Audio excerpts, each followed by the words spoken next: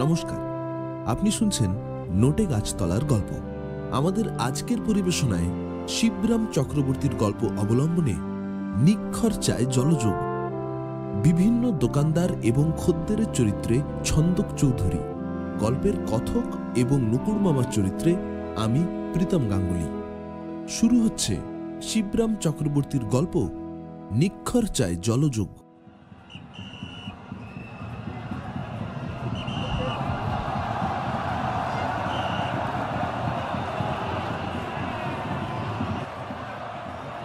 সেই থেকে নকুর মামার মাথায় টাক। ফাঁস করছি সে কথা একদিনে। চালবাজি করতে গিয়ে চালের ফাঁকিতে বানচাল হয়ে মাথার আট চালায় ওই ফাঁক। সেদিন যা হয়েছিল, যা নাজেহাল হতে হয়েছিল আমাদের কি আর বলব। সাড়ে এগারোটা থেকে সারি বেঁধে দাঁড়িয়ে ভিড় ঠেলে ঘোড়ার ধাক্কা সয়ে কত তপস্যার পর তো ঢুকলাম খেলার গ্রাউন্ডে। ভিড়ের ঠেলায় পকেট ছিঁড়ে যা ছিল সব গড়িয়ে গেছে গড়ের মাঠে। মানে মামার পকেটে যা কিছু ছিল, আমার পকেট তো এমনিতেই গড়ের মাঠ। ছিন্ন হয়ে ক্যালকাটা গ্রাউন্ডে ঢুকেছিলাম, ভিন্ন হয়ে বেরুলাম খেলার শেষে। ওই ভিড়ের ঠেলাতেই, ভাগ্যিস, মামা ছিলেন হুঁশিয়ার। দাঁড়িয়েছিলেন গেটের গোড়ায়, তাই একটু না আগাতেই দেখা মিলল। এই যে, এদিকে! নইলে এই গোলের মধ্যে মোহনবাগানের এত গোলের পর আবার যদি মামাকে ফের খুঁজতে হতো তাহলেই তো আমার হয়েছিল। আমার হাঁক ডাকে কতজনার সাড়া মিলত কতজনার কত মামাই যে অযাচিত এসে দেখা দিতেন কে জানে। এই জনসমুদ্রে আমি হারিয়ে যেতাম কি না তাই বা কে বলবে? মামা বললেন একটু চা না হলে তো বাঁচি নে রে যা তেষ্টা পেয়েছে বাপস। গলা যেন শুকিয়ে কাঠ মেরে গেছে হুম? জিপ টিপ সব শুকতলা। আমারও তেষ্টা লেগেছে, মামা। আমি বলি, তবে চা যদি নেহাত নাই মেলে শরবত হলেও আমার হয়। হ্যাঁ শরবত? বলে চায়েরই পয়সা জুটছে না তো শরবত। নকুর মামা চেঁচান। দু আনা পয়সা হলে এক কাপ চা কিনে দুভাগ করে খাওয়া যায়। গলাটা একটু ভিজিয়ে বাঁচি, দুজনেই বাঁচি। তা আছে নাকি তোর কাছে দু আনা না, মামা। হুম একটা দুয়ানিও নেই হ্যাঁ? না মামা। একদম না? দেখেছিস ভালো করে? ওই হ্যাঁ দেখেছিস? না মামা। তা দুয়ানি না থাক দুটো আনি দুটো আনি হলেও তো হয়। না মামা। হ্যাঁ তাও না? আচ্ছা একটা আনি আর দুটো ডবল পয়সা? নেই কো যাকগে তবে চারটে ডবল পয়সা তাই দে। তাও পারবি নে। তাহলে ডবলে আর বে ডবলে মিলিয়ে বার কর বাবা। মোটের উপর যে করি আটটা পয়সা হলেই হয়ে যায়। হ্যাঁ? না মামা। তাহলে ফুটো পয়সাই সই তাই বের কর দেখি আটটা। তাহলেই হবে। তাতেই চালিয়ে নেব কোনো রকমে। না। আমার পুনঃ পুনরুক্তি। আহ, প্রাণে যেন আমার চিমটে কেটে দিলেন। কেতার তো হলুম ন্যা ম্যা ম্যা। চল। কার্জন পার্কের কোন অবধি মামা চুপচাপ আসেন আধমরার মতন। তারপর চৌরঙ্গির মোড়ে পৌঁছতেই যেন চমকে ওঠেন আবার। এই চ। তোদের পাড়ায় চাই সেখানে চায়ের দোকানে নিশ্চয়ই তোকে ধার দেবে। তোর চেনাশোনা লোক সব হ্যাঁ? ভাব সাব তো আছেই। তাই চল চা না পেলে আমি আজ বাঁচবো না। পঞ্চত্ব লাভ করব দেখিস তুই? আম- আমার পাড়ার চাওয়ালারা? তুমি তাদের চেনো না মামা। এমন খুঁতখুঁতে লোক আর হয় না। এমন কেপ্পন তুমি সাত জন্মে দেখনি।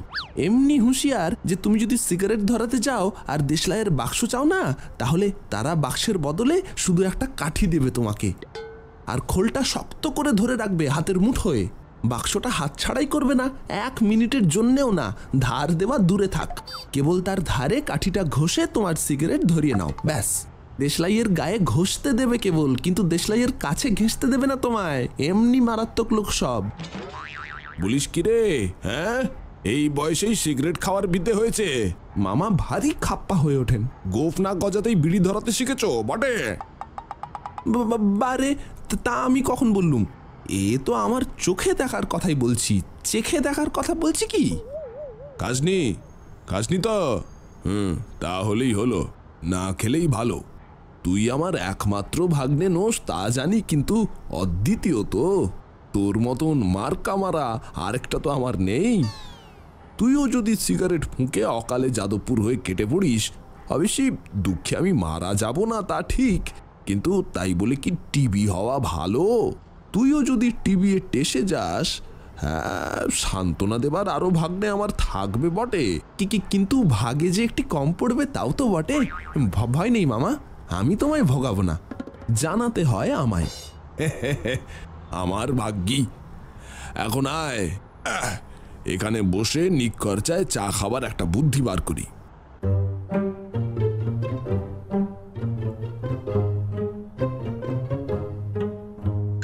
দুজনে মিলে তখন মাথা খাটাই আমরা।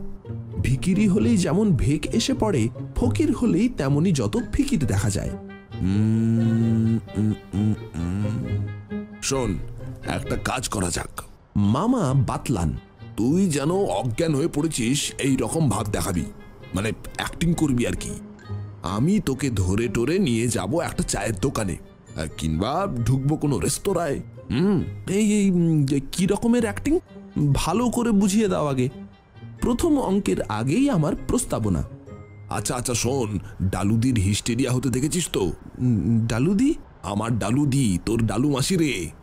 ও হ্যাঁ হ্যাঁ। হ্যাঁ তা তুই সেই ডালুদির মতো সেই রকম গান নাড়াতে থাকবি হাত পা কাঁপাবি।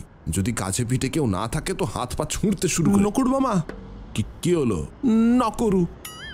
আমি সংস্কৃত করে বলি তারপরে ফের ব্যাখ্যা করে দিই সোজা বাংলায়। অমন কার্যটি করো না কদাপি না। হিস্টেরিয়া হচ্ছে মেয়েলি ব্যাপার, ছেলেদেরও সব রোগ কি কখনো হয়? কখনো না। না, হয় না, তোকে বলেছে, ছেলে মাত্রই তো এক একটি রোগ, আর ও জি ইউ ই। মামা সাদা বাংলায় বলে সিধে ইংরেজিতে বুঝিয়ে দেন ফের। শোন শোন, ওসব আদিক্ষেতা রাখ, এখন যা বলছি তাই কর। আমি তোকে ধরাধরি করে নিয়ে যাব চাখানায়। এই তো গেল প্রথম দৃশ্য। তারপর আমি যা যা বলি, যা যা করি তা দেখতেই পাবি। তুই ভান করবি আর আমি ভনিতা করব। ঠিক আছে? কিন্তু আর চোখে দেখে রাখবি সব ভালো করে। কেননা হিস্টেরিয়া বানিয়ে আমার লাভ। দেখতেই পাবি। হাতে নাতেই দেখবি। হিস্টেরিয়ার দাওয়াই হলো গরম দুধ চা toast cake curry chop cutlet pudding পচ ডাবল মামলেট ফিশ ফ্রাই ইত্যাদি ইত্যাদি। আর বলো না আর বলো না। বলতে না বলতেই আমি চলকে উঠি। রাজি হয়ে যাই তৎক্ষণাৎ।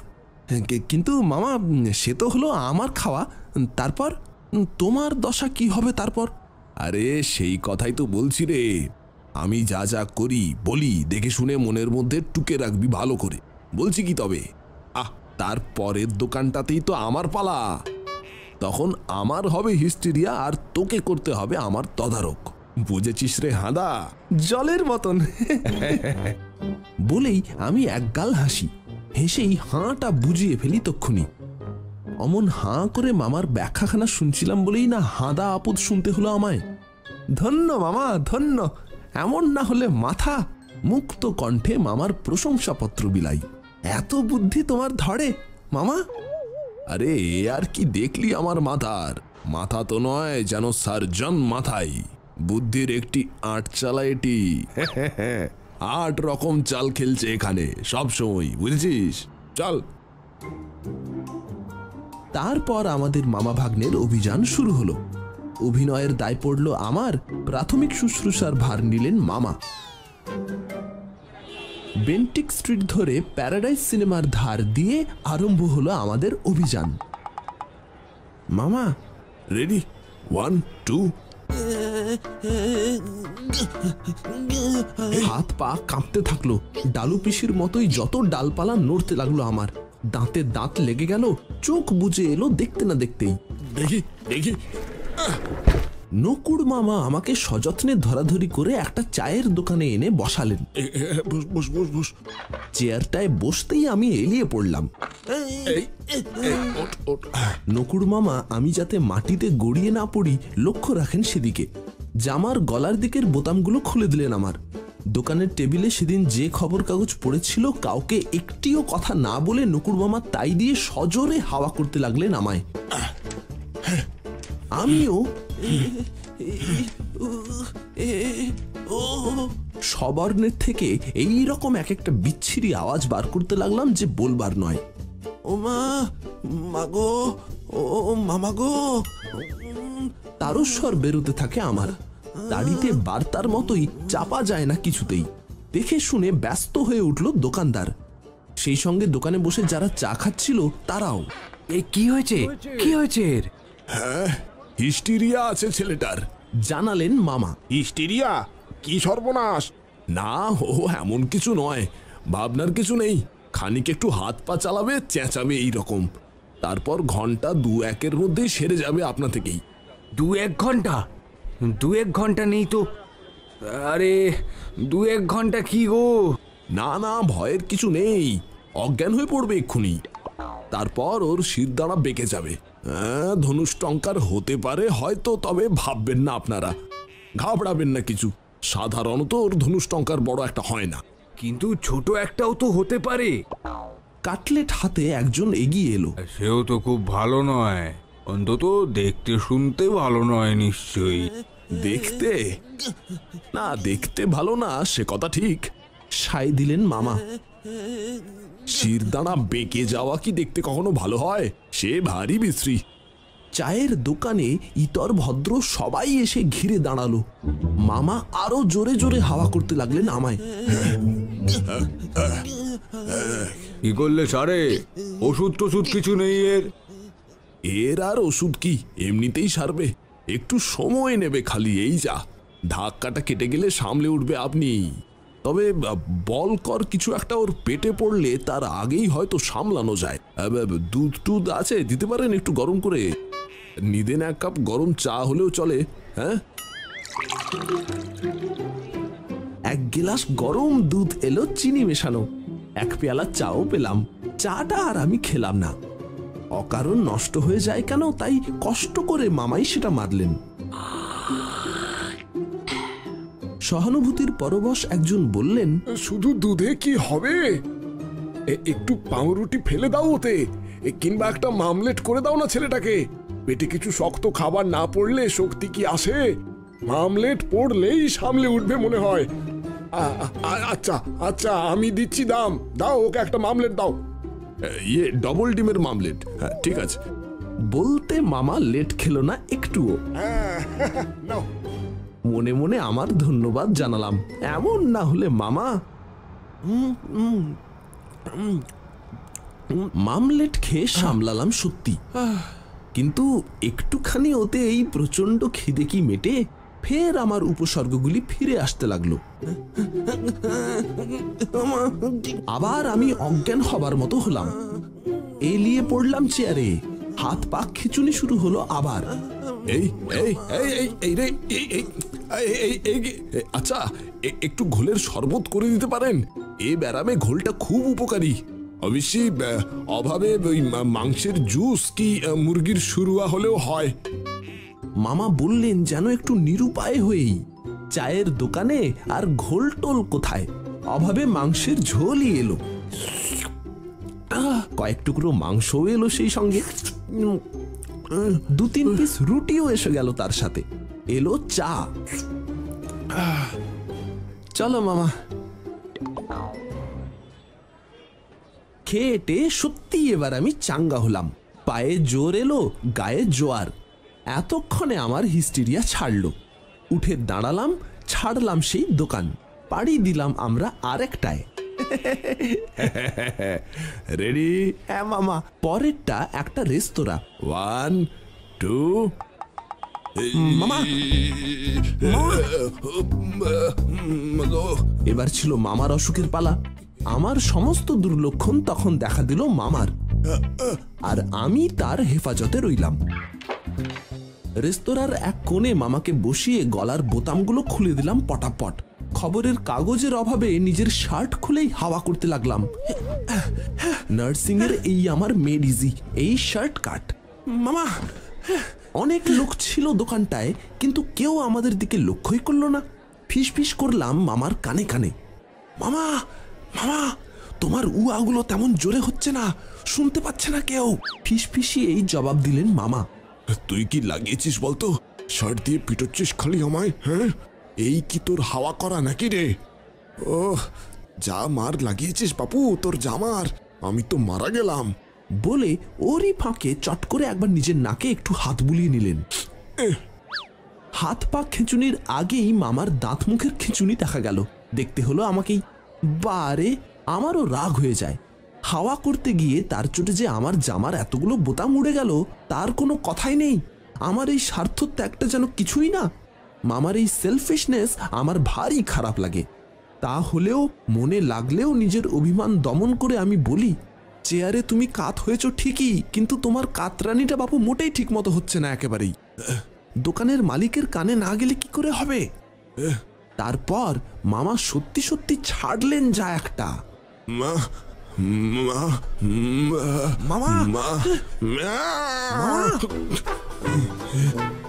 রাত বিরেতে ছাতের উপর বিড়াল ছানা যেমন ছাড়ে সেই রকম একখানা আওয়াজ। মামা? পটাপট আরও গোটা কতক বোতাম ছিঁড়ে গেল। মামা? কিন্তু আমি গ্রাহ্যই করলাম না। কারুর অসুখ বিসুখে নিজের লাভ ক্ষতির দিকে তাকালে চলে না। তাই আমি জামার দিকে তাকালাম না মামার দিকেও না। মামা? নাকমুখ সিট করলেন কিন্তু কি করব? শক্ত রুগী কি কি কখনো জামাই আদর করা যায়? অমন করে ডাকলে স্বয়ং মা জগদম্বাই এসে দেখা দেন আর এ মিনছা না এসে পারে? এগিয়ে এলো দোকানদার। এ কি এইসব কি হচ্ছে এখানে? হ্যাঁ? এটা কি তোমরা ওস্তাদির আঁকড়া পেয়েছ নাকি? গলা বাঁধবার জায়গা পাওনি গানের কসরতের জায়গায় নয়। বললেন লোকটা। "অ- অ- অ- অসুখ করেছে মামার। আমি জানালাম। অযোগ করেছে তো কি এখানে কি? এখানে কি? ডাক্তারখানা নিয়ে যাও। ওই ওই যে সামনেই। সামনে তো ডাক্তারখানা। চোখের সামনেই দেখছ না? না ওষুধের সারবার অসুখে নয়। এ হলো গিয়ে হিস্টিরিয়া। ভালো মন্দ কিছু পেটে পড়লেই সারে। দেখছেন না? হা হা করছে কীরকম? হাঁ করছে। কুইনাইন হচ্ছে এর একমাত্র দাবাই। কুইনাইন। আমার কাছে আছে। এক্ষুনি আমি আনছি। দাঁড়াও। এই চল চল চল বেরো বেরো। আমি তো দাঁড়িয়েই ছিলাম, কিন্তু মামা আর দাঁড়ালেন না। কুইনিনের নাম শুনেই তার হাঁ বুঝে এসেছিল। হাঁ হাঁ করে উঠে পড়লেন, সেরে উঠলেন চটপট।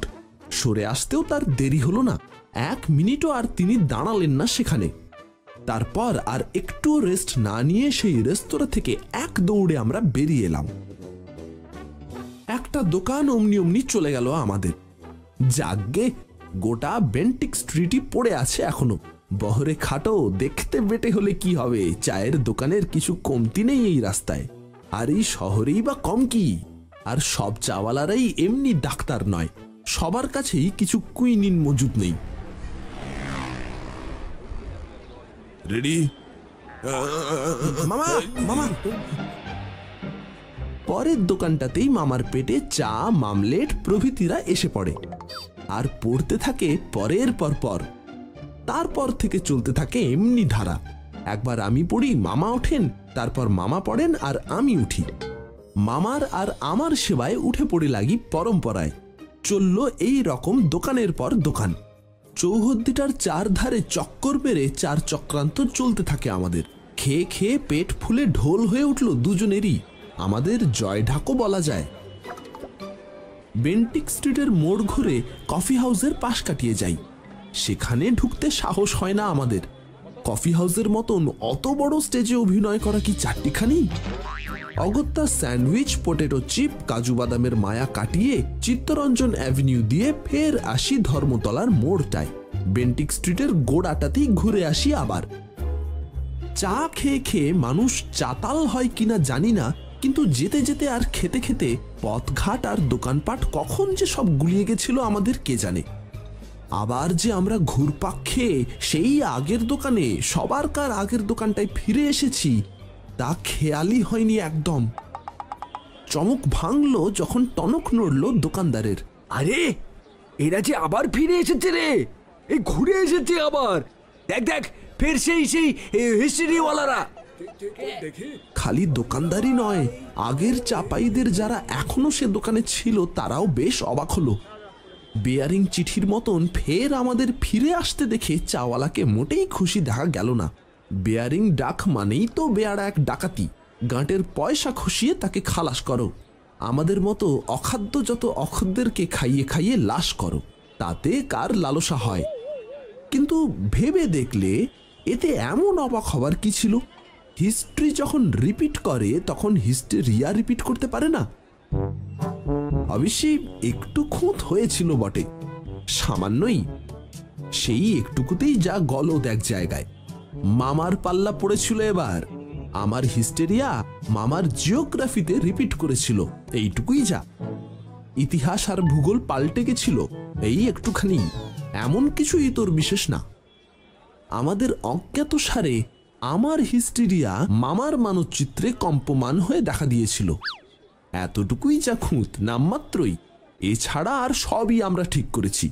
জামার বোতাম খোলা, খবরের কাগজের হাওয়া লাগানো, বিলকুল। আমার দিক থেকে কোনো ত্রুটি হয়নি। মামার অভিনয়ও যতদূর নিখুঁত হতে হয়। কিন্তু হলে কি হবে? দোকানদাররা তবুও কেমন খুঁতখুত করে। হ্যাঁ এরকমটা হলো যে এই- এইরকম কেন হ্যাঁ? সেবারে দেখলাম বাচ্চাটার এবারে দেখছি দাড়িটাকে ধরেছে হ্যাঁ? এই কি রকমের ব্যারাম? হ্যাঁ ভারী শক্ত ব্যারাম। ছোঁয়াচে ব্যারাম কি না? এপিডেমিক তো একেই বলে। আমার থেকে মামার হয়েছে। হ্যাঁ হ্যাঁ এ মড়ক হলে যেমন হয়ে থাকে। যাই হোক এ- এ হচ্ছে হিস্টেরিয়া। এ- এর ওষুধ হচ্ছে মামলেট। হ্যাঁ ডবল মামলেট। এ, নিদেন একখানা মোগলাই পরোটা হলেও হয়। হ্যাঁ হবে?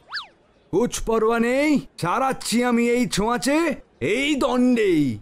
এই নিয়ে আয় তো গরম জলের কেটলিটা। হাঁকলো সেই চাওয়ালা। হ্যাঁ চায়ের দরকার নেই। পরোটাও পরোয়া করে না। শুদ্ধ গরম জলেই সারবে এই রোগ। টকবকে ফুটন্ত জলের কেটলি এসে পড়ল। চায়ের জল গরম হচ্ছিল যেটায়। আহ, এই তো আহ, উপর করে দে। উপর কর দে উপর করে পুরো কেটলিটা এই লোকটার উপর। হ্যাঁ হ্যাঁ হ্যাঁ, তার আগে এই ছোটটার মাথাতেও ছটাক খানেক ছাড়। শুনতে না শুনতেই আমি ছটকে আসি। বারে আমি আমি কেন? আমার মাথায় কিসের জন্যে? আমার তো হিস্টেরিয়া হয়নি। হয়নি হয়নি। কিন্তু হতে কতক্ষণ prevention is better than cure. পড়নি বইয়ে? ব্যারাম হওয়ার আগেই তো সারাতে হবে। কে জানে, তোমার হয়তো ফের জিওগ্রাফিয়া হতে পারে। সে আরও শক্ত অসুখ, আরও বেশি ছোঁয়াচে, তার আগেই আরাম করা যাক তোমায়। আরামের কথাটা পারতেই আমি লাফ মারি। হ্যাঁ?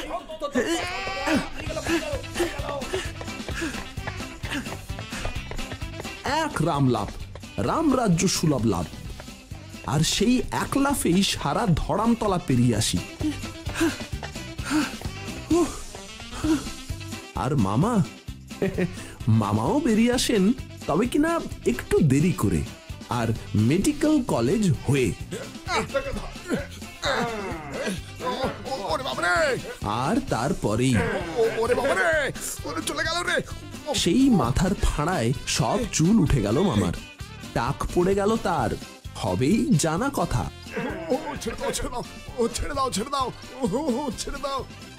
গরম জল চুলের পক্ষে বেজায় ক্ষতিকর। তাতে চুল উঠে যায়। পড়েছিলাম হাইজিনে।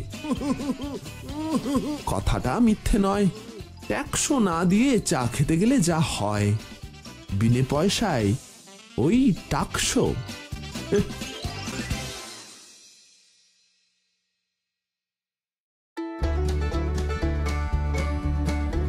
নোটে গাছতলার গল্পে আজকে শুনছিলেন শিবরাম চক্রবর্তীর গল্প নিক্ষর চায় জলযুগ।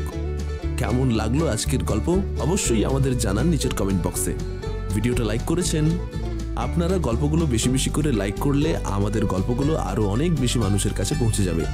ভিডিও লাইক করতে ভুলবেন না শেয়ার করে নিন আপনার বন্ধু বান্ধবদের সঙ্গে। বাংলা সাহিত্যের নানান মজার গল্প শুনতে সাবস্ক্রাইব করুন নোটে গাছতলার গল্প, মজার একমাত্র ঠিকানা। খুব শিগগির আবার ফিরে আসছি নতুন গল্প নিয়ে। আজ আসি, ভালো থাকবেন, নমস্কার।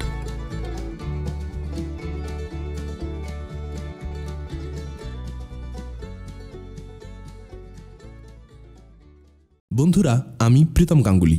একটা কথা বলতে চাই। ইতিমধ্যে আপনারা অনেকেই জানেন, আমাদের চ্যানেল নোটে গাছতলার গল্প থেকে টেনিদার গল্পগুলি সরিয়ে নিতে হয়েছে এবং নারায়ণ গঙ্গোপাধ্যায়ের অন্যান্য গল্পগুলোও। সব মিলিয়ে এগারোখানা ভিডিও ডিলিট করতে হয়েছে। এর ফলে চ্যানেলের রিচ অনেকটা কমে যাওয়া খুব স্বাভাবিক। এই সময় বন্ধুরা, আপনাদের সাহায্য একান্ত প্রয়োজন। আজকের গল্পটি উপভোগ করুন, ভিডিওটি লাইক করুন, অনেক অনেক কমেন্ট করুন এবং শেয়ার করে নিন আপনার বন্ধুবান্ধবদের সঙ্গে। আজকের গল্পটি শুরু করা যাক। নমস্কার, আপনি শুনছেন নোটে গাছতলার গল্প। আমাদের আজকের পরিবেশনায় শিবরাম চক্রবর্তীর মজার গল্প পাতালে বছর পাঁচেক। আজ গল্প পাঠে গোরা এবং মেজো আমার চরিত্রে আমি প্রীতম গাঙ্গুলি। নোটে গাছ তোলার গল্পে এখন মেম্বারশিপ বা সাবস্ক্রিপশনস নেওয়া যাচ্ছে। নিচের জয়েন বাটনটিতে ক্লিক করে বিস্তারিত জানতে পারেন। শুরু হচ্ছে শিবরাম চক্রবর্তীর গল্প, পাতালে বছর পাঁচেক।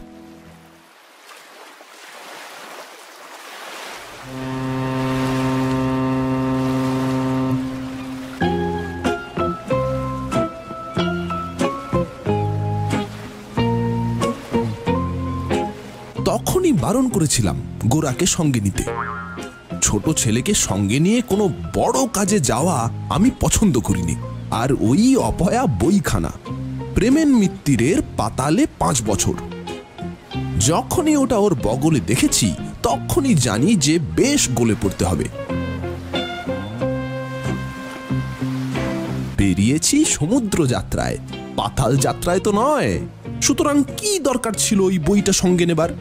আর যদি নিতেই হয়, তবে আমার বাড়ি থেকে পালিয়ে কি দোষ করল? যত সব বিদঘুটে কাণ্ড ওই ছেলেটার। মনে মনে আমি চটেই গেলাম। শেষে কিন্তু ভড়কাতে হলো। জাহাজে উঠেই যখন বইয়ের কারণ ও ব্যক্ত করল, আমাকে রেলিংয়ের এক পাশে ডেকে এনে চোখ বড় করে চাপা গলায় বললে, মেজো আমাকে বলবেন না কিন্তু খুব ভালো হয় যদি জাহাজটা ডুবে যায়। আমি বললাম কি কি ভালোটা হয়? কেন? শটান পাতালে চলে যাওয়া যায় এবং সেখানে এই যে এই বলেই গোরা উৎসাহের সহিত বইখানার পাতা উল্টাতে শুরু করে গোড়া থেকেই। আমি ওকে বোঝাবার চেষ্টা করলাম। দেখো নিতান্তই অকস্মাৎ প্রচণ্ড সাইক্লোন কিংবা ওই বরফের পাহাড়ে ধাক্কা যদি না লাগে, তাহলে সেরকম সুযোগ পাওয়াই যাবে কিনা সন্দেহ। আর সেই দুরাশা পোষণ করেই যদি তুমি ওই বইখানা এনে থাকো, তবে তো সে খুবই ভুল করেছ। কারণ আজকালকার নিরাপদ সমুদ্রযাত্রায় পাতাল ভ্রমণের কাহিনীকে কাজে লাগানো ভারী কঠিন। আমার কথায় সে দমে গেল, গুম হয়ে থেকে অবশেষে বললে, তাহলে তাহলে কি কোনো আশাই নেই একেবারে? হুম দেখছি না তো। নিষ্পৃহ কণ্ঠে আমি জবাব দিই। তাছাড়া তুমি ব্যতীত জাহাজের এতগুলি প্রাণীর মধ্যে কারোর ভুলে পাতালে যাওয়ার শখ আছে বলেও আমার মনে হয় না। হ্যাঁ বলেন কি? গোরা যেন আকাশ থেকে পড়ল। তা কখনো হয়? আপনিও কি যেতে চান না পাতালে? আমি প্রবল বেগে ঘাড় নাড়লাম। পাতাল দূরে থাক, হাসপাতালেও না। কেউ কি মরতে যায়ও সব জায়গায়? আপনি মিথ্যে কথা বলছেন। পাতালে যাবার ইচ্ছা আবার হয় না মানুষের? আরে হ্যাঁ গো আমার হয় না। আমাকে জানো না তুমি। আমি জানালাম। আমার পাতালে যাবার ইচ্ছা হয় না মোটর চাপা পড়বার ইচ্ছা হয় না রেলে কাটা যাওয়ারও ইচ্ছা করে না। আমি যেন কি রকম? আমি সঙ্গে থাকব ভাই কি আপনার? ও আমাকে উৎসাহ দেয়। হ্যাঁ মেজো আমাকে দেখে আসি। আপনি ততক্ষণ পড়ুন বইখানা। বইটা হাতে নিয়ে ভাবলাম এটাকে এখনই আমাদের আগেই পাতালে পাঠিয়ে দিলে কেমন হয়? সিঙ্গাপুরে যাচ্ছি, সিঙ্গা ফুঁকতে তো আর যাচ্ছি নে। আকাশ পাতালের বৃত্তান্ত আমার কি কাজে লাগবে? তারপর কিছুক্ষণ ইতস্তত করে বইটা পড়তে শুরু করি, শেষের দিক থেকে। গোড়ার দিক থেকে পড়ব না বলেই শেষের দিকটাই ধরি আগে। শেষ পৃষ্ঠা থেকে আরম্ভ করে একশো চৌত্রিশ পাতা পর্যন্ত এগিয়েছি কিংবা পিছিয়েছি এমন সময়ে।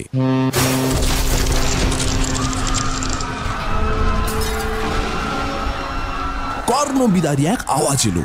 সেই মুহূর্তেই আমার হাত থেকে খসে পড়ল বইটা এবং আমি খসে পড়লাম চেয়ার থেকে। অত বড় জাহাজটা থর থর করে কাঁপতে লাগল। উঠবো কিংবা অমনি করেই পড়ে থাকব, অর্থাৎ উঠবার আদেও আবশ্যক হবে কি না ইত্যাদি চিন্তা করছি। এমন সময় গোবরার মেজো মামা হন্তদন্ত হয়ে ছুটে আসেন। এই যে বেঁচে আছো? বেঁচে, বেঁচেই আছো তাহলে। হার্ট ফেল করনি এখনও? আমার তো পিলে ফাটার উপক্রম। বাবারে বাবা। জানান গোরার মামা। তা ব্যাপার কি কি হয়েছে? ইঞ্জিন বাস্ট করল নাকি? আরেকখানা জাহাজ জাহাজে জাহাজে ঠোকাঠুকি। হ্যাঁ? কি সর্বনাশ। হ্যাঁ মনে হচ্ছে মনে হচ্ছে চোরা কোনো জাহাজ। চোরাই মালের জাহাজ। ধাক্কা মেরেই ছুটেছে। ওই দেখো না। ওই অবস্থাতেই ঘাড় উঁচু করে তাকালাম।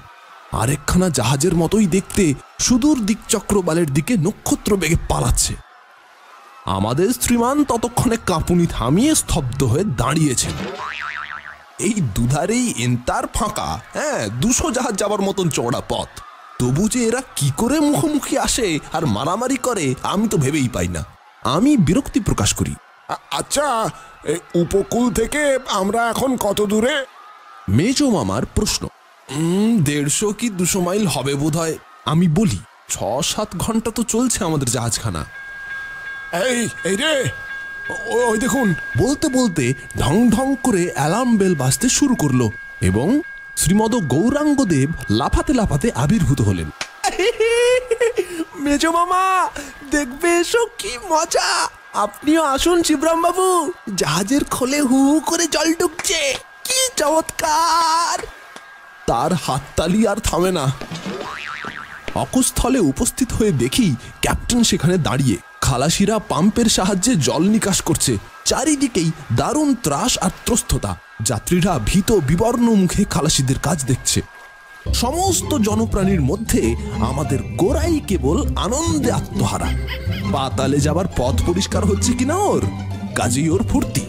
কেন অনর্থক পাম্প করে মরছে? আমাকেই প্রশ্ন করে গোরা। জাহাজটা ডুবে গেলেই তো ভালো হয়। হ্যাঁ ওই ভালোটা যাতে সহজে না হয়, তারই চেষ্টা করছে, বুঝতে পারছ না? কলিযুগে কেউ কি কারও ভালো চায়? যা বলেছেন, ভারী অন্যায় কিন্তু। এক মুহূর্তের জন্য থামে সে। আচ্ছা ডাঙা এখান থেকে কত দূর?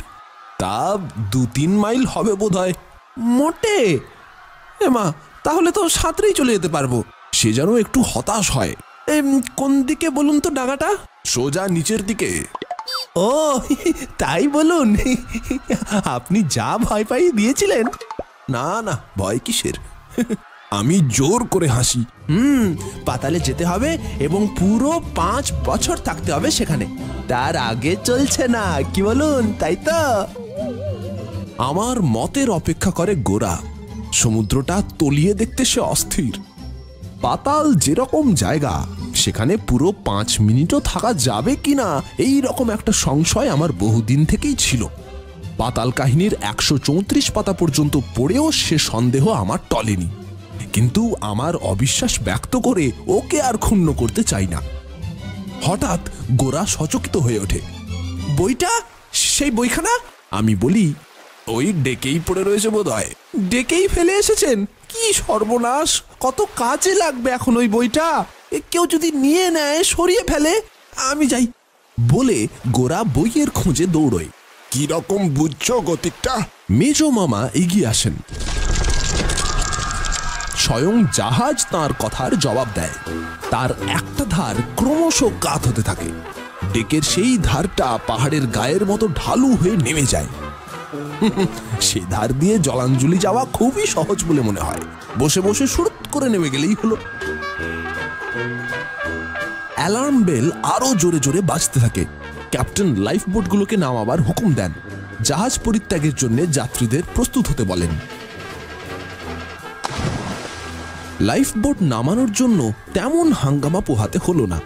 জাহাজ তো কাত হয়েই ছিল। সেই ধার দিয়ে দড়ি বেঁধে ওগুলো ছেড়ে দিতেই শটাং জলে গিয়ে দাঁড়াল। আরোহীরাও লাইফ বোটের অনুসরণে প্রস্তুত হলেন। সাবধানতা এই জন্য যে একটু পা ফসকালেই একেবারে লাইফ আর লাইফ বোটের বাইরে সমুদ্র গর্ভেই সটান গোরার মেজ মামা এবং আমি, আমাদেরও বিশেষ দেরি ছিল না।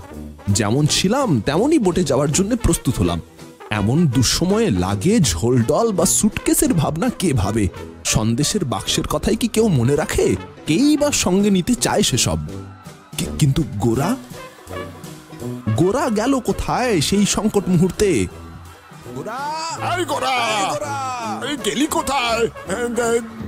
আমি গলা ফাটাই এবং মেজো মামা আকাশ ফাটান। গোরার কিন্তু কোনো সাড়া শব্দই পাওয়া যায় না। গোরা কে জানে, হয়তো কেবিনে বসেই বই পড়ছে। এই কি পড়বার সময়?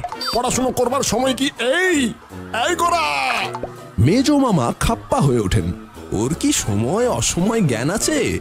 যা ওর পড়ার ঝোঁক। আমি বলি, ওরে গোরা রে! আসুন আসুন দেখি। দুজনে আমরা কেবিনের দিকে দৌড়ই। কোথায় গেলি রে? না, কেবিনে তো নেই। গোরা! তখন এদিকে ওদিকে দিকবিদিকে ছোটাছুটি শুরু করি। কিন্তু কোথায় গোরা?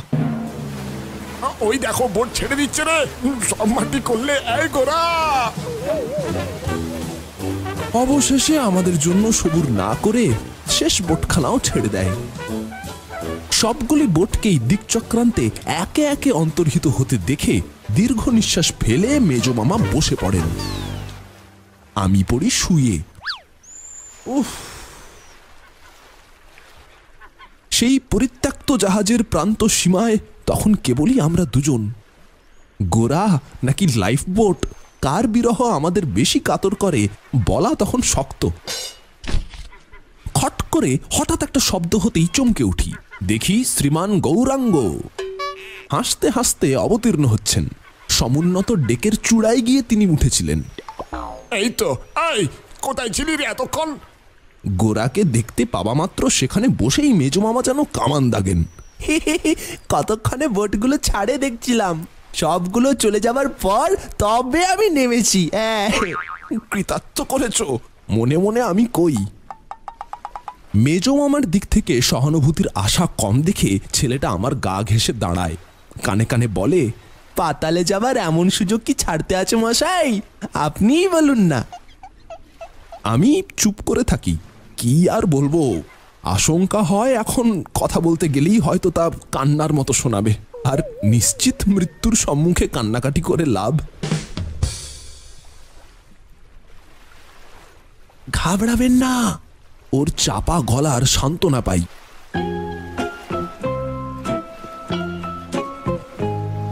ফিরে এসে আপনিও প্রেমেন বাবুর মতো অমনি একখানা বইয়ের মতো বই লিখতে পারবেন। হ্যাঁ আমি শুধু বলি হ্যাঁ ফিরে এসে ফিরে আসতে পারি যদি। মুখ ফুটে আর বেশি বলতে পারি না। মুখের ফুটো বুঝে আসছিল আমার। ক্রমশ বিকেল হয়ে আসে। অনেকক্ষণ বসে থেকে অবশেষে আমরা উঠি। খাওয়া দাওয়া এবং শোয়ার ব্যবস্থা করতে হবে তো? যতক্ষণ অথবা যতদিন এই জাহাজের এমনি ভেসে থাকার মতিগতি থাকবে, আর এই পাশ দিয়ে যেতে যেতে অন্য কোনো জাহাজ আমাদের দেখতে পেয়ে তুলে না নেবে, ততক্ষণ বা ততদিন টিকে থাকার একটা বন্দোবস্ত করতে হবে বই কি? আফসোস করে আর ফল কি এখন? জাহাজকে ধন্যবাদ দিতে হয়। তিনি সেই রূপই কাত হয়ে রইলেন। বেশি আর তলাবার চেষ্টা করলেন না। আমরা তিনজনে এবার এধারে ওধারে আর কেবিনে কেবিনে পরিভ্রমণ শুরু করলাম। না খাবার দাবার অপর্যাপ্তই রয়েছে। পাঁচ বছর না হোক পাঁচ হপ্তাহ টেকার মতো নিশ্চয়ই। এ দেখেছ? বিস্কুট রুটি মাখন চকলেট জ্যাম ঠান্ডা মাংস উফ! গোড়ার পুলক আর ধরে না। তার কলেবর আমাদের একেবারে খেপিয়ে তুলল প্রায়। খাওয়া দাওয়া সেরে একটা প্রথম শ্রেণির কেবিনে শয়নের আয়োজন করা গেল। ডেকের টিকিট কেটে প্রথম শ্রেণীতে যাওয়ার সুযোগ পাওয়া কতখানি সুবিধার? নরম গদির আরামের মধ্যে গদগদ হয়ে গোরা আমাদের তাই বোঝাতে চায়। কি নরম দেখেছ? এই বাদর চুপ কর।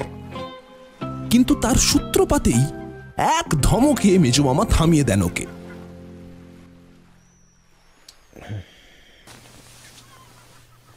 পরের দিন ভোরে ঘুম ভাঙলে সবাই আমরা চমৎকৃত হলাম।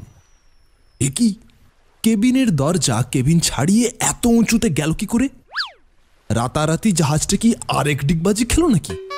বাইরে বেরিয়ে যে কারণ খুঁজবো, তারও জো নেই। কেননা, দরজা গেছে কড়িকাঠের জায়গায়। আর আমরা যে কোথায় আছি, ঠিক বুঝতে পারছি না। গোরা কিন্তু আমাদের কাজের ছেলে।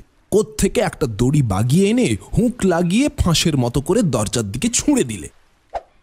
কয়েকবার ছুঁড়তেই আটকালো ফাঁসটা। তারপর তাই ধরে সে অবলীলাক্রমে ওপরে উঠে গেল। ফাঁসটাকে দরজার সঙ্গে ভালো করে বেঁধে দড়িটা নামিয়ে দিল সে আমাদের উঠবার জন্য।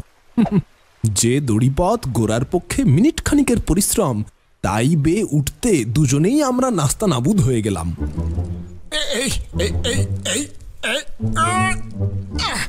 অনেকক্ষণে অনেক উঠে পড়ে বিস্তর ধস্তাধস্তি করে এর ওর ঘাড়ে পড়ে পরম্পরায় বহুত কায়দা কসরতে ঘরমাক্ত কলেবরে অবশেষে আমরা উপরে উঠে এলাম। এসে দেখি জাহাজ এবার অন্য ধারে কাত হয়েছেন অন্যদিকে হেলেছেন। তাই আমাদের প্রতি এই অবহেলা। সেই জন্যই কেবিনের মেঝে পরিণত হয়েছে দেওয়ালে আর দেওয়াল হয়ে দাঁড়িয়েছে ছাদ। জাহাজের মেজাজে।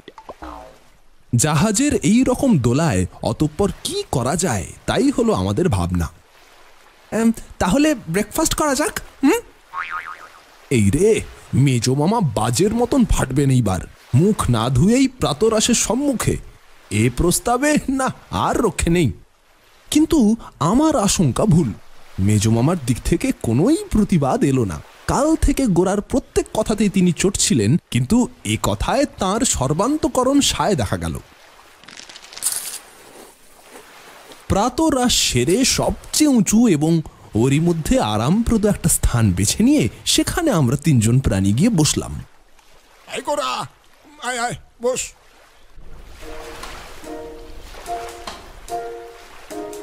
বসে বসে সারা দিন জাহাজটার আচার ব্যবহার লক্ষ্য করি।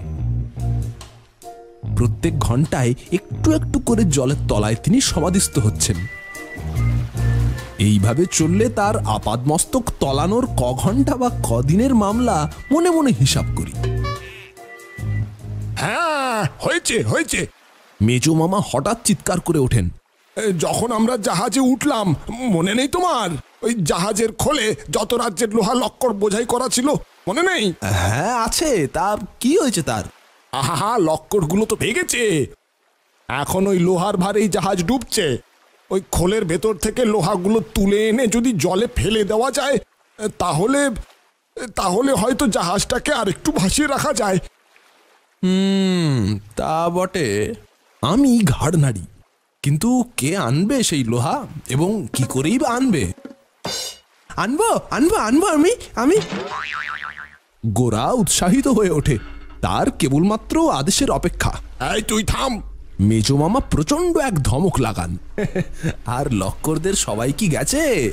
আপাতত একে জলে ফেলে দিলেও তো জাহাজটা একটু হালকা হতে পারে বোধহয়। দেবো ফেলে? আমি বললাম। থামো তুমি।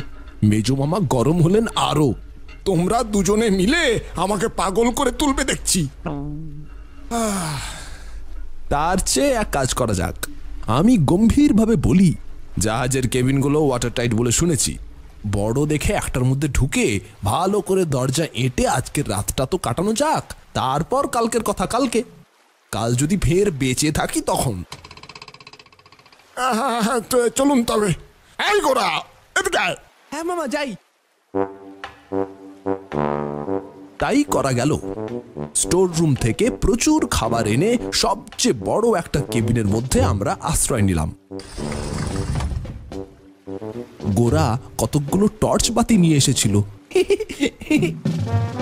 তাদের আর আমাদের একসঙ্গে জ্বালাতে শুরু করল। মেজো মামা বললেন, টর্চের সাহায্যে টর্চার করার নামই হচ্ছে জ্বালানো। এর চেয়ে জ্বালাতনের আর কি আছে? আর ঠিক ঘুমাবার সময়টাতেই আচ্ছা।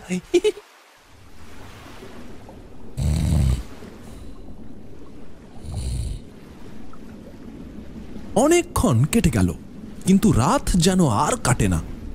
যতক্ষণ সম্ভব এবং যতদূর সাধ্য প্রাণপণে আমরা ঘুমিয়েছি। কিন্তু ঘুমোনোর তো একটা সীমা আছে। গোরা সেই সীমানায় এসে পৌঁছেই ঘোষণা করে "আহ, এইবার ব্রেকফাস্ট করা যাক। হ্যাঁ? এই এই রাত থাকতেই শুয়ে শুয়েই আমি চমকে উঠি। কি রাক্ষসে ছেলে রে বাবা! এই তোর কি ভোর হতেও আর তার সইছে না রে? খিদে পেয়েছে যে গোরা বলে ভোর না হলে বুঝি খিদে পেতে নেই। এ, খিদে কি আর আমারও পাইনি কিন্তু তা বলে কি রাত থাকতেই ব্রেকফাস্ট এরকম বেআক্কেলে কথা কেউ শুনেছে কখনো? কারও বাপের জন্মে? আহা ছেলে মানুষ খিদে পেয়েছে খাক না। এখানে তো ভদ্রলোক কেউ নেই কে শুনছে? এই গোরা ভাই এ নাও। বিস্কুটের টিনটা গোড়ার দিকে আগিয়ে দিই। বারে, আমি বুঝি বাদ। ছেলে মানুষ বলে কেউ মাথা কিনেছে নাকি? ছেলে মানুষ না হলে খিদে পেতে নেই ক? মেজো মামা আমার দিকে হাত বাড়ান। মেজো মামাকেও একটা টিন দিতে হয় এবং নিজেও আমি একটা টিন শেষ করি। তারপর আবার ঘুম।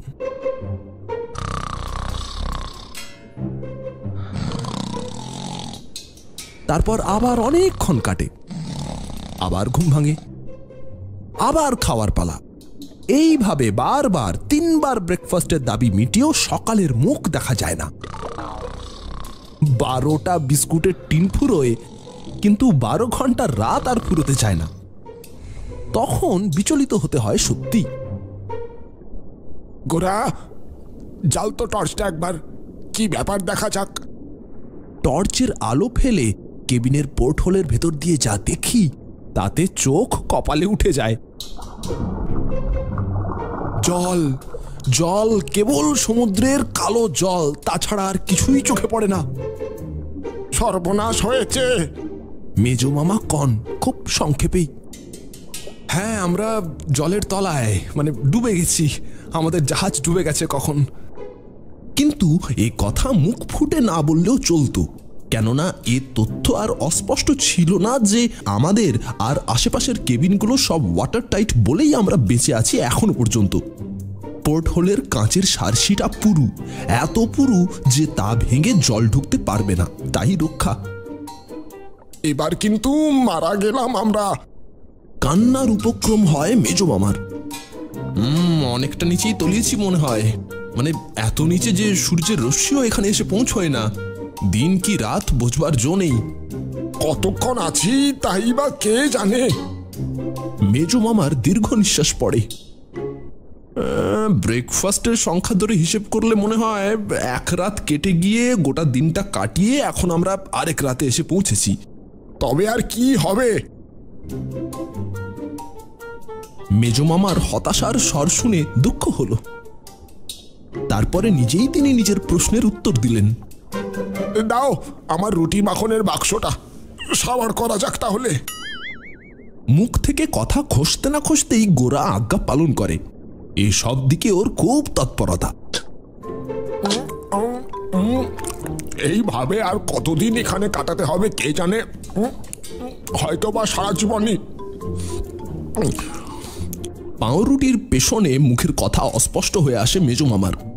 না খেয়ে তো আর বাঁচা যায় না। অতএব খাওয়াই যাক, কি আর করা যাবে? তারপর থেকে উদরকেই আমরা ঘড়ির কাজে লাগাই। আবার খিদে পেলেই বুঝি আরও ছ ঘণ্টা কাটল। এই করেই দিনরাত্রি হিসেব রাখা হয়। এসব বিষয়ে গোড়ার পেট সবচেয়ে নিখুঁত। একেবারে কাঁটায় কাঁটায় চলে। ঘন্টায় ঘন্টায় সাড়া দেয়। এইভাবে কয়েকটা ব্রেকফাস্ট কেটে যাবার পর মনে হলো কেবিনের অন্ধকার যেন অনেকটা ফিকে হয়ে এসেছে। হ্যাঁ এই যে বেশ আলো আসছে পোর্টহোল দিয়ে। কি ব্যাপার? ব্যগ্র হয়ে ছোটেন মেজো মামা পোর্টহোলের দিকে। আকাশ তো দেখা যাচ্ছে না চারিদিকেই যে জল। তার করুণ ধ্বনি আমাদের কানে বাজে। না এখনও জলের তলাতেই আছি বটে। তবে কিছুটা উপরে উঠেছি। সূর্যরশ্মি প্রবেশের আওতার মধ্যে এসেছি। আমার মনে হয় ইতিমধ্যে উপরের মাস্তুল টাস্তুল সব খসে গিয়ে ভার কমে যাওয়ায় খানিকটা হালকা হয়ে নিমজ্জিত জাহাজটা কিছু ওপরে উঠতে পেরেছে। যাক, একটু আলো তো পাওয়া গেল, এই লাভ। থাক না থাক না জল চারদিকে, আমাদের কেবিনের মধ্যে তো আর নেই, এই বা কি কম বাঁচোয়া, হুম? সান্ত্বনার স্বরে এই বলে মেজো মামার কথার আমি জবাব দিই। আমার কিন্তু এমনি জলের তলায় থাকতেই ভালো লাগে। কীরকম মাথার উপরে তলায় চারিধারেই অথই জল। যত দূর চাও খালি সমুদ্র আর সমুদ্র গোরা এতক্ষণে একটা কথা কয় বাড়ির চেয়ে এখানে এখন ঢের ভালো। বাড়ির চেয়ে ভালো? হ্যাঁ বাড়ির চেয়ে ভালো বই কি? মেজো মামা নতুন বিস্কুটের টিন খুলতে খুলতে বলেন জলে ডুবে বসে আছি। জলাঞ্জলি হয়ে গেছে আমাদের। ভালো না? জলে ডুবে কি রকম? গোরা প্রতিবাদ করে। আচ্ছা জলে ডুবে গেলেও আমরা কত নিচে আছি শিবরাম বাবু এই বিশ ত্রিশ চল্লিশ ফিট কি আরও বেশি হবে কে জানে? আমি জানাই। ডুবন্ত লোকের কাছে তিরিশ ফিট জলের তলাও চা আর হাজার ফিটও তাই। সবই সমান কোনোটাই ভালো নয়। কিন্তু মেজমামা আমাদের কেবিনের মধ্যে তো এক ফোঁটা জল ঢুকতে পারছে না। তাহলে ডুবলামি বা কি করে? আবার গোরার জিজ্ঞাস্য হয়। জলে যদি না পড়ি, না যদি হাবুডুবু খাই, আমরা মরবো কেন? হ্যাঁ শিবরাম বাবু বলুন না। বলেই সে আমার দিকে প্রশ্নবান ছাড়ে। জলে ডুবে গেলে কি বাঁচে মানুষ? আমরা যদি ডুবেছি, তাহলে বেঁচে আসি কি করে?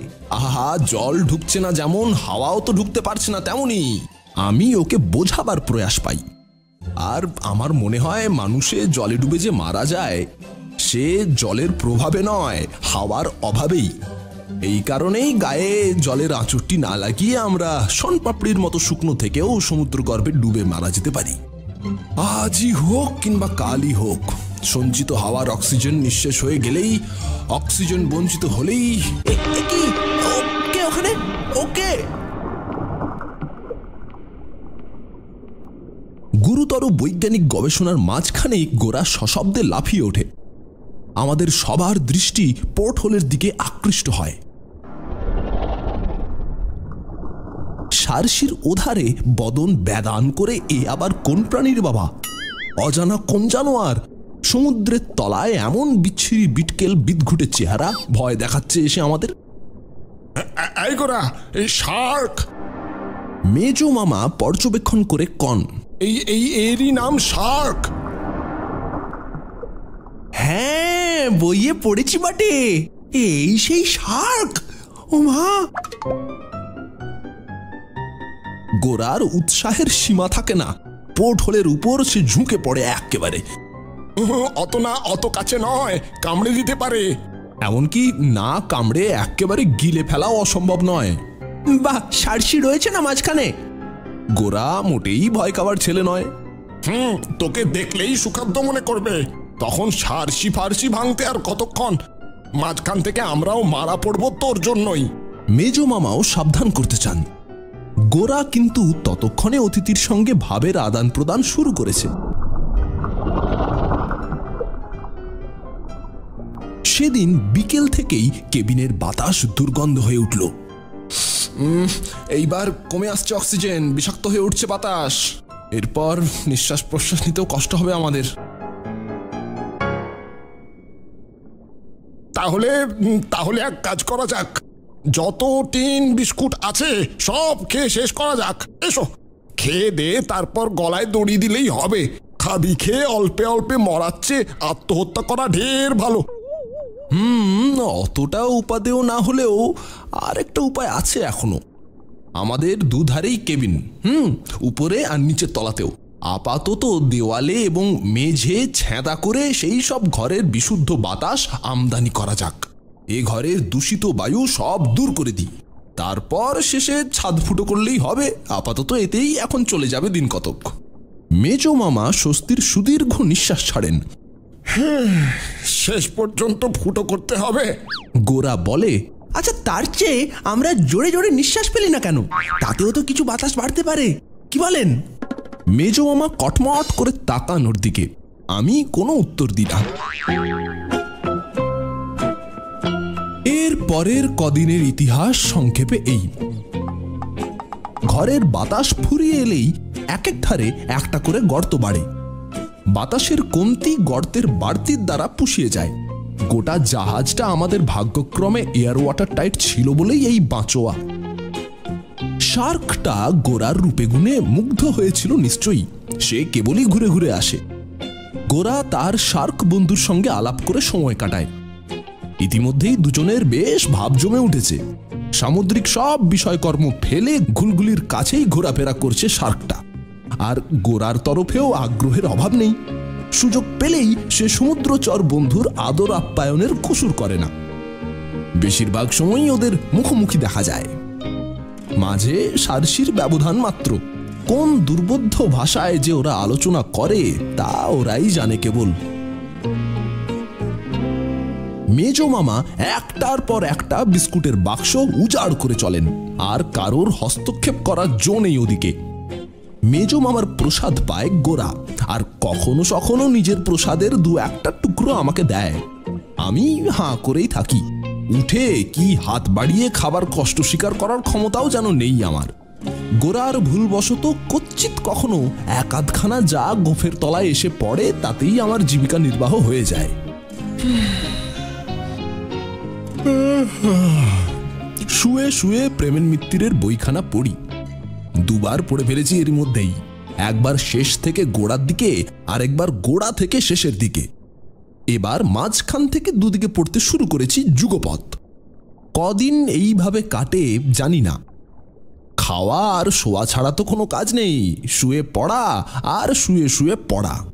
এমনি করে একদিন যখন বইটার দিক বিদিকে পড়ছি, এমন সময় অকস্মাৎ সমুদ্র তল যেন তোলপাড় হয়ে উঠল। আমাদের কেবিন কাঁপতে লাগল। একটা গমগমে আওয়াজ শুনতে পেলাম।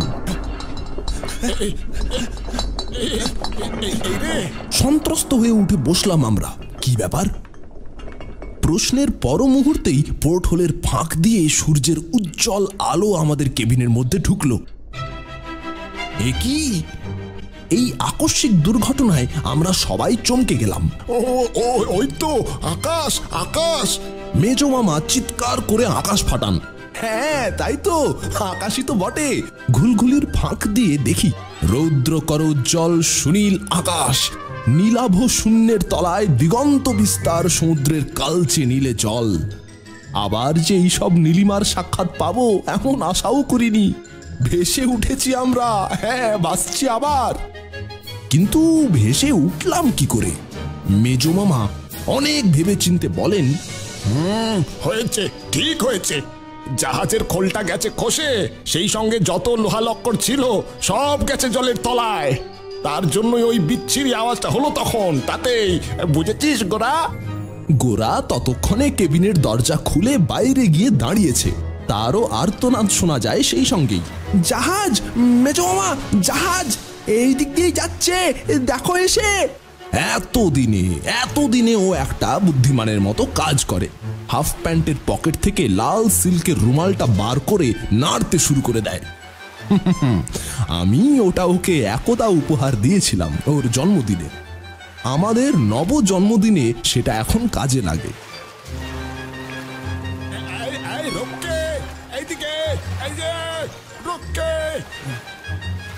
রেঙ্গুন থেকে চাল বোঝাই হয়ে জাহাজটা কলকাতা ফিরছিল। যা হোক, পাতাল মাস হলো বাবা। উফ, পাঁচ দিন তো নয়, পাঁচ বছর। হ্যাঁ পাতালে তো একদিন কাটলো, এখন হাসপাতালে কদিন কাটে সেই দেখার। যা বিস্কুট পেটে গেছে এই কদিনে শুকনো বিস্কুট চিবুতে হয়েছে দিনরাত। উফ। গোরা বলে বারে বিস্কুট বুঝি খারাপ? ও তো খুব ভালো জিনিস। বিস্কুট খেতে পেলে ভাত আবার খায় নাকি মানুষ? হুম তাই বুঝি। গোরার মামা গুম হয়ে থাকেন। তার ভোট যে বিস্কুট আর গোরার পক্ষেই। বোঝা যায় বেশ।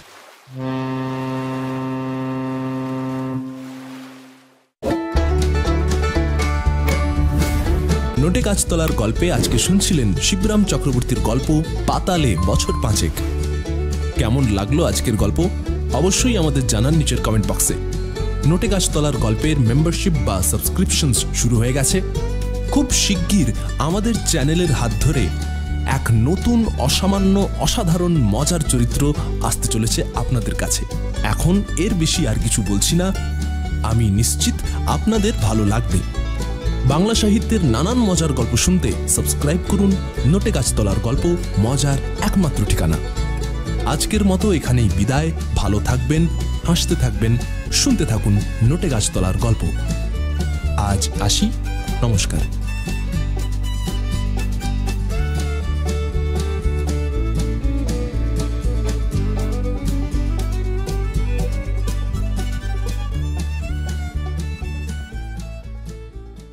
নমস্কার, আপনি শুনছেন নোটে গাছতলার গল্প। আমাদের আজকের পরিবেশনায় বান্ধুলির লেখা গল্প অবলম্বনে ক্ষুরোধার খুড়িমা রামগোবিন্দ বাবুর চরিত্রে ছন্দক চৌধুরী হরগোবিন্দ বাবুর চরিত্রে শুভজিৎ, বড় বউ সুচিত্রার চরিত্রে মিমি, পণ্ডিতের চরিত্রে সম্রাট মুখার্জি, ছোট বউ ও ননিবালা দেবীর চরিত্রে রুমনি এবং খুড়িমার চরিত্রে শ্রীময়ী বিশ্বাস। গল্পের সূত্রধর গুলতি এবং গোবর্ধন বাবুর চরিত্রে আমি Pritam Ganguly. Poster design Anjan Mohanty. ক্ষুরোধার খুড়িমা। মিত্তিরদের বাড়িতে আজ সকাল সকাল ধুমধুমার কাণ্ড বেঁধেছে। খুড়িমা অজ্ঞান হয়ে সদর দরজার সামনের মেঝেতে উল্টে পড়েছেন।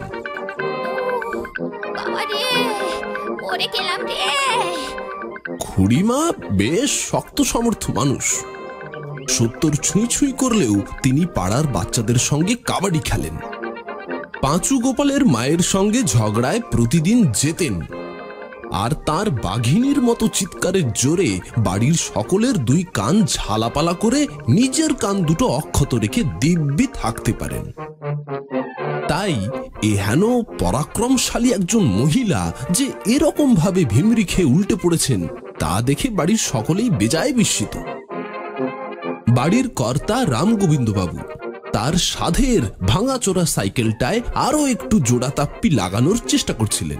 খুড়িমার চিৎকার শুনে থতমত খেয়ে তিনি সাইকেলের রিংটা বারতিনেক বাজিয়ে ফেললেন। মেজ ছেলে, অর্থাৎ খুড়িমার একমাত্র পুত্র, হরগোবিন্দ তখন শরীর চর্চা করছিলেন। একই সঙ্গে মায়ের অমন চিৎকার আর সাইকেলের ঘন্টি শুনে তিনি ভাবলেন বুঝি তার মা বড়দার বিকারগ্রস্ত সাইকেলটা চালাতে গিয়ে কোনো ভয়াবহ বিপদে পড়েছেন। বাড়ির দুই বউ সুপ্রিয়া এবং রমা। সেই সময় রান্নাঘরে কে আগে কোন পদ রান্না করবে তা নিয়ে তুমুল ঝগড়া জুড়েছিল। এদিকে গ্যাসে বেগুন ভাজা চড়ানো। পোড়া বেগুনের গন্ধে চারিদিক মম করছে, তাও বউদের ঝগড়া থামে না। এমন সময়ে খুড়িমার চিৎকার শুনে তাদের দুজনের মেজাজ গেল আরও খিঁচড়ে। বড় বউ সুপ্রিয়া দাঁত খিঁচিয়ে বলল উফ ভদ্রমহিলা আবার একটা কাণ্ড বাঁধিয়েছে। আর পারি না বাপু। ছোট তোকে আমি পরে দেখে নেব। এখন যাই আবার ওইদিকে দেখি হলোটা কি গিয়ে। যত সমস্যা শুধু আমাদের। ভালো লাগে না বাবা। খুড়িমা ও ও খুড়িমা। মা? খুড়িমা। ওরে বাবা। সবাই মিলে একে একে সদর দরজার কাছে এসে দেখে মিত্তির বাড়ির দাপুটে খুড়িমা শ্রীমতী ভানুমতী দেবী চোখ উল্টে মেঝেতে পড়ে আছেন। খুড়িমা। ও মা। তার সারা শরীর একটু একটু কাঁপছে যেন। পাশে একটা খালি জলের বালতি কাত হয়ে পড়ে আছে। বড় বউ বলল এ কি গো? ও খুড়িমা অমন করছে কেন? সাত সকালে ভূত দেখলে নাকি গো খুড়িমা? হ্যাঁ? ওগো ওগো আমি বলছি কি ওঝা ডেকে পাঠাও হ্যাঁ? খুড়িমাকে ভূতে ধরেছে ভূতে! এক্ষুনি এক্ষুনি ওঝা ডাকো। রাম রাম রাম রাম রাম। আমি তো ভাবলাম মা সাইকেল চালাতে গিয়ে পড়ে গেছে। বললেন হরগোবিন্দবাবু। ও বাবা আম উলোজা রাম রাম রাম। তিন কাল গিয়ে এক কালে ঠেকেছে উনি এই বয়সে সাইকেল চালাতে যাবে কোন দুঃখে শুনি? আহ ছোট বউ রমা মুখ বেঁকিয়ে মন্তব্য করে। মানে মায়ের তো কত রকম উদ্ভট শখ হয়। তাই বললাম আর কি। রাম রাম রাম রাম রাম রাম। বড় বউ তখনও একভাবে ভগবানের নাম করে যাচ্ছে রাম গোবিন্দবাবু বিরক্ত হয়ে বললেন চুপ করো সবাই। ও খুড়িমা কি হয়েছে তোমার? খুড়িমা?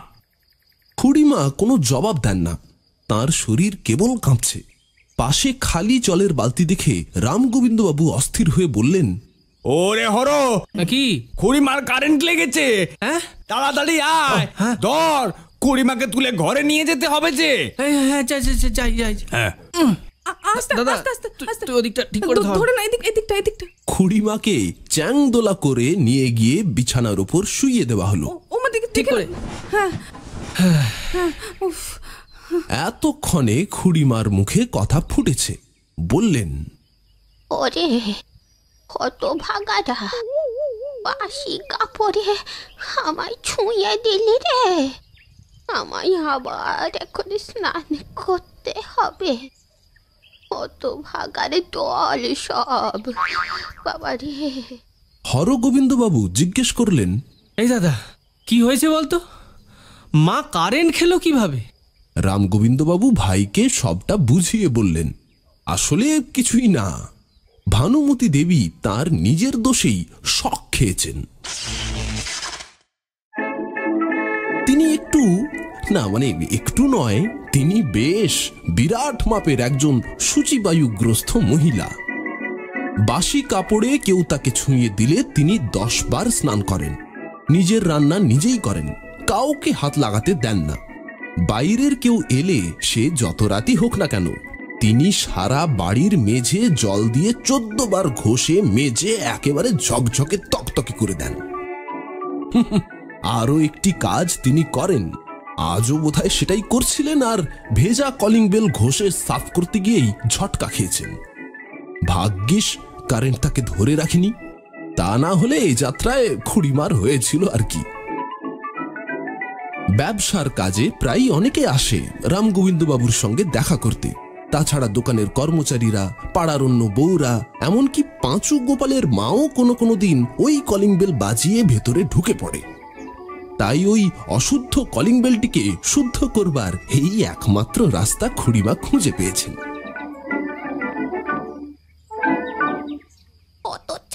দল! আমাকে তুলে আনতে গেলি কেন তোরা? একটু পরে আমি নিজেই ঠিক উঠে আসতুম। আমাকে বাসি কাপড়ে ছুঁয়ে একেবারে অসুদ্ধ করে দিল রে। আমাকে ধর, চ্যাংদোলা করে যেমন তেমনি করে কলতলায় নিয়ে চল। ওরে বাবা রে আমি এক্ষুনি এই মুহূর্তে আবার স্নান করব। রামগোবিন্দবাবু নরম গলায় বললেন কি করেছ খুড়িমা? হ্যাঁ? তোমার যে শরীর বড় খারাপ ঠিক করে কথাই বলতে পারছ না। উঠে দাঁড়াবে কেমন করে? এখন তুমি বিশ্রাম নাও। সুপ্রিয়া যাও না খুড়িমার জন্য এক গ্লাস গরম দুধ নিয়ে এসো। শখে একদম কাহিল হয়ে পড়েছেন। চুপ এ দুনিয়ায় এমন কোনো জিনিস নেই যা এই ভানুমতিকে কাহিল করতে পারে। বুঝেছিস? আসলে অভিজ্ঞতা ছিল নাকি না? জীবনে এই প্রথমবার কারেন্ট খেলুম। ধাতস্থ হতে একটু সময় লাগছে আর কি।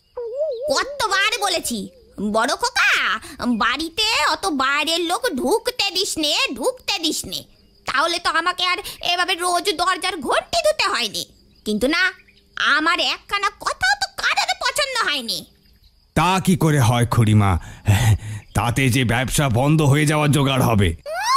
বন্ধ হয়ে যায়। বলি তোদের বাপ কাকারাও তো ব্যবসা পত্র করেছেন নাকি? তখন তো এত লোক আসতো না ঘরে। এখন কেন আসে? দিন দিন ব্যবসা বড় হচ্ছে খুড়িমা। দোকানে কর্মচারী বাড়াতে হচ্ছে। নতুন জায়গায় দোকান করার কথাবার্তা চলছে।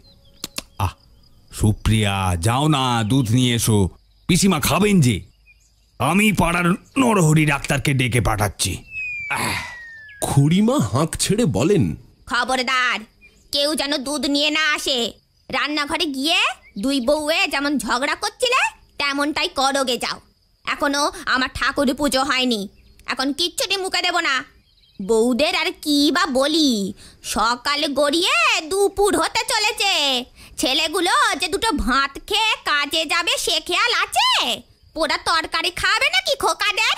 যাও তাড়াতাড়ি, রান্নাঘরে গিয়ে রান্না করো। আর এবারে যদি আমি ঝগড়ার আওয়াজ শুনি না, তবে রান্নাঘরে গিয়ে ওই পোড়া তরকারি আমি দুই বউয়ের মুখে একেবারে গুজে দেবো কয়ে রাখলাম। বাড়ির দুই বউ একে অপরের দিকে তাকিয়ে মুখ ভেঙিয়ে একসঙ্গে রান্নাঘরের দিকে চলল। খুড়িমা বিছানা ছেড়ে টলতে টলতে উঠে দাঁড়ালেন। ওফ রে আমায় আবার নাইতে যেতে হবে? আর ওই মিনিষে ডাক্তারটাকে ডাকার কোনো দরকার নেই। বেটা হাতুড়ি ডাক্তার আমি এমনি ঠিক হয়ে যাব। তবে এখন থেকে আর জল দিয়ে নয় শুকনো কাপড় দিয়েই দরজার ঘন্টিখানা মুছতে হবে দেখছি। তারপর কাঁপা কাঁপা হাতে চুলের খোপা বেঁধে শাড়ির আঁচলখানা কোমরে গুঁজে ধীর গতিতে রওনা দিলেন কলতলার দিকে। দুপুরের খাওয়া দাওয়ার পর খুড়িমা বিছানায় শুয়ে শুয়ে একটা মতলো বাঁটছিলেন হঠাৎ এই সময়ে পাঁচু গোপালের মায়ের কথা মনে পড়ে যাওয়ায় তার সমস্ত চিন্তাভাবনা গেল ঘেঁটে। আজ যখন প্রচণ্ড শখ খাবার পর দ্বিতীয়বারের জন্য স্নান করতে তিনি কলতলায় গিয়েছিলেন, তখন পাঁচিলের ওপার থেকে পেতনির মতো খনা গলায় পাঁচু গোপালের মা কাকে যেন বলছিল। জানো, আজ ও বাড়ির বুড়িটা ভিড় মেখেছে বেশ হয়েছে। বুড়ির তো বাতিকের অন্ত নেই, সে কি চিৎকার? উঁকি মেরে দেখে আসলুম, কারেন্ট খেয়ে একেবারে উল্টে পড়েছে। আমার সঙ্গে লাগতে এলে বাপু, এই হয়। এই কথা বলে পাঁচু গোপালের মা আর তার সহচরী পেতনি আর শাকচুন্নির মতো বিকট সুর তুলে হাসতে লাগল। হাসিটা শুনে খুড়িমা একটু ভয়ই পেলেন। বাড়ির বাচ্চাদের সঙ্গে প্রতি রবিবার সকালে দেখা ঠাকুমার ঝুলির সেই সবজে রঙের চেহারায় লাল লিপস্টিক পরা শাকচুন্নি আর সেই এক পেয়ে পেতনির কথা খুড়িমার মনে পড়ে গেল। তিনি ঠাকুরকে স্মরণ করতে করতে কোনো মতে স্নানটা সেরে ঘরে এলেন। এখন ভারী রাগ হচ্ছে খুড়িমার। মনে হচ্ছে গল্পের এক পে পেথনির মতো পাঁচুর মাকেও উত্তম মধ্যম দিয়ে এক পে করে দেন। কিন্তু সে উপায় আর কই? তবে একদিন যদি সুযোগ পান, তবে পেথনিকে দুঘা তিনি দেবেনই দেবেন। সুযোগ পেলে তিনি আগে পাঁচুর মায়ের চুল ধরে টানবেন না ঠ্যাং খড়া করবেন। এই চিন্তাতেই খুড়িমা যখন মশগুল ছিলেন তখন জানলার বাইরে থেকে কে যেন চাপা গলায় ডাকলো। খুড়িদিদা? ও খুড়ি দিদা ডাক শুনে খুড়িমা বুঝলেন গুলতি এসেছে। গুলতির বয়স সতেরো ক্লাস ইলেভেনে পড়ে আর এই নাম খুড়িমারি দেওয়া। গুলতির যদি কারোর উপর খুব রাগ হয়, তখন সে তার প্রতিপক্ষের ওপর গুলতি তাক করে আর সেই গুলতির মোক্ষম নিশানায় প্রতিপক্ষ একেবারে ধরাশায়ী হয়। একবার পাঁচ মিনিট দেরি করে স্কুলে পৌঁছনোয় গুলতির স্কুলের দারোয়ান সুখরাম গুলতিকে স্কুলে ঢুকতে দেয়নি। সারা দিন ওকে রোদের মধ্যে স্কুলের গেটের বাইরে দাঁড় করিয়ে রেখেছিল আর মোটা, পাকানো, কালো গোঁফে তা দিচ্ছিল।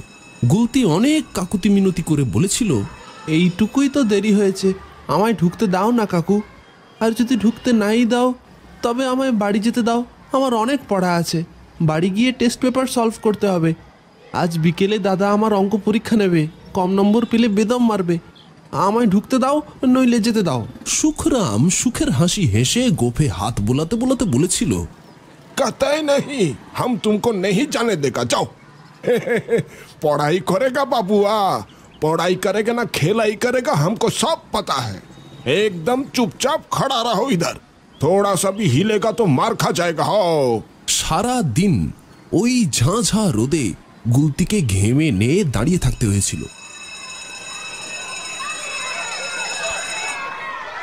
স্কুল ছুটির পর দারোয়ান সুখরাম স্কুলের সামনে একটা দোকান থেকে আয়েশ করে ঠান্ডা ঠান্ডা লস্যি খাচ্ছিল। ব্যাপারটা দেখে গুলতির গা জ্বলে গেল।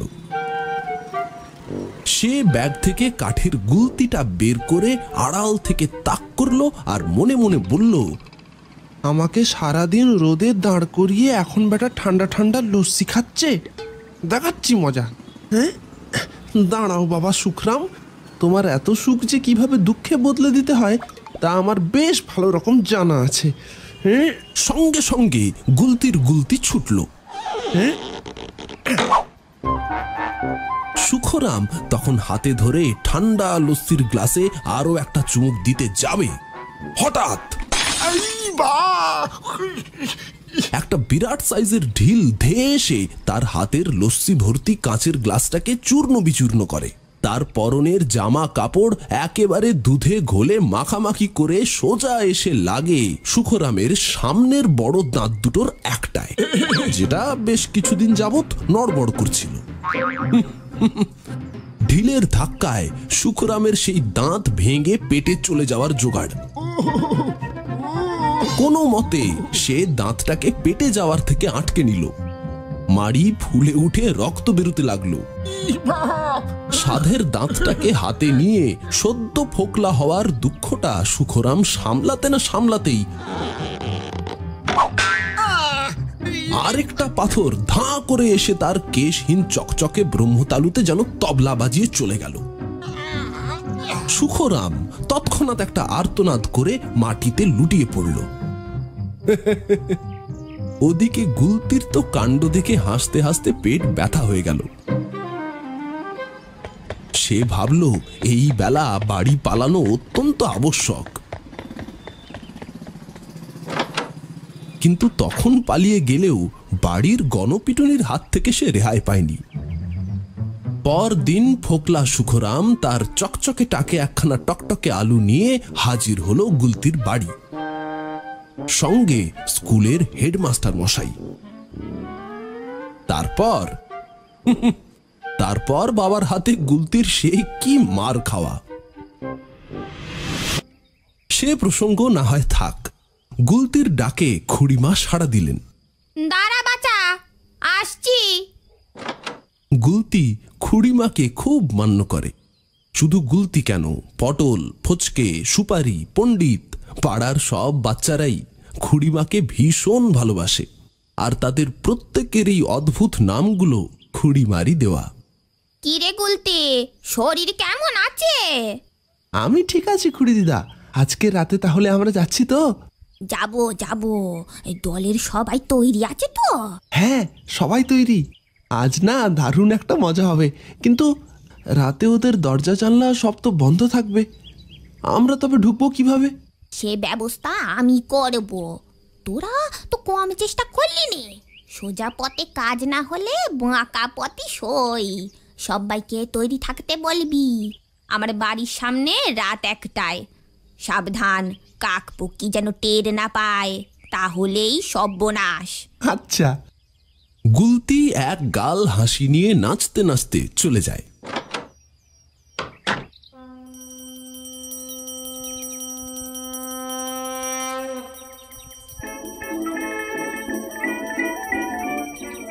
সন্ধ্যের বেলায় পাড়ার সবচেয়ে বড় লোক এবং প্রতিপত্তিশালী মহাশয় শ্রীমান গোবর্ধন বণিকের স্ত্রী ননিবালা দেবী খুড়িমাদের বাড়িতে এসে হাজির। তিনি রোজই এই সময় মেগা সিরিয়াল দেখতে আসেন।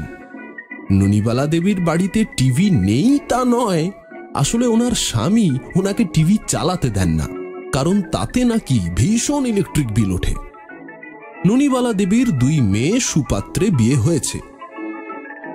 অনেক পয়সা কুড়ি থাকলেও গোবর্ধন বাবু কাজের লোকের পিছনে একটি পয়সাও খরচা করবেন না।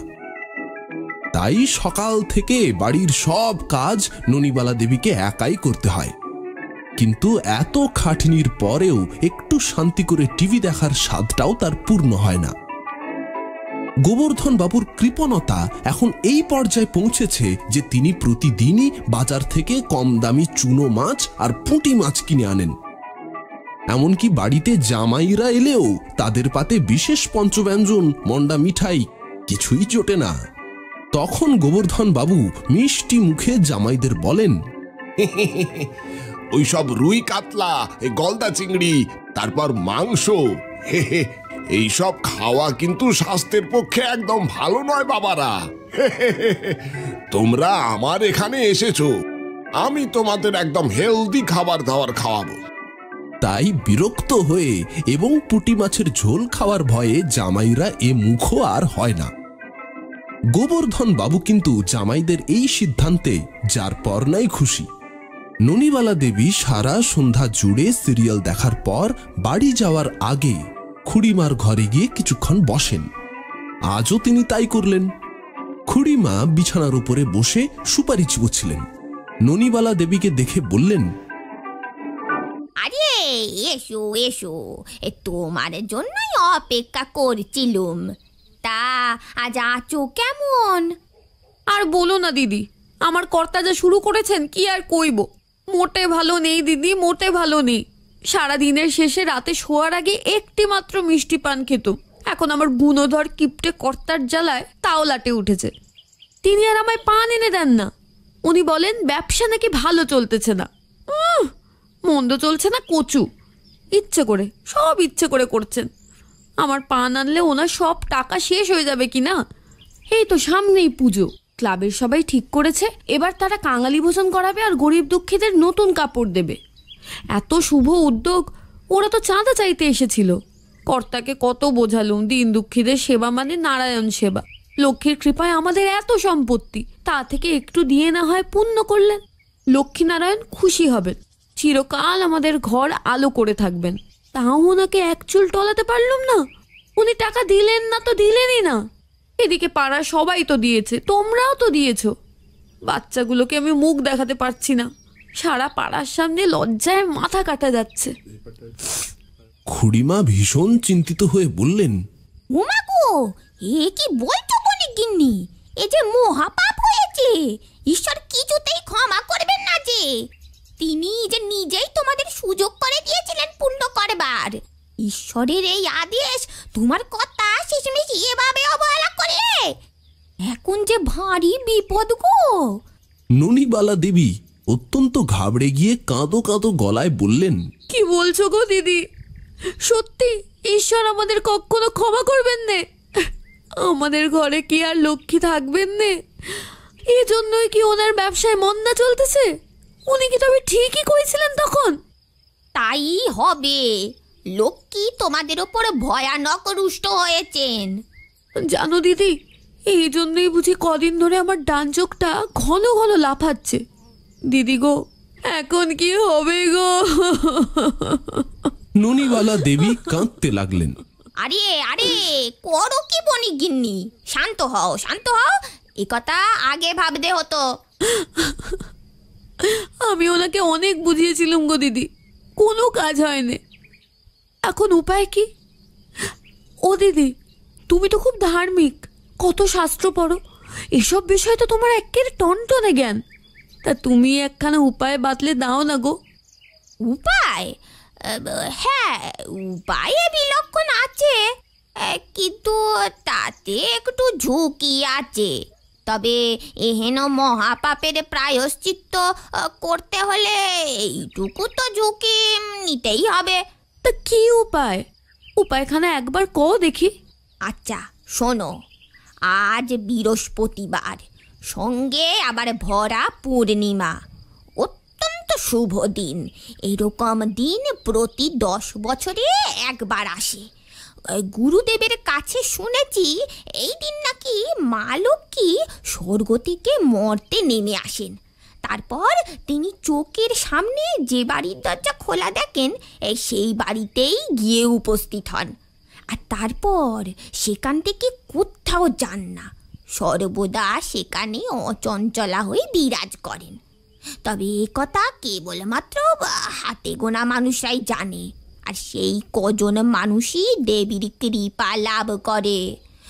তুমি বিপদে পড়েছ বলে বললুম না হলে আমিও বলতুম না। কিন্তু তুমি এ কথা কাউকে বলো নে তাহলে দেবী আরও রুষ্ট হবেন। এমনকি তোমার কর্তাকেও এ কথা বলবে নে এ কেমন? আমায় তাহলে কি করতে হবে দিদি? কিছুই না। সেরেপ বাড়ির দরজাখানা খোলা রাখতে হবে। তা কি করে হয়? সারা রাত বাড়ির সদর দরজা খোলা রাখব? আমার কর্তা তো নিজে ঘুমানোর আগে বাড়ির সব দরজা জানলা নিজে তালা দিয়ে বন্ধ করেন। চাবিও থাকে তার বালিশের নিচে। না না সদর দরজা না খুললেও চলবে। ছাদের এই কেবল ছাদের দরজাখানা আর এই শোয়ার ঘরের দরজা এই দুই খোলা রাখলেই চলবে। দেবী তো স্বর্গের সিঁড়িবে প্রথমে ছাদে এসেই নামেন। তাই বুঝি? একদম। তবে কাজে ঝুঁকি আছে। ছাদের দরজা খোলা রাখতে হবে।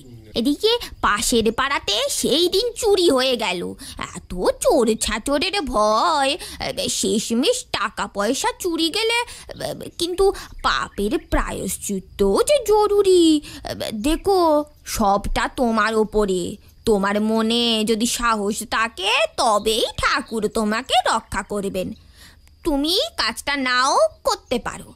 আমায় উপায় বাতলে দিতে বললে, তাই বললুম। মানা, না মানা তোমার ওপরই এখন। আমি মানবো, সব মানবো। ঠিক আছে, আমি ছাদের দরজাখানা খোলা রাখব। এতে যদি তেনার পাপ খণ্ডন হয়, তবে তাই করব।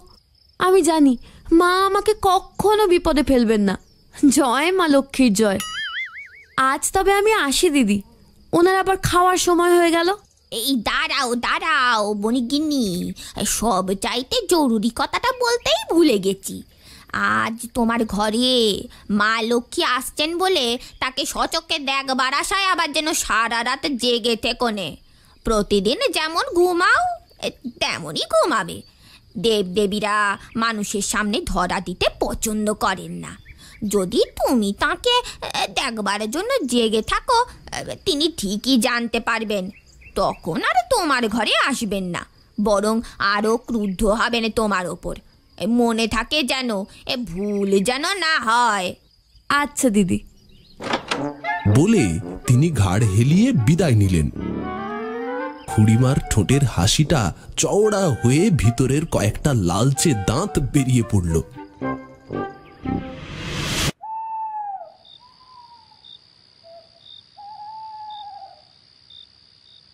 ঘড়ির কাঁটা বলছে রাত সাড়ে বারোটা। খুড়িমা উঠে ঘরের আলো জ্বালালেন। কিছু প্রয়োজনীয় জিনিস নেওয়া দরকার। ছোট হলেও অ্যাডভেঞ্চার তো। খানিক পরে খুড়িমার জানলায় থেমে থেমে পরপর তিনবার টোকা পড়ল। খুড়িমা আস্তে আস্তে বাইরে এসে সদর দরজা খুলে উঠোন পেরিয়ে রাস্তায় এসে পড়লেন।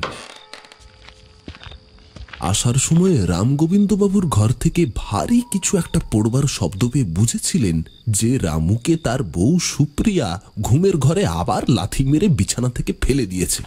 খুড়িমা নিশ্চিত এর পরেও রামু বা তার বউ কারোর ঘুমই ভাঙবে না। বাবা সময়ের আগেই সবাই এসে পড়েছিস দেখছি। সকলে একসঙ্গে বলে উঠল জি হুজুর। বলো বলো খুড়িদা। ওরে হতো ছাড়াদের দোল আস্তে কথা বল। চল তবে যাওয়া যাক। খুড়িমা আগে আগে চললেন। পিছন পিছন চলল তার সেনাবাহিনী। গোবর্ধন বণিকের বিরাট দোতলার বাড়িটার সামনে এসে একে একে সকলে থামল। খুড়িমা ফিসফিস করে বললেন, একসঙ্গে এতজনে ভিতরে যাওয়া যাবে না। তোমরা সবাই আসতে চেয়েছিলে, তাই আমি মানা করিনি। কিন্তু এতজনে বাড়ির মধ্যে একসঙ্গে গেলে কাউকে না কাউকে ঠিক ধরে ফেলবে। গুলতে, পণ্ডিত তোরা দুজন আমার সঙ্গে চল। বাকিরা এখানেই থাক। যা, তোরা তিনজন ওই পাঁচিলের আড়ালে গিয়ে লুকিয়ে পড়।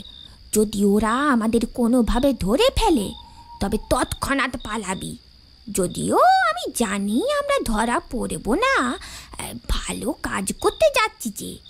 ওই গোবর্ধনকে যদি লেজে গোবরে না করেছি, তবে আমার নামও ভানুমতি নয়। এই, চলে আয় চলে আয়। ছাদের দিকে উঠে যাওয়ার একটা মোটা পাইপের সামনে এসে খুড়িমা বললেন কিরে পারবি তো? ভয় নেই আমি আছি তো। আমি প্রথমে উঠছি তারপর তোরা উঠবি। পণ্ডিত অবাক হয়ে জিজ্ঞেস করল তুমি তুমি পারবে খুড়িদিদা খুব পারব। তোরা আমার ক্ষমতার ব্যাপারে কিছুই জানিস না। বলে তিনি পাইপ বেয়ে উঠতে লাগলেন। দেখবি? দেখ।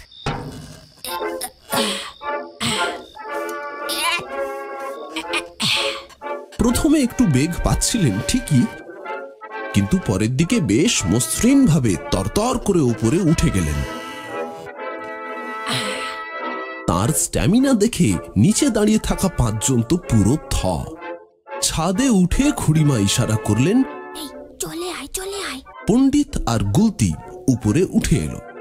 বণিক গিন্নি মা লক্ষ্মীর জন্য ছাদের দরজা হাট করে খুলে রেখেছেন।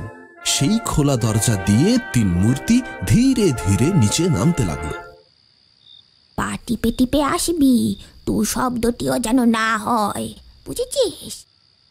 গুলতি চুপি চুপি জিজ্ঞেস করল খুড়ি দিদা আমরা কি টাকা চুরি করতে এসেছি? না বাপ ও মনে পাপ কাজ কখনো করতে নেই। এসব করার কথা আর কখনো ভাববি না। দেখ না এমন ফন্দি করেছি গোবর্ধন নিজে গরিবদের জন্য টাকা দেবে। হঠাৎ পিছন থেকে কিছু একটা বিড়বিড় করার শব্দ ভেসে আসে। শব্দটা ক্রমেই বেড়ে চলেছে। এভাবে আওয়াজ বাড়তে থাকলে বিপদ। শব্দের উৎস সন্ধান করতে গিয়ে ওরা দুজনে পিছন ফিরে দেখে। পণ্ডিত এক মনে কি যেন বুকে চলেছে। ওর চোখ দুটো বন্ধ। কি হলো? ভয় পেয়ে ঠাকুরকে ডাকছে নাকি? খুড়িমা এক ঠেলা দিলেন। এই পণ্ডিত বলি শ্রী ঘরে যাওয়ার ইচ্ছা হয়েছে নাকি লো? আমাদের মারবি? এ কি এত বক বক করছিস? ধমক খেয়ে পণ্ডিত চোখ খুলে ভেবাচাকা খেয়ে বলল যা গুলিয়ে গেল।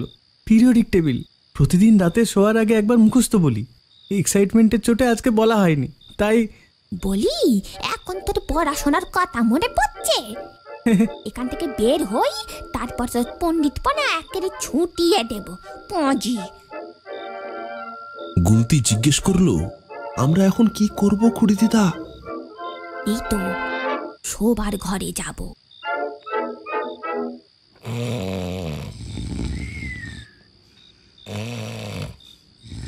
গোবর্ধন বণিক আর তার বউয়ের সম্মিলিত নাসিকা গর্জনে দোতলার বসবার ঘর কোলাহলপূর্ণ হয়ে উঠেছে।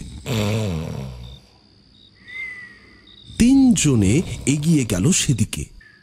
খুড়িমা অতি সন্তর্পণে একটি ছোট টর্চ জ্বালিয়ে এদিকে ওদিকে দেখে নিচ্ছেন। খানিকক্ষণ সারা ঘরময় ঘুরে টর্চের আলো বিছানার পাশের টেবিলের উপর থামল।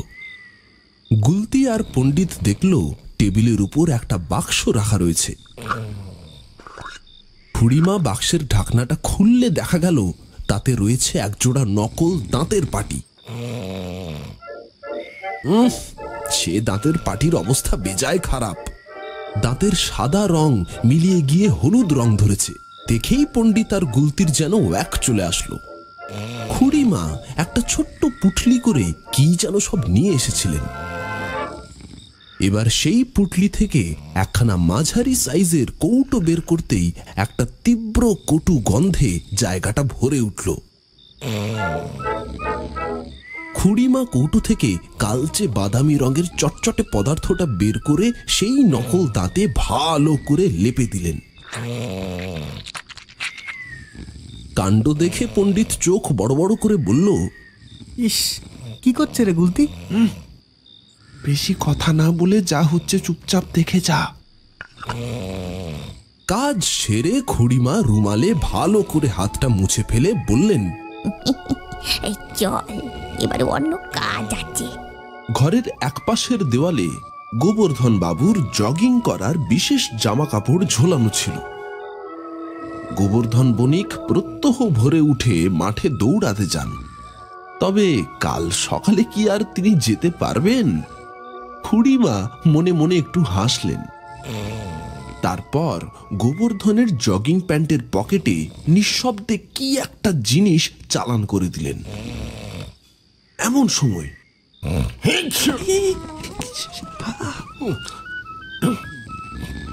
গোবর্ধন বণিক একবার ঘুমের মধ্যে জোরে হাঁচলে। বণিক গিন্নি কিন্তু এখনও ঘোর নিদ্রামগ্ন। তাড়াতাড়ি হাতের টর্চটা নিভিয়ে দিলেন খুড়িমা। ওরে তোরা বসে পড়। আচ্ছা আচ্ছা। আয় আয়। চুপ। একদম শ্বাস বন্ধ করে বসে থাকবি। পণ্ডিতের কপাল বেয়ে ঘাম ঝরছে।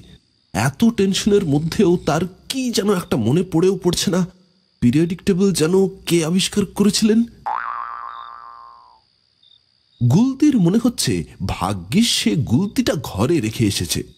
তা না হলে এক্ষুনি সে গুলতির এক টিপে গোবর্ধনের ওই চকচকে কালো গোপটা অর্ধেক চেছে দিত। গোবর্ধন বণিক একটু নড়াচড়া করে আবার নাক ডাকতে শুরু করলেন। নে কাজ শেষ। আস্তে আস্তে বেরিয়ে আয় বেরিয়ে আয়। তিন মূর্তি ধীরে ধীরে বেরিয়ে গিয়ে ছাদে এসে পড়ল। গুলতি তোরা আগে নাম দেখি আমি তারপর নামবো। গুলতি আর পণ্ডিত একে একে নেমে গেল। খুড়িমা নামতে যাবেন এমন সময়। উল্টো দিকের আম গাছটায় মৃদু সড়সড় শব্দ শোনা গেল। ঝাঁকড়া আম গাছটা বণিকদের বাড়ির ছাদ ঘেঁষে এসে পড়েছে। খুড়িমা কাঠ হয়ে দাঁড়িয়ে রইলেন খানিক্ষণ সত্যি সত্যি কোনো চোর এলো না তো? আওয়াজ আরও বাড়ল। গাছটা এবার ভয়ানক দুলছে। খুড়িমার কিন্তু সাংঘাতিক নার্ভ। তিনি ভয় না পেয়ে ঠায় দাঁড়িয়ে রইলেন।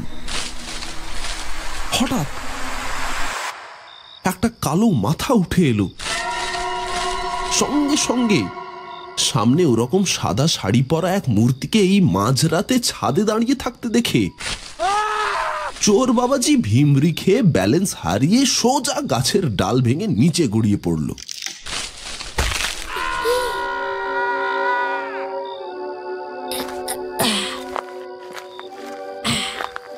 খুড়িমা নিচে নেমে এলেন, কিন্তু নেমে এসে তার দলবলকে দেখতে পেলেন না। গুলতি, পণ্ডিত, সব গেল কোথায়? কিছুক্ষণ পরে শুধু গুলতি বেরিয়ে এলো। খুড়িদিদা তোমার এতক্ষণ লাগল কেন খুড়িদিদা? আমি নিচে নেমেই সবাইকে বাড়ি চলে যেতে বলেছি। বেশ করেছিস। কে একজন এসেছিল জানো খুড়িদিদা? আমি ভয় পেয়ে আড়ালে লুকিয়েছিলাম। চোর এসেছিল চুরি করতে। এই ভাগ্যি যে আমি ছিলাম। নইলে আজ ওই গোবর্ধন বণিকের হয়েছিল আর কি। চোরে বেটা যা ভয় পেয়েছে আর এদিকে ঘেসবে নে। নে এবার তুই বাড়ি যা। কাল সকালে দশটা নাগাদ চাঁদা চাইতে আসবি গোবর্ধন বণিকের কাছ থেকে। মনে থাকবে তো? থাকবে।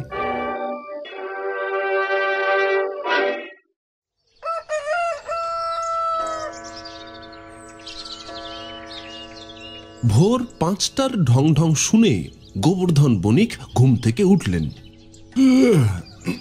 ঘরের বাতাসে কেমন যেন একটা গন্ধ না?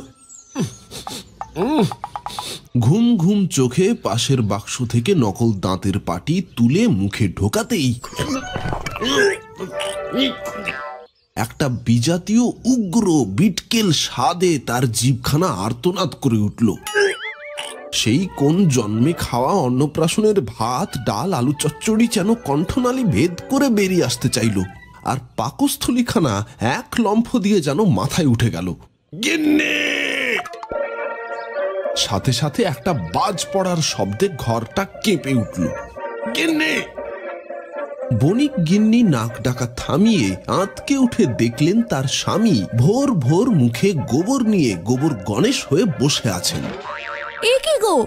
তুমি শেষে গোবর খেলে? বাবা গো ইস ছি ছি ছি, ছি, ছি। গোবর্ধন বণিক কিছু বলতে পারল না। থু থু করতে করতে বাথরুমের দিকে ছুটল।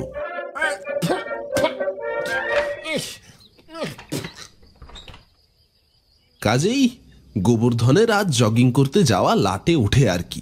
তার স্থির বিশ্বাস ননিবালা দেবী এ কাজ করেছেন।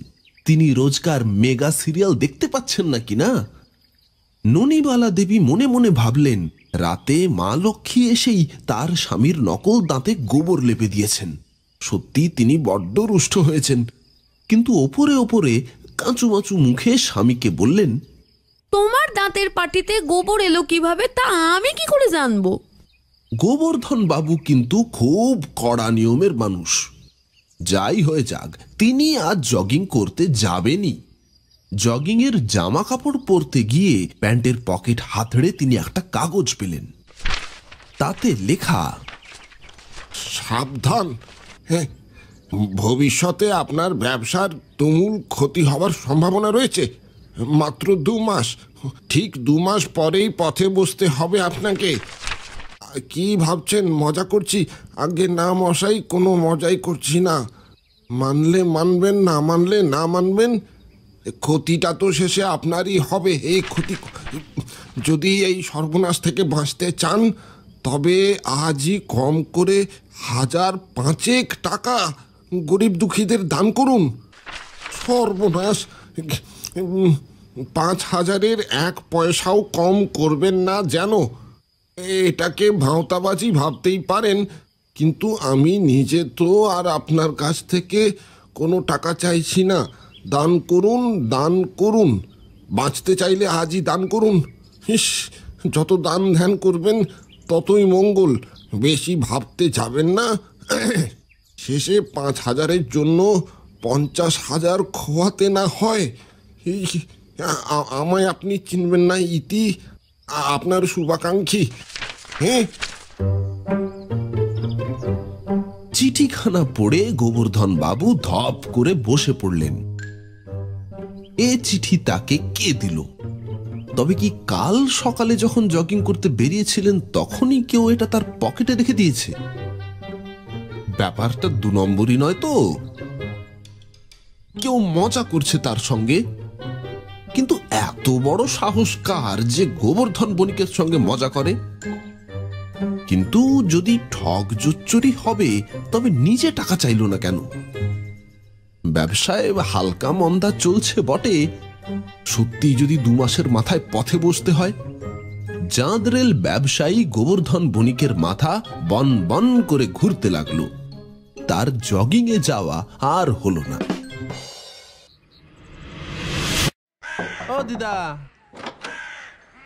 সকাল দশটা নাগাদ গুলতি আর পণ্ডিত বণিক বাড়িতে এলো। গোবর্ধন বাবু চিন্তিত মুখে দাওয়ায় বসে মুড়ি চিবোচ্ছিলেন। ননিবালা দেবী চাল ভাজছিলেন। গুলতি বলল, ও দিদা, চাঁদা দেবে নাকি? দাও না গো। এতে কত গরিব মানুষের উপকার হবে। তারা কাপড় পাবে, খাবার পাবে। ভগবান খুশি হয়ে তোমাদের আরও অনেক দেবে। আচ্ছা কম করে হলেও কিছু দাও। ও দিদা। আমার নিজের থাকলে কি তোদের দিতুম না বাছা? আমার তো কিছুই নেই। আর আমার কর্তা তেনার তো হাত থেকে একটা টাকাও গলেনে। তোদের কতবার বলেছি আর আসিস না টাকা চাইতে। তোরা তাও বারবার আসবি? আমার যে তোদের বারবার এভাবে ফেরাতে ভালো লাগে না খোকারা। তোরা যা তো আর বিরক্ত করিস না আমায়। আমার এখন মেলা কাজ। গুলতি আর পণ্ডিত শুকনো মুখেই চলে যাচ্ছিল হঠাৎ। এই দাঁড়া। গোবর্ধন বাবু হাঁক দিলেন। দুজনে দাঁড়িয়ে পড়ল। তোরা ওই টাকা দিয়ে কি কি যেন করবি? জিজ্ঞাসা করলেন গোবর্ধন বণিক। পণ্ডিত বলল ওই তো গরিব দুঃখীদের নতুন কাপড় দেওয়া হবে খাবার দেওয়া হবে। হ্যাঁ। পাড়া সকলেই তো টাকা দিয়েছে। শুধু তুমি? আচ্ছা আচ্ছা আ- আমি দেবো তোদের চাঁদা। হ্যাঁ সত্যি? সত্যি তুমি চাঁদা দেবে? দেবো তবে কি গ্যারেন্টি যে ওই টাকা দিয়ে তোরা মানুষের উপকারী করবি? যদি ভেতর ভেতর টাকা মেরে দিস গুলতি বলল হে মা তা করব কেন? আচ্ছা তোমার যদি বিশ্বাস না হয় তাহলে তুমি গোটা বিষয়টার তত্ত্বাবধানে থাকো। তবে তো আমরা আর কেউ এরকম কিছু করতে পারব না। বেশ আমি তবে তোদের ওপর নজর রাখব। বেশ বেশ কেউ যদি একটু এদিক ওদিক করেছিস কি মরেছিস? পণ্ডিত জিজ্ঞাসা করল তা দাদু তোমার কত টাকা কাটবো? গোবর্ধন বণিক আমতা আমতা করে বললেন ইয়ে মানে ওই ওই হ্যাঁ ওই পাঁচ হাজার মতো কাঠ। হ্যাঁ যা। পণ্ডিতের হাত থেকে পেন আর রশিদের খাতাটা পড়ে গেল। গুলতির মুখ হাঁ। ননিবালা দেবী চোখ বড় বড় করে ভূত দেখার মতো স্বামীর দিকে চেয়ে আছেন। কি হলো? খাতাটা তোল। খাতাটা তুলে লেখ। গোবর্ধন বণিক পাঁচ হাজার টাকা। পণ্ডিত কাঁপা হাতে খাতাটা তুলে নিয়ে লিখতে লাগল। যে গোবর্ধন বণিকের হাত থেকে পঞ্চাশ টাকা পর্যন্ত গলানো যেত না, সেই কিনা আজ এক কথায় পাঁচ হাজার টাকা দান করছে। এ কথা কি কেউ কোনো কালে ভেবেছিল? টাকাটা আজ দেবে? নাকি পরে? গোবর্ধন বাবু নিজের ঘরে গিয়ে আলমারি থেকে কড়কড়ে পাঁচ হাজার টাকা বার করলেন। তার দু চোখ ঠিকরে জল বেরোতে চাইছে, কিন্তু কি আর করা? তিনি চোখ মুছে বাইরে বেরিয়ে পণ্ডিতদের হাতে টাকাটা তুলে দিয়ে বললেন, দে দে আমার রসিদ দে, আমি কিন্তু সকলের ওপর কড়া নজর রাখব। সব টাকা কালেকশন হয়ে গেলে আমার কাছে আসবি। আমি হিসাব রাখব আর দেখে বলে দেব যে কোথায় কত খরচা হবে। গুলতি গোবর্ধন বাবুর হাতে রসিদ ধরিয়ে বলল, বেশ, তাই হবে।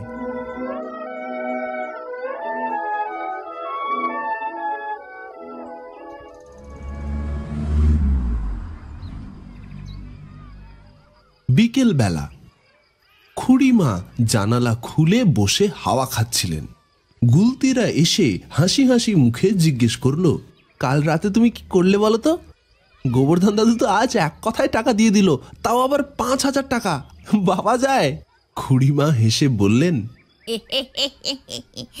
কেমন ভেলকি দেখালাম বল?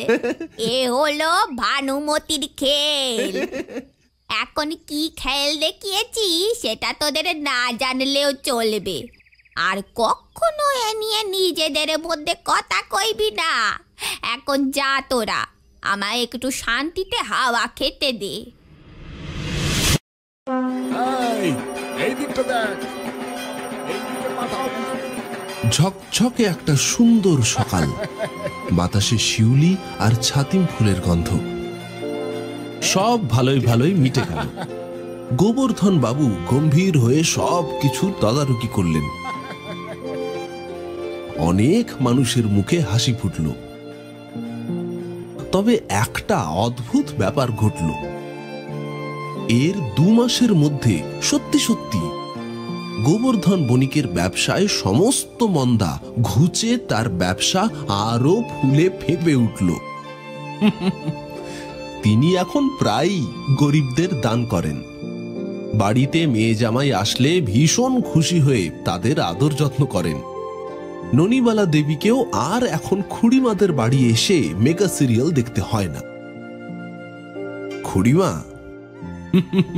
দিব্যি খোশ মেজাজে রয়েছেন। তিনি ঠিক করেছেন, সামনেই পাড়ার ক্লাবের পক্ষ থেকে যে নাটকের আয়োজন করা হয়েছে, তাতে তিনি ঝাঁসির রানী লক্ষ্মীবাই সাজবেন। ক্লাব কর্তৃপক্ষ এখনও এতে রাজি হয়নি তবে আমার স্থির বিশ্বাস খুড়িমা সকলকে ঠিক রাজি করিয়েই ছাড়বেন।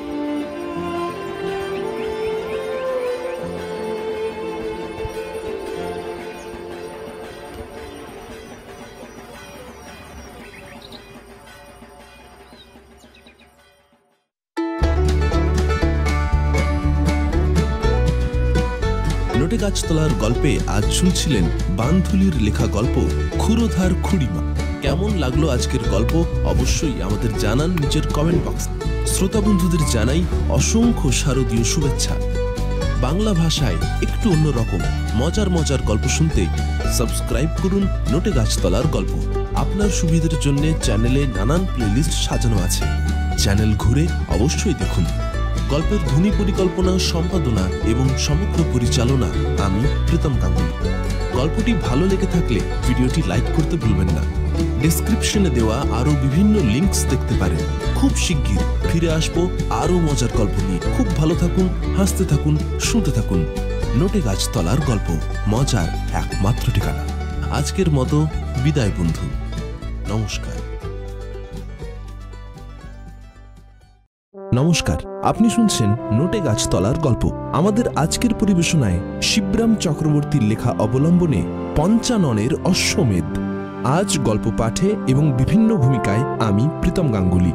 বাংলা সাহিত্যের নানান মজার গল্প শুনতে সাবস্ক্রাইব করুন নোটে গাছতলার গল্প মজার একমাত্র ঠিকানা। নিচের জয়েন বাটনটিতে ক্লিক করে আমাদের মেম্বার হতে পারেন, সাথে আমাদের সাপোর্ট করতে পারেন।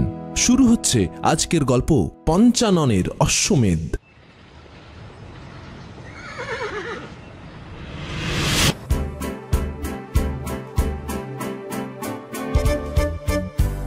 ভালো আপদ হয়েছে ঘোড়াটাকে নিয়ে। পঞ্চানন, কি যে করবে, কিছুই স্থির করতে পারে না। কলিযুগ হয়ে অবধি আজকাল অশ্বমেধের রেওয়াজ নেই। তা না হলে সে হয়তো একটা অশ্বমেধ যোগ্যই করে বসত।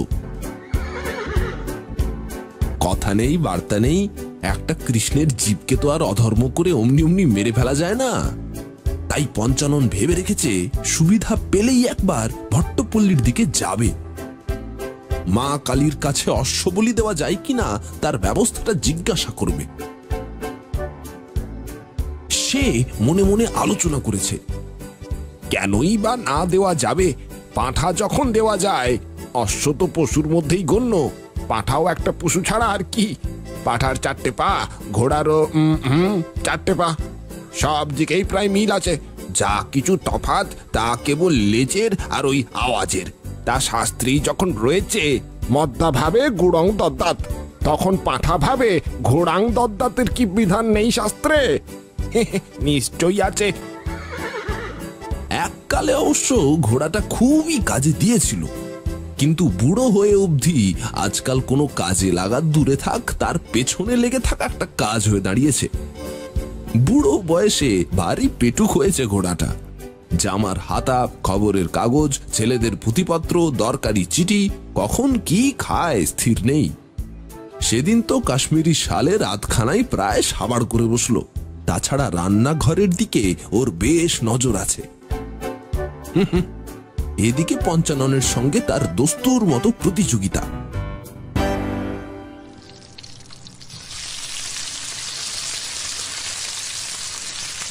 রান্নাঘর থেকে ছ্যাঁকছোক আওয়াজ কিংবা বেগুন ভাজার গন্ধ এলে কার সাধ্য তাকে থামায়? পাড়া গায়ে মেটে বাড়ি পঞ্চানন্দের। ধানের গোলাগুলো ঘুরে উঠোন পেরিয়ে গেলেই রান্নাঘর। মুহূর্তের মধ্যে অশ্ববরকে সেখানে উপস্থিত দেখা যাবে। পঞ্চাননের গিন্নির কি পরিত্রাণ আছে ওকে বেগুন ভাজা না দিয়ে? এদিকে বেগুন ভাজার প্রতি পঞ্চাননের দারুণ লোভ। অথচ এই ঘোড়াটার জন্যই সে পেট ভরে বেগুন ভাজা খেতে পায় না। সেদিন পঞ্চানন গিন্নি বেগুন না ভেজে বোধ হয় ঘোড়াটাকে ঠকাবার মতলবেই বেসন দিয়ে বেগুনি ভাজছিলেন। গন্ধ পাওয়া মাত্র ঘোড়া সেখানে হাজির। দু একবার সে গিন্নির মনোযোগ আকর্ষণ করেছে। সংস্কৃত ভাষায় যার মানে হচ্ছে দেহি দেহি কিন্তু গিন্নি কর্ণপাত না করায় সে নাসিকার সাহায্যে গিন্নিকে ঠেলে ফেলে দিয়ে সেই ঝুড়ি ভরা সমস্ত বেগুনি আত্মসাৎ করে পরম পরিতৃপ্তির সঙ্গে খেতে শুরু করে দিয়েছে। সেই দিন থেকে ঘোড়াটার প্রতি আর পঞ্চাননের চিত্ত নেই। দৃঢ় প্রতিজ্ঞা করেছে, ভাটপাড়া সে যাবেই। গিন্নিকে সে স্পষ্ট বলে দিয়েছে। এই শোনো ফের যদি তুমি ঘোড়াটাকে আশকারা দাও তাহলে ওরই একদিন কি আমারই একদিন? সত্যি বলছি একটা খুনোখুনি হয়ে যাবে। ঘোড়াটা কিন্তু গ্রাহ্যও করে না পঞ্চাননকে। তার পরের দিনই সে কলকাতা থেকে সত্য আনানো পঞ্চাননের টর্চ লাইটটা মুখের মধ্যে পুড়েছিল। কিন্তু ভালো করে চিবিয়ে যখন বুঝলো যে ওটা ঠিক বেগুনি নয়, তখন বিরক্ত হয়ে ফেলে দিল। হ্যাঁ। টর্চ লাইটটার অবস্থা দেখে পঞ্চানন্ত অগ্নিশর্মা। সে ছুটে গিয়ে ঘোড়াটার কান ধরে গালে এক চড় বসিয়ে দিল। তোর কি একটু আক্কেল বুদ্ধি নেই? এ, কি রে তুই যে একটা গাধারও অধম হলি। ঘোড়া মুখ সরিয়ে নিয়ে জবাব দিয়েছে অর্থাৎ "হুম, যা বল তাই বল।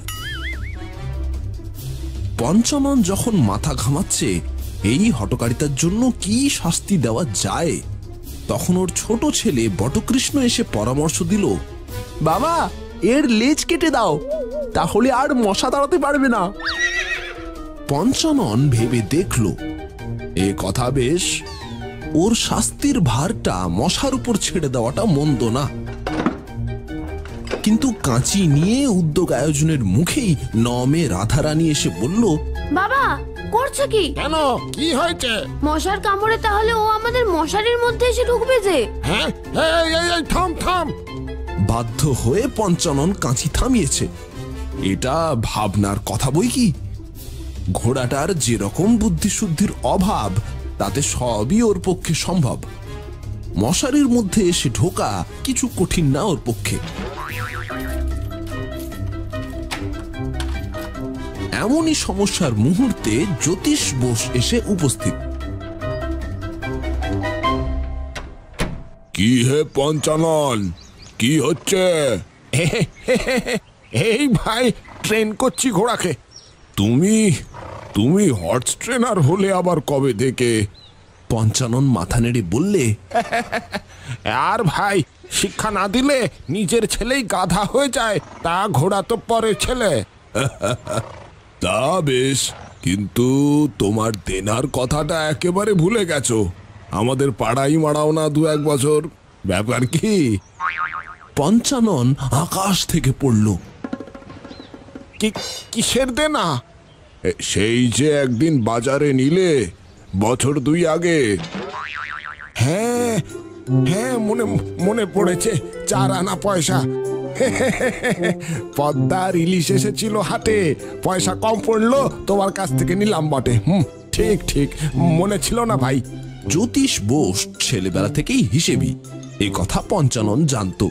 কিন্তু বুড়ো বয়সে সে যে এত বেশি হিসেবি হয়ে উঠবে যে তার চারানা পয়সার কথা দু বছর ধরে মনে রেখে দিয়ে ভিন গা থেকে তিন মাইল হেঁটে চাইতে আসবে। পঞ্চানন তা ধারণা করতে পারেনি। বাপে পাঁচশো টাকা রেখে গেছিল। সুদে খাটিয়ে তেজারতি কারবারে সেই টাকা পঞ্চাশ হাজার এসে দাঁড় করিয়েছে। কিন্তু সামান্য চার আনার মায়া সে ছাড়তে পারেনি ভেবে পঞ্চানন অবাক হলো। তা ভাই পঞ্চানন প্রায় আড়াই বছর হলো তোমার ধার নেওয়া। আমার খাতায় সমস্ত হিসেব লেখা আছে। নিজে গিয়ে দেখতে পারো একদিন। তা ভাই, এইবার একটু গা করে দিয়ে দাও। কি যে বলো তুমি? সামান্য চার আনা পয়সার জন্য কি আমি অস্বীকার করব? তা তুমি কষ্ট করে এত দূর এসে আমাকে লজ্জা দিলে? এই রাধু, এই, তোর মার কাছ থেকে চার আনা নিয়ে আয় তো। আর বলগে জ্যোতিষ কাকার জন্য বেগুনি ভাজতে। বেগুনি দিয়ে তেল মেখে মুড়ি খেতে বেশ লাগে হে। তার সঙ্গে কাঁচা লঙ্কা। তা হবে ক্ষণ। জ্যোতিষ বোস বাধা দিয়ে বলল খাওয়া তো আর পালাচ্ছে না। কিন্তু একটা যে ভুল করছ তুমি আড়াই বছর পরে। পয়সাটা তো আর চার আনা নেই ভাই। কিছু বুঝতে না পেরে পঞ্চানন বলল এ চার আনা নেই? কি কীরকম আহা, বুঝতে পারছ না? সুদে আসলে তা পাঁচ টাকা এগারো আনা, পৌনে তিন পাইয়ে দাঁড়িয়েছে। পৌনে তিন পাই দেওয়া একটু শক্ত হবে তোমার পক্ষে। তা তুমি ওই পাঁচ টাকা এগারো আনাই দাও আমায়। পঞ্চাননের মুখ দিয়ে আর কথা বেরোলো না। পাঁচ টাকা এগারো আনা, পৌনে তিন পাই। হ্যাঁ পৌনে তিন পাই দেওয়াটা তার পক্ষে শক্ত নিশ্চয়ই। এই বাজারে ওই পাই পয়সা কে পাইয়ে দেয়। কিন্তু পাঁচ টাকা এগারো আনা দেওয়াই যে তার পক্ষে এমন কি সহজ, তা ভেবে পেল না। পঞ্চানন ভেবে কিনারা পায় না। জ্যোতিষটা ছেলেবেলা থেকেই খুব হিসেবি, এ কথা তার অজানা নয়। কিন্তু তার হিসেব যে বয়সের সঙ্গে এত মারাত্মক হয়ে উঠেছে, তা কে জানতো? না, জব্দ করতে হবে ওকে। কাষ্ঠ কাশি হেসে পঞ্চানন জবাব দেয়। তা নেবেই না হয় পাঁচ টাকা এগারো আনা। তোমাকে দিলে তো আর জলে পড়বে না। বসো জিরো গল্প করো। অনেক দিন পর দেখা। হ্যাঁ বসবো বই কি? বেগুনিও খাব কাঁচা লঙ্কা দিয়ে মুড়ি মেখে খেতে মন্দ না। কিন্তু কচি শশা আছে তো। পঞ্চানন মনে মনে মতলব এঁটে বলে এত রোদে তিন কোষ দূর থেকে হেঁটে এসেছ? এই বয়সে এমন পরিশ্রম করা কি ভালো তোমার শরীরে? একটা ঘোড়া রাখো না কেন? ঘোড়ায় চড়ে বেড়ালে হাঁটার পরিশ্রম হয় না। তাছাড়া রাইডিং একটা ভালো ব্যায়ামও। দেখছ না, আমিও একটা ঘোড়া রেখেছি।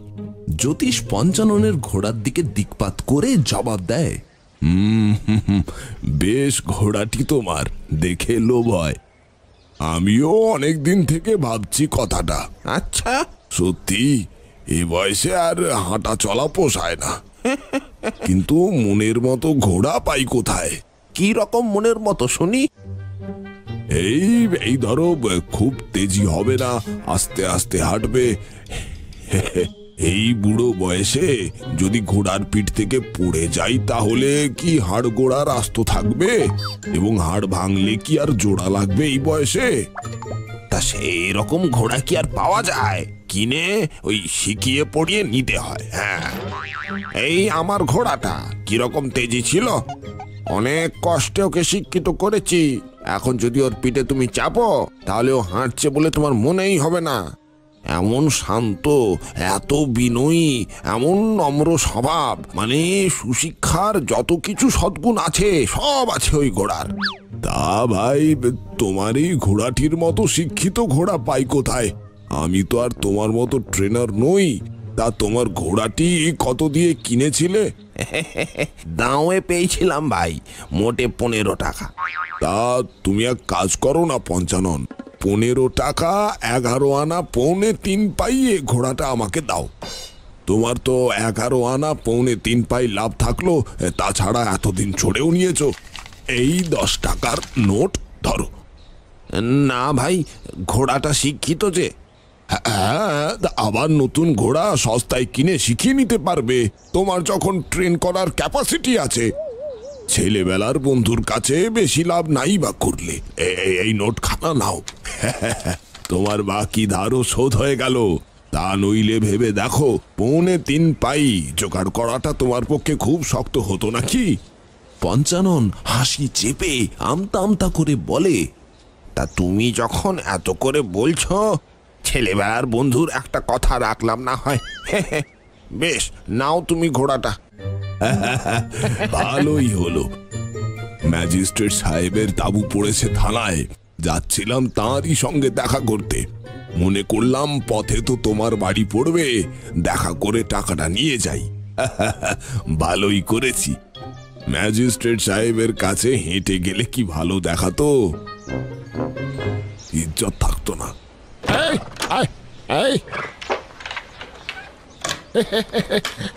হ্যাঁ? ওরে বাবারে। আসি ভাই। জ্যোতিষ বোস ঘোড়ায় চেপে থানার দিকে রওনা হলেন সত্যি। এমন শিক্ষিত শান্ত ঘোড়া প্রায় দেখা যায় না। পঞ্চানন যা বলেছিল হাঁটছে বলে মনেই হয় না। অনেক তাড়াহুড়ো দিলে এক পা হাঁটে। এদিকে পঞ্চাননও খুশি নিঃশ্বাস ফেলে বলে বাঁচা গেল এত দিনে আপদ বিদায়। সঙ্গে সঙ্গে নগদ টাকা লাভ। অশ্বমেধ করতে যাচ্ছিলাম তা জ্যোতিষ বোসকে দেওয়া যা অশ্বমেধ করাও তা। হেহ, পৌনে তিন পাই দেওয়া বেজায় শক্ত হতো। কেবল গিন্নি একটু দুঃখিত। খেতে পেত না বেচারা। তাই ওরকম ছোক ছোক করতো। ঘোড়ারা দানা খায় ছোলা খায় কত কি খায়। সেসব ও কখনো চোখেও দেখেনি।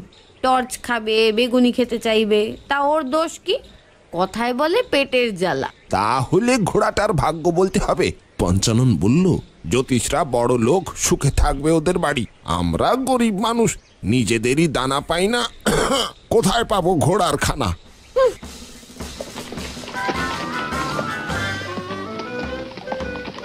হেঁটে গেলে যতক্ষণে থানায় পৌঁছানো যেত, তার তিন গুণ সময় লাগালো জ্যোতিষ বোসের ঘোড়ায় চেপে যেতে। কিন্তু জ্যোতিষ ভারী খুশি। এতখানি রাস্তা তিনি অশ্বারোহণে এসেছেন কিন্তু একবারও পড়ে যাননি। কেবল ওঠার আর নামার সময় যা একটু কষ্ট হয়েছে।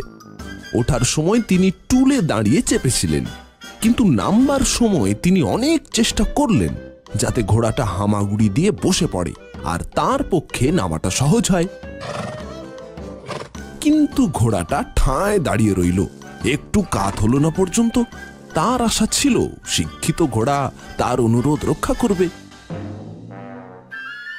কিন্তু ঘোড়াটা না বুঝলো তার ইঙ্গিত, না কান দিল তার সাধ্য সাধনায়। বাধ্য হয়ে তাকে অনেকটা প্রাণের মায়া ছেড়েই লাফিয়ে নামতে হলো। কিন্তু সুখের বিষয় তার হাড়গোড় ভাঙেনি কিংবা তিনি একটুও জখম হননি। ম্যাজিস্ট্রেট সাহেবের সঙ্গে জ্যোতিষ বোসের আগে থেকেই আলাপ ছিল। জ্যোতিষ সেলাম ঠুকতেই তিনি হ্যালো মিস্টার ব্যাস বলে তাকে অভ্যর্থনা করে ভেতরে নিয়ে গেলেন। ঘোড়াটাকে আস্তা বলে নিয়ে গিয়ে দানা দেবার হুকুম হলো আর্দাদলির উপর। ম্যাজিস্ট্রেট সাহেব ও জ্যোতিষ বোস আলাপ করছেন। এমন সময়ে হ্যাঁ আস্তাবল থেকে এক বিরাট আওয়াজ এলো। কি ব্যাপার? ম্যাজিস্ট্রেট এবং জ্যোতিষ দুজনেই চমকে উঠলেন। ঘোড়ার আওয়াজ বটে, কিন্তু ওরকম আওয়াজ তারা জীবনে কখনো শোনেনি। এমনকি যে ঘোড়া ডার্বি জিতেছে, সেও এরকম উচ্চধ্বনি করে না। দুজনেই আস্তাবলের দিকে ছুটলেন। সেখানে তখন অনেক লোক জড় হয়েছে। আর ঘোড়াটা কেবল করছে হ্যাঁ এ কি? ঘোড়াটার সামনে দু বালতি ভরা ছোলা আর দানা সাজানো রয়েছে। কিন্তু ঘোড়াটা সেসব স্পর্শ করেনি। সে বোধ হয় তার এতখানি সৌভাগ্য বিশ্বাস করতে পারছে না। একবার করে বালতির দিকে তাকাচ্ছে আর ভিতর থেকে অট্টহাস্য ঠেলে উঠছে। কি করে ওর অট্টহাস্য থামানো যাবে, সবাই দারুণ ভাবনায় পড়ল। ঘোড়ার হাসি, থামানো কি সহজ ব্যাপার?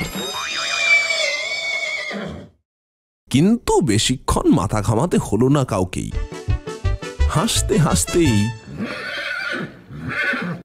মারা গেল ঘোড়াটা।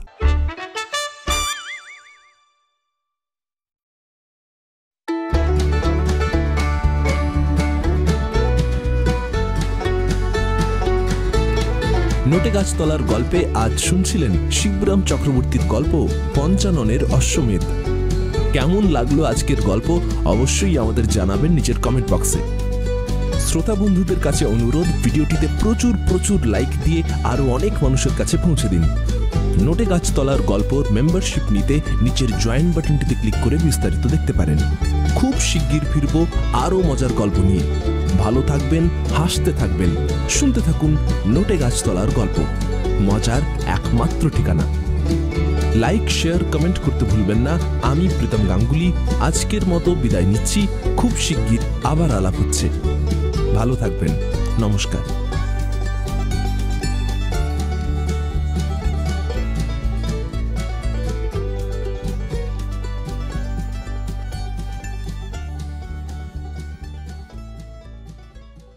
নমস্কার, আপনি শুনছেন নোটে গাছতলার গল্প। এনজিটিজি অরিজিনালসে আজকের গল্প শোভন সুন্দর দাসের লেখা বাঘ বোঝানো।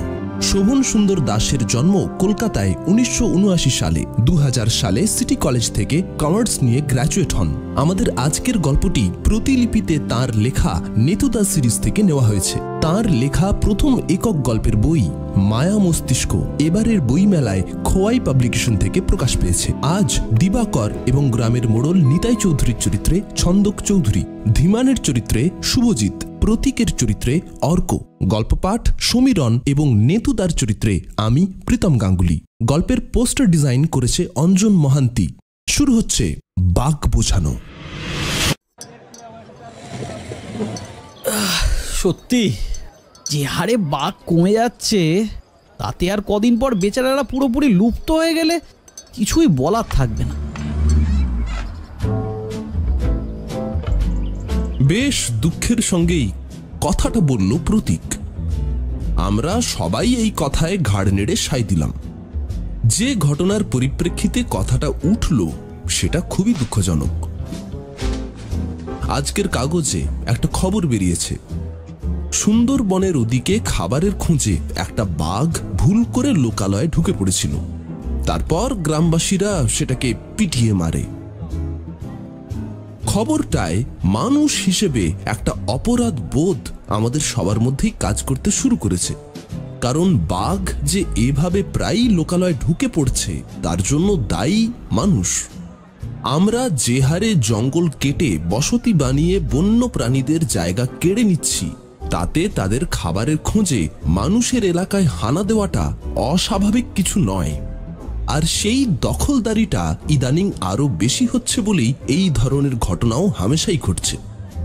জন্তুগুলোর কপাল ভালো থাকলে বন দপ্তর থেকে এসে তাদের উদ্ধার করছে। আর তা নিতান্তই মন্দ হলে ফলাফল আজকের খবরের কাগজে লেখা আছে। এই ঘটনাটা নিয়েই আমাদের লেক গার্ডেন্সের বিখ্যাত জগাদার চায়ের দোকানে আজ সন্ধেবেলায় আলোচনা চলছে। আমরা পঞ্চপাণ্ডব মানে আমি, ধীমান, প্রতীক, সমীরণ আর দিবাকর। এখন অবধি আলোচনায় যোগ দিলেও আমাদের মধ্যমণি নিত্যানন্দ চক্রবর্তী ওরফে নেতুদা এখনও এই ব্যাপারে মুখ খোলেননি। তিনি তার মোবাইল ঘাটতেই ব্যস্ত। অবশ্য আমরাও আর তাকে পিড়াপিড়ি করিনি। কারণ নেতুদাকে আমরা সাধারণত ঘাঁটাই যখন তার কাছ থেকে একটা আলোচ্য বিষয়ের ওপর কোনো কিম্ভূত গল্প আশা করি। কিন্তু এখানে আলোচনাটা বাঘ এবং অন্যান্য বন্য প্রাণীদের নিয়ে। তাই তার মতো একজন প্রাক্তন এলআইসি এজেন্টের পক্ষে এই ব্যাপারে গল্প ফাঁদা আদেও সম্ভব হবে কি না সেই বিষয়ে আমাদের সকলের মনেই যথেষ্ট সন্দেহ আছে। ফলস্বরূপ আমরা নিজেরাই আলোচনাটা এগিয়ে নিয়ে চলেছি। দিবাকর বলল হুম সেটা ঠিকই বলেছিস। মানুষের মতো হিংস্র জাত দুনিয়াতে দুটি নেই। নিজের স্বার্থসিদ্ধির জন্য মানুষ পারে না এমন কোনো কাজ নেই। দরকারে যে কোনো প্রাণীকে পৃথিবী থেকে মুছে দিতে পারে। ঠিক কথা সম্মতি জানালো সমীরণ। এই তো সেদিন একটা ভিডিও দেখছিলাম। মরিসাস দ্বীপে নাকি ডোডো নামে একরকম পাখি পাওয়া যেত। যতদিন তারা মানুষের সংস্পর্শে আসেনি বেশ ছিল। কিন্তু যেই ষোড়শ শতাব্দীতে ওলন্দাজরা দ্বীপটা খুঁজে বার করল, ব্যাস, পাখিগুলোর কপালে শনি ভর করল। মাত্র একশো বছরের মধ্যে পুরো জাতিটাকেই শিকার করে সাফ করে দিলে আবার এও নাকি লেখা আছে যে সে পাখির মাংস খেতেও খুব একটা সুস্বাদু ছিল না, একরকম অখাদ্যই বলা যায়। তাই মাংসের লোভে যে শিকার করা হতো, তাও নয়। কেবল ওই শিকারের জন্যই শিকার। ধীমান বলল সেরকম ঘটনা তো অনেকই আছে। যদিও এগুলো বেশিরভাগই হয়েছে আগের দিকে। যখন কোনো নিয়ম কানুন বলে কিছুই ছিল না। যে যা পারতো মারতো। এখন অবশ্য দিনকাল কিন্তু পাল্টাচ্ছে। নতুন নতুন আইন বানিয়ে শিকার নিষিদ্ধ করার চেষ্টা করা হচ্ছে যাতে লুপ্তপ্রায় প্রাণী পুরোপুরি লুপ্ত না হয়ে যায়। তবুও তাতে কতটুকুনি কাজ হচ্ছে তা ওই ভগবানই জানেন। আমার তো মাঝে মাঝে ভয় হয়। নাতিদের বাঘটা দেখাবো কোথায়? আলিপুর চিড়িয়াখানায়? নাকি বইয়ের পাতায়? হ্যাঁ সত্যি। এইরকম চললে হয়তো বইয়ের পাতাতেই বাঘ খুঁজে বেড়াতে হবে। আসল আর চোখে পড়বে না। আমিও হালকা ঘাড় নেড়ে সাই দিলাম। আলোচনাটা হয়তো আমাদের নিজেদের মধ্যেই চলতো কিন্তু চলল না। হঠাৎ নেতুদার গম্ভীর কণ্ঠস্বরে দোকান গমগম করে উঠল। অনেক সময় বোঝালেও কাজ হয়। যথারীতি এই কথায় আমরা বেশ নড়ে চড়ে বসলাম। নেতুদা মোবাইলটা পকেটে ঢোকাতে ঢোকাতে নিজের সব জানতা ভাবটি বজায় রেখেই মন্তব্যটি করেছেন এবং তার সাথেই আমাদেরও বেশ একটা ধন্ধে ফেলে দিয়েছেন। কারণ তিনি বোঝানোর কথা বলেছেন, কিন্তু কাকে বোঝাতে হবে সেটা বলেননি।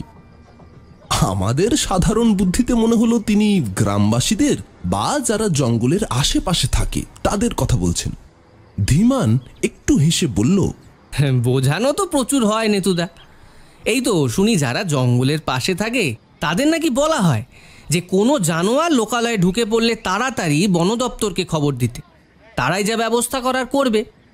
তাতে কাজ যে হয়নি তা কিন্তু নয়।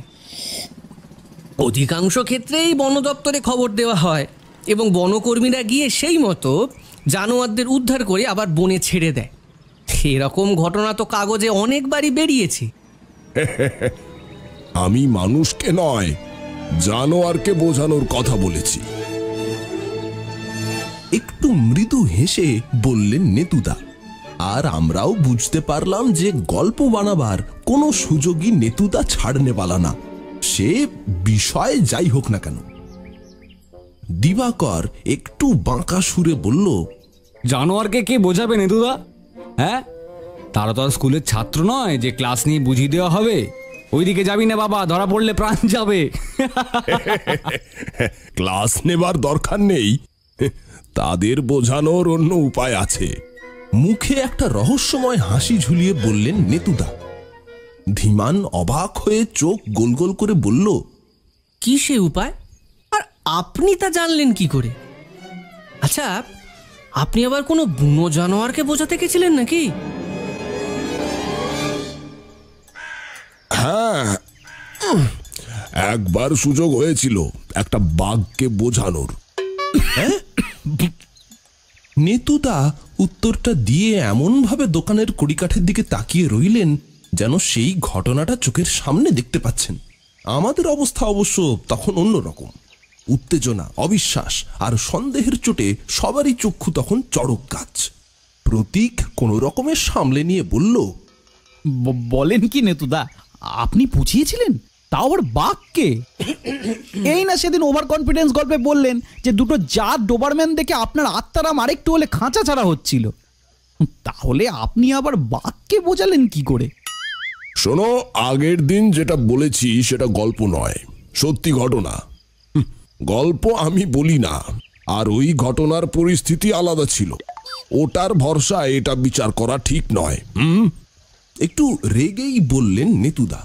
বলছি, তা এটার বেলায় কোন পরিস্থিতিটা ছিল? বলুন না শুনি, কি সেই আশ্চর্য ঘটনা? আমি একটু তোষামদের সুরেই বললাম, কারণ মন বলছে যে নেতুদার গাঁজা গল্পের কড়া থেকে একটা গরমা গরম গল্প পাতে পড়ল বলে। আমার ইশারাটা বুঝতে বাকিদের অসুবিধে হলো না। সবাই তাই সমস্বরে চিৎকার করে উঠল। আর নিতু বলো না বলো না বলো না। হ্যাঁ, বলুন, বলো বলুন, গল্পটা বলো না। ঘটনাটা বলুন। আচ্ছা আচ্ছা। নেতুদা গল্প শুরু করবার বদলে জগাদার দিকে তাকিয়ে আরেক কাপ দিও আর আমাদের দিকে তাকিয়ে বলছি, দাঁড়াও, চাটা খেয়ে নি, হুম? এই তো। বলে জগাদার বাড়িয়ে দেওয়া চায়ের কাপটায় লম্বা একটা চুমুক দিলেন। আমরাও অধীর আগ্রহে সেই চা সেবন দেখতে দেখতে নিজেদের আঙ্গুল মটকাতে লাগলাম। নেতুদার এই কায়দাটা আমাদের সবার জানা, দর বাড়াবার পুরনো কায়দা। যাই হোক চা খাওয়া শেষ করে একটা সিগারেট ধরিয়ে তিনি শুরু করলেন। তখন এলআইসি লাইনে বেশ কয়েক বছর কাটিয়ে দিয়েছি। কিছু বড় বড় পলিসিও হাতে এসেছে, তবে বিয়েটা তখনও সারা হয়নি, সম্বন্ধ দেখা দেখি চলছে। তা সেই সময়ে সরকার থেকে গরিবদের জন্য একটা জীবন বীমা বাজারে আসে। তাতে প্রিমিয়াম এত কম ছিল যে অনেক নিম্নবিত্ত বা গরিব লোকও আরামে সেটা কিনতে পারতো। এলআইসি যেহেতু সরকারি সংস্থা, তাই তাদের উপরই ভার দেওয়া হয় সেই পলিসি বেচার যাই হোক, পলিসি বাজারে আসার পর আমার ডিও নিশিকান্ত দাঁ আলাদা করে ডেকে বললেন যে আমাকে কম করে চল্লিশটা ওই পলিসি করতেই হবে। একসঙ্গে চল্লিশটা পলিসি করা সহজ কথা নয়। এ তো আর ছেলের হাতের মুড়ি মোয়া নয় যে যাব আর বেচে দেবো। কিন্তু ওদিকে ডিও সাহেবের কথা ফেলতেও পারছি না। কারণ আমি আর তখন সেই খোকা এজেন্টটি নই যে কোথায় পাবো স্যার বলে কাটিয়ে যাব। তাই এক প্রকার সংকটেই পড়ে গেলাম বলা যায়। অফিস থেকে বাড়ি ফিরে এই নিয়েই ভাবছি। হঠাৎ শুনলাম দরজায় কে টোকা দিচ্ছে। খুলে দেখি আমার ছোটবেলার বন্ধু কানু। মানে কানাই মণ্ডল দাঁত বার করে দাঁড়িয়ে। তাকে দেখে বেশ খুশি হলাম। সেও কিরে নেতু? বলে আমাকে একেবারে জড়িয়ে ধরলো। কানুর বাড়ি কলকাতায় নয় সুন্দরবনের ওদিকে। গোসাবার কাছেই একটা গ্রামে। কলকাতায় নাকি কোন একটা কাজে এসেছিল। কিন্তু দেরি হয়ে যাওয়ায় আর বাড়ি না ফিরে আমার কাছেই রাতটা কাটিয়ে যাবে ঠিক করে কড়াটা নেড়েছে। শুনে বেশ খুশিই হলাম। একা থাকি। তাই বন্ধু বান্ধব মাঝে মাঝে উদয় হলে বেশ আনন্দই হয়। হেসে বললাম, আরে সে আর এমন কথা কি? তুই আজকে কেন? এতদিন পর এলি। থাক না দুদিন। দুই বন্ধু মিলে ছোটবেলার মতো আড্ডা মারা যাবে। সে একটা অট্টহাসি করে বলল আরে সেটা করতে পারলে তো ভালোই হতো রে নেতু। কিন্তু কি করি বল দরকারি কাজে এসেছি। একান্ত নিরুপায় না হলে থাকার জো নেই রে ভাই। কাল সকালেই গ্রামে ফিরতে হবে। আরে বিয়ে তো করিসনি এখনও তাহলে ফেরার এত তাড়া কিসের? তার হাসিটা যেন আমার এই কথায় হঠাৎ খেই হারিয়ে ফেলল। কীরকম একটা চাপা দুঃখ যেন তার বুকের মধ্যে থেকে বেরিয়ে মুখ অব্দি এসেও লজ্জা বা সংকোচের কারণে শেষ মুহূর্তে নিজেকে সংযত করে নিল। কিছুক্ষণ চুপ করে থেকে সে ধীরে ধীরে বলল অন্য কারণ আছে রে ভাই।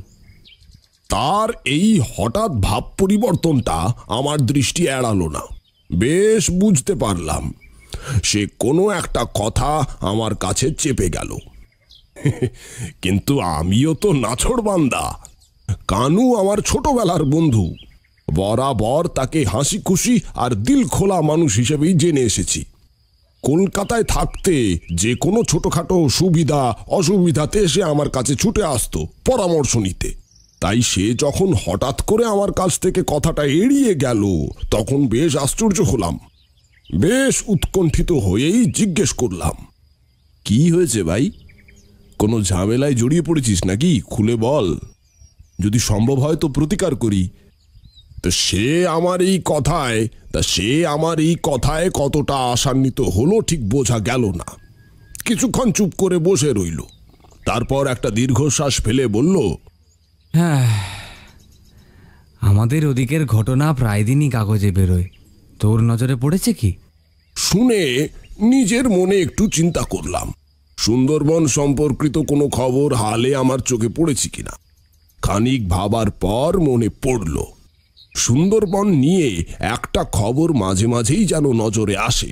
ওখানকার গ্রামগুলোতে সম্প্রতি বাঘের খুব উৎপাত শুরু হয়েছে। কানু কি সেই কথাই বলছে নাকি? জিজ্ঞেস করলাম। কানু, তুই কি ওই বাঘের হানা দেওয়ার ঘটনা নিয়ে বলছিস? শুনে তার চোখ মুখ একটু উজ্জ্বল হলো। মাথা নাড়তে নাড়তে বলল যাক তোর চোখে পড়েছে তাহলে। আমি বেশ উৎসাহ নিয়েই বললাম আরে ব্যাপারটা খুলে বল। তারপর সে যা কাহিনী শোনালো তার মর্মার্থ হলো যে তাদের ওখানে ইদানিং খুব বাঘের উৎপাত হচ্ছে। প্রায় দিনই বাঘ নদী সাঁতরে গ্রামে ঢুকছে। মানুষের প্রাণ এখনও যায়নি বটে, তবে গরু ছাগল লোপাট হয়ে বাঘের পেটে যাচ্ছে। তার নিজেরও নাকি চারটে গরুর একটা ইতিমধ্যে বাঘের শিকারে পরিণত হয়েছে। সরকারে অনেকবার জানানো সত্ত্বেও কোনো সুরাহা হয়নি, কারণ একান্ত নরখাতক না হলে বাঘ মারার আইন নেই। কিন্তু এ বাঘ নরখাদক নয়, তাই সরকারের হাত পা বাঁধা। তারা কেবল রাত পাহারা আর হুল্লা পাটির সাহায্যে বাঘ তাড়াবার উপদেশ দিয়েই কাজ সেরেছে। সেই মতো গত কয়েক মাস ধরে পটকা ফাটিয়ে, তারপর ওই টিন বাজিয়ে অনেক চেষ্টা করা হয়েছে। বেশ কয়েকবার ফাঁদও পাতা হয়েছে। কিন্তু বাঘ তাতে ধরা পড়েনি আর উৎপাতও বন্ধ হয়নি। শুনে বেশ কৌতূহল হলো। অবশ্য গ্রামের মানুষের অবস্থাটা বুঝতে পেরে একটু দুঃখও হলো। সত্যিই তো, তাদের কাছে গরু, ছাগল হলো সম্পদ বিশেষ। আর সেই সম্পদ যদি এই হারে শেষ হতে থাকে, তাহলে তো তাদের বেঁচে থাকাই দায়ী হবে। চুপ করে ভাবতে শুরু করলাম যে এর কোনো উপায় করা যায় কিনা। কানুও আর কোনো কথা বলল না। এতক্ষণ ধরে এই দুঃখের কাহিনী শুনিয়ে সেও একটু হাঁপিয়ে পড়েছিল। কিছুক্ষণ এই রকম কাটার পর হঠাৎ মাথায় একটা বুদ্ধি খেলে গেল। কানুকে বললাম যে আমি তার এই সমস্যার সমাধান হয়তো করতে পারব। কিন্তু আমার একটা শর্ত আছে। সে শুনে বেশ অবাক হয়েছে মনে হলো। তার চোখের তারায় ফুটে ওঠা অবিশ্বাসটা আমার নজর এড়ালো না। সে একটু সন্দেহের সুরেই জিজ্ঞেস করল। কি উপায়? আর শর্তটাই বাকি আমি হেসে বললাম, উপায় এখন বলব না, সে গ্রামে গিয়ে সবার সামনে বলব। আর শর্ত হলো, কাজ মিটে গেলে গোটা গ্রামকে আমার কাছে গরিব বিমা করতে হবে। রাজি? সে একটা মলিন হাসি হেসে রাজি হয়ে গেল। আমিও হেসে বললাম হ্যাঁ রাত হয়ে গেছে, শুয়ে পড়। কাল সকাল সকাল বেরোতে হবে।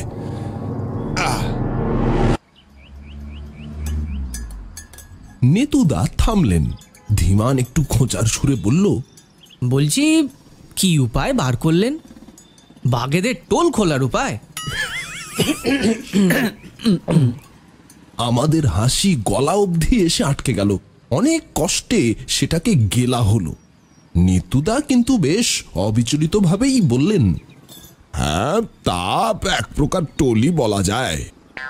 আমাদের তো চক্ষু চড়ক গাছ। বলে কি নেতুদা? হ্যাঁ? মানে? মানে? সমবেত চিৎকার উঠল। নেতুদা একটা সিগারেট ধরিয়ে তাতে একটা লম্বা সুখ টান দিয়ে বললেন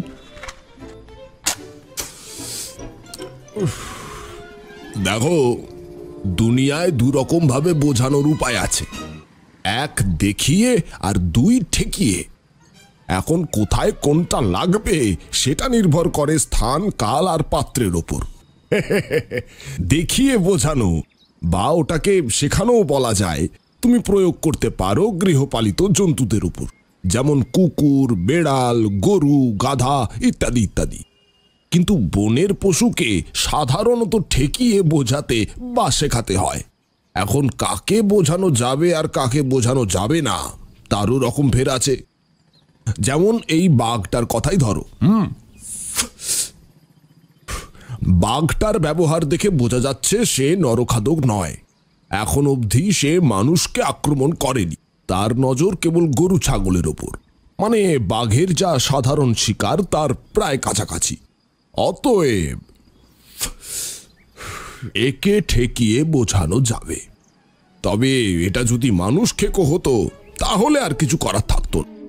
যে বাঘ একবার নরমাংসের স্বাদ পায়, সে আর অন্য শিকার ধরে না। সেক্ষেত্রে গুলি ছাড়া পথ নেই। নেতুদা আবার থামলেন। আমি বলে উঠলাম আচ্ছা সে না হয় বুঝলাম তারপর বলুন গেলেন সেই গ্রামে? হ্যাঁ গেলাম। একটু মুচকি হেসে নেতুদা আবার শুরু করলেন। পরদিন সকালে বেরিয়ে বাস, লঞ্চ আর রিক্সা ঠেঙ্গিয়ে যখন গ্রামে গিয়ে পৌঁছলাম তখন সূর্য বেশ কিছুটা পশ্চিমে ঢলে পড়েছে। আমি আগে কখনো কানুর গ্রামে আসিনি, তাই চারপাশের প্রকৃতির ওই অমলিন বন্য শোভা দেখে চোখ জুড়িয়ে গেল। গ্রামটাকে সবুজ গাছপালায় ঘেরা বলার থেকে মোড়া বলা উচিত। ছবির মতো সুন্দর একটা সরু নদী তার গা ঘেঁষে নিজের খেয়ালে বয়ে চলেছে। তার নামটা এখন আর মনে নেই ওই গোটা সুন্দরবন জুড়ে গঙ্গার যে সমস্ত ছোট ছোট শাখা নদীগুলো ছড়িয়ে আছে, তারই কোনো একটা হবে। তার অপর পার থেকেই শুরু হয়েছে সুন্দরবনের বিখ্যাত জঙ্গল। কানুর কাছ থেকে জানলাম যে ওই নদী পেরিয়েই প্রতি রাতে বাঘ বাবাজির আগমন ঘটে। নদীর চারপাশটা একবার ভালো করে জরিপ করতে লাগলাম। কিছুক্ষণ চোখ বোলানোর পরই যা খুঁজছিলাম সেটা চোখে পড়ল। দেখে আমার মুখে একটা হাসি খেলে গেল। কানু আমাকে হাসতে দেখে অবাক হয়ে জিজ্ঞেস করল কি হলো? আমি প্রত্যুত্তরে পরে বলব এখন বাড়ি চল খিদে পেয়েছে। আয় বলে হাঁটা লাগালাম। ওমা নিত্য যে। আয় আয় আয়। কানুর বাড়িতে অতিথি আপ্যায়নের কোনো ত্রুটি হলো না। মাসিমার হাতের আচার ছোটবেলায় খুব খেতাম। এতদিন পর আবার তার স্বাদ পেয়ে মনটা একেবারে প্রফুল্ল হয়ে গেল। তা খাওয়া দাওয়া সেরে কানুকে বললাম যে গ্রামের মাথাদের খবর দিতে। আমার তাদের সঙ্গে পরামর্শ করার আছে।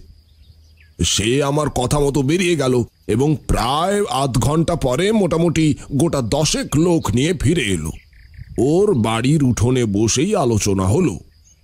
সবাইকে আমার পরিকল্পনাটা খুলে বললাম।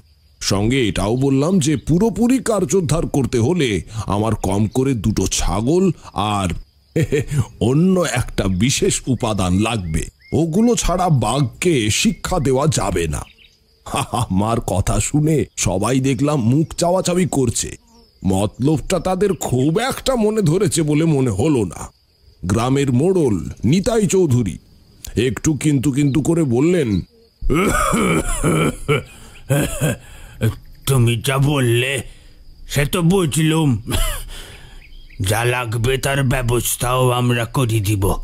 তবে এত সহজে কি ওই ওলা ওঠাটার হাত থেকে মুক্তি পাওয়া যাবে, বাবা? কারণ পাকটাকে তো তুমি আর চেনুনি? হত পাকাটা মস্ত দড়িবাজ। আমি আমার জীবনকালে ঢের ঢের বাঘ দেখেছি, কিন্তু এরকম পাজির পাছাড়া আর দুটি দেখিনি। আমি হেসে তাকে আশ্বস্ত করে বললাম, আপনি নিশ্চিন্তে থাকুন কাকা। যা ফন্দি ফেলেছি এর মার নেই। আপনাদের বাঘ ধড়িবাজ হতে পারে। কিন্তু তার ধড়িবাজিকে কি করে তারাবাজি দেখাতে হয়, তা আমার জানা আছে। আপনারা খালি আমার কথা মতো জিনিসগুলো আনিয়ে দিন। আমার এই আশ্বাস বাণীতেও সবার ভরসা খুব একটা বাড়ল না। তবে তার জন্য তাদেরকে দোষ দেওয়া যায় না। এতদিন ধরে তারা এত কিছু চেষ্টা করে দেখেছে, কোনো কাজ হয়নি। তাই আমার ওই সহজ সরল পদ্ধতিতে কাজ হবে এটা তারা বিশ্বাস নাই করতে পারে। তবু ডুবন্ত মানুষ যেমন কুটো পেলে সেটাকেই বাঁচার তাকিদে আঁকড়ে ধরে, সেই রকমই আমার দেওয়া এই কুটোটাকেই শেষমেশ তারা আঁকড়ে ধরল।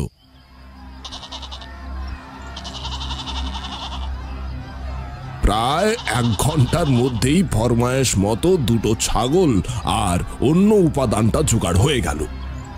আমি কিন্তু দুটো নয় একটা ছাগলকেই প্রথমে বাছলাম আরেকটা তোলা থাকল পরের ডোজের জন্য। তা মিনিট পনেরোর মধ্যে ছাগলের টোপ প্রস্তুত করে ফেললাম। তারপর বললাম যে, যেখান দিয়ে বাঘ বেশি ঢোকে, সেখানে ওটাকে বাঁধতে হবে। সেই মতো সবাই মিলে সেই নদীর ধারে গেলাম। কাছে পিঠে চোখ বুলিয়ে, হুম, দেখলাম একটা মোটা পাকুড় গাছ। তার তলাতেই ছাগলটা বাঁধা হলো। সবাইকে বললাম যে আশেপাশে একদমই থাকা চলবে না, তবে দূর থেকে নজর রাখা যেতে পারে। তাই ছাগলটাকে ওখানে রেখে সবাই মিলে দূরে একটা ঝোপের পিছনে গিয়ে অপেক্ষা করতে লাগলাম। এই ছাগলের গলায় অবশ্য একটা ঘণ্টা বাঁধা ছিল, যাতে অন্ধকার হলেও শব্দ শুনে বোঝা যায় যে সেটি বেঁচে আছে। সব কিছু পরিকল্পনা মাফিকই হয়েছে। এবার খালি ওষুধ ধরার অপেক্ষা। হ্যাঁ সেই রাতে, বুঝলে, আকাশে চাঁদ ছিল। ত্রয়োদশী বা দ্বাদশীর প্রায় পূর্ণচন্দ্র। তার ভরা জ্যোৎস্নায় প্রকৃতির যে অপরূপ রূপ আমার চোখে ধরা দিয়েছিল তা ভাষায় প্রকাশ করা আমার মতো অতি সাধারণ সাহিত্য জ্ঞান সম্পন্ন লোকের পক্ষে সম্ভব নয়। হয়তো রবীন্দ্রনাথ পারতেন সেই স্বর্গীয় পরিবেশের সঠিক বর্ণনা ভাষায় ফুটিয়ে তুলতে। আমি খালি এটুকু বলতে পারি যে চাঁদের আলোয় চারদিক একেবারে ভেসে যাচ্ছিল। দূরে একটা গাছের নিচে বাঁধা ছাগলটাকে ভালোভাবে দেখা না গেলেও তার নড়াচড়া আবছা চোখে পড়ছিল। সঙ্গে কানে আসছিল ঘণ্টার সেই টুংটাং শব্দ। কতক্ষণ ঝোপের পিছনে চুপ করে বসেছিলাম জানি না। প্রায় ঘণ্টা দুই হবে। আমার আশেপাশে যারা ছিল, তারা ততক্ষণে ফিসফাস করতে শুরু করেছে, যেন ধরেই নিয়েছে যে ছাগলটা ফালতুই বাঘের পেটে যাবে। আমারও একভাবে বসে থেকে পায়ে প্রায় ঝিঁঝি ধরার উপক্রম। কিন্তু তাও অপেক্ষা করতে হবে। আর তা যতটা পারা যায় নিঃশব্দে ও নড়াচড়া না করে। বেশি নড়াচড়া করলে বাঘ বুঝে যেতে পারে যে এখানে মানুষ আছে। তাহলে আর সে টোপ নাও গিলতে পারে। কারণ তার জন্য ফাঁদ আগেও পাতা হয়েছে এবং সেই ফাঁদ কেটে সে বেরিয়েও গেছে। তাই বুঝতে হবে যে এই ধরনের পরিস্থিতির সঙ্গে তার বেশ পরিচয় আছে। আমি তাই আস্তে করে সবাইকে একটা কড়া ধমক লাগালাম। কানু আবার এর মধ্যে আমার কানের কাছে মুখ এনে ফিস ফিস করে বলল ভাই তোর দাওয়াইতে কাজ হবে তো? যা মশা কামড়াচ্ছে ম্যালেরিয়া না হয়। আমি ওকে হাত তুলে ইশারায় থামিয়ে দিয়ে বললাম আহ মশা আমাকেও কামড়াচ্ছে তোকে একা নয়। আর কাজ হবে কিনা সে তো একটু পরেই দেখতে পাবি। হুঁ। কথাটা হালকা খেঁকিয়েই বলেছিলাম। কানু সেটা বুঝলো, আর কিছু বলল না। এদিকে আমার মনেও তখন একটা মৃদু সংশয় উকি দিতে শুরু করেছে। বড় মুখ করে এদের বলে তো দিলাম, এবার যদি কাজ না হয়, তাহলে আর লজ্জার শেষ থাকবে না। মুখ লুকিয়ে বাড়ি পালাতে হবে। পলিসির কথা ছেড়েই দিলাম। বাঘটার ওপর তখন বেশ রাগ হতে শুরু করেছে।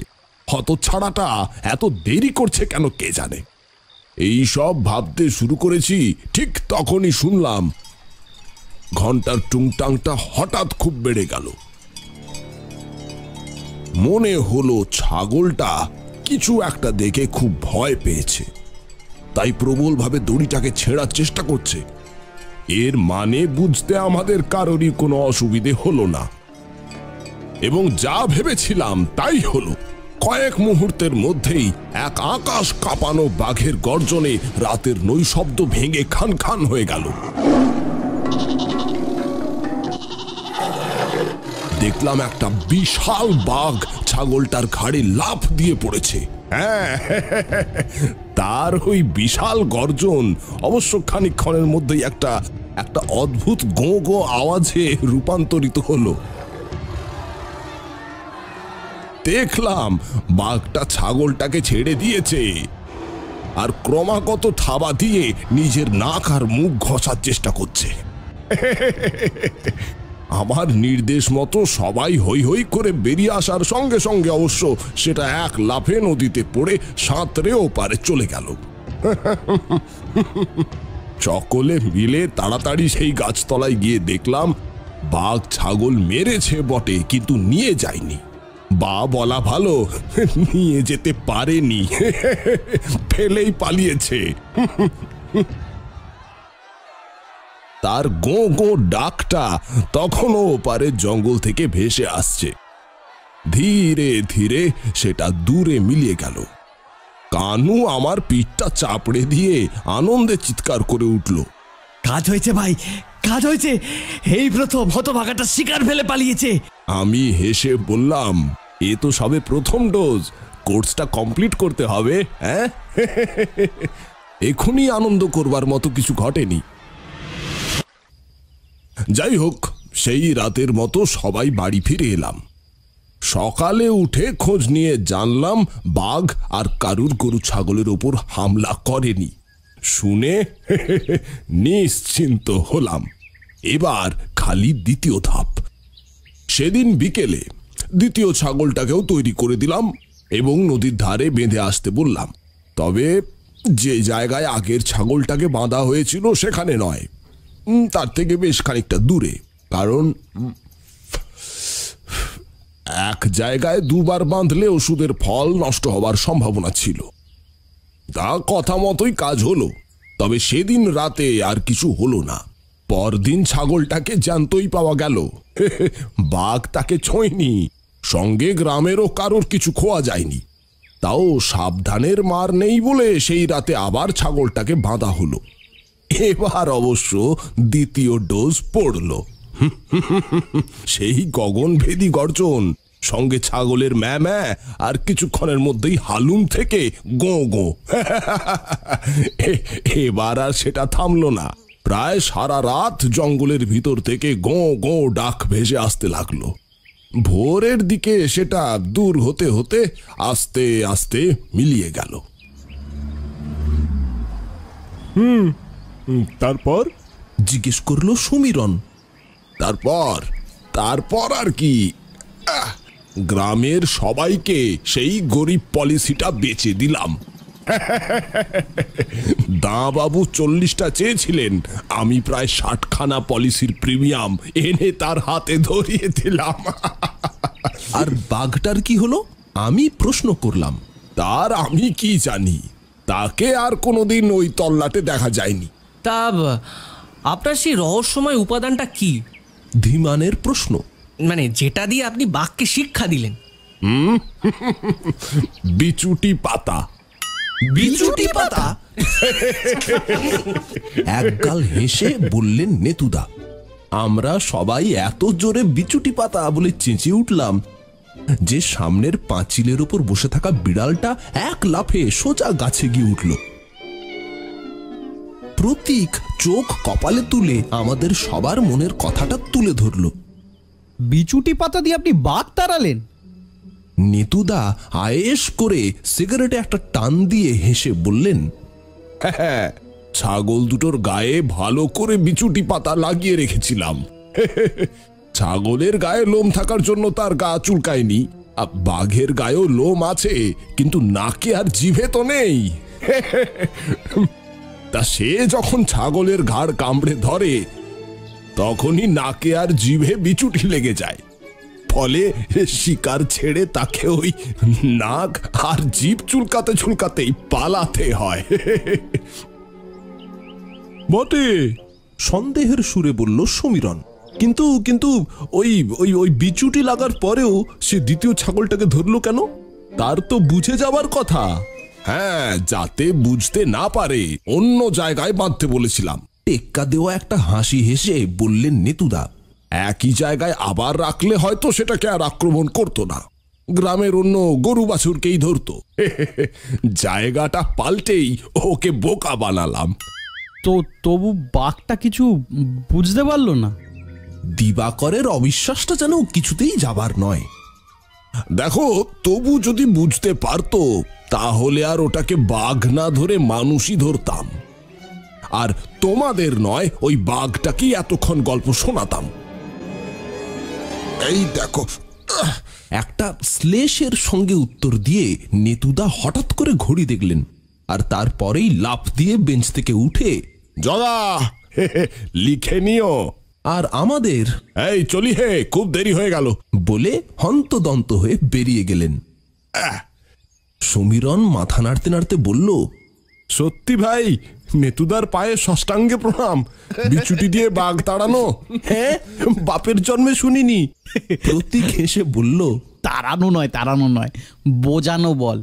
উনি বিচুটি দিয়ে বাঘটাকে ঢেকালেন আর ঠেকিয়ে বোঝালেন। সত্যি মানে।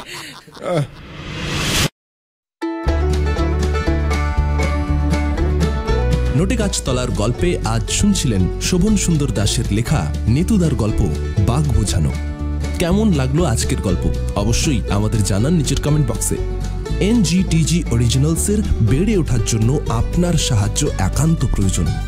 শ্রোতা বন্ধুদের কাছে অনুরোধ, ভিডিওটিকে লাইক এবং বন্ধুদের সঙ্গে শেয়ার করতে ভুলবেন না।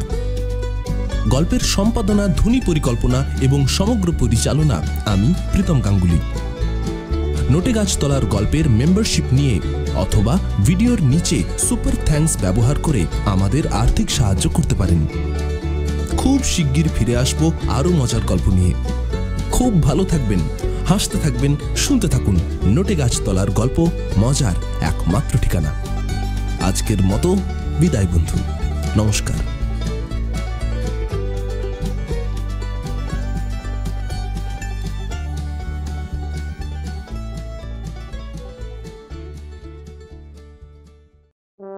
নমস্কার, আপনি শুনছেন নোটে গাছতলার গল্প। আমাদের আজকের পরিবেশনায় শিবরাম চক্রবর্তীর গল্প, ভাগ্যে যদি ভাগ্নে থাকে। আজ অশোকের ভূমিকায় ছন্দক চৌধুরী, সত্যেনের ভূমিকায় সম্রাট মুখার্জি। গল্পের সূত্রধর রথিন এবং হোটেল ম্যানেজার আমি, প্রীতম গাঙ্গুলি। শুরু হচ্ছে আজকের গল্প, ভাগ্যে যদি ভাগ্নে থাকে।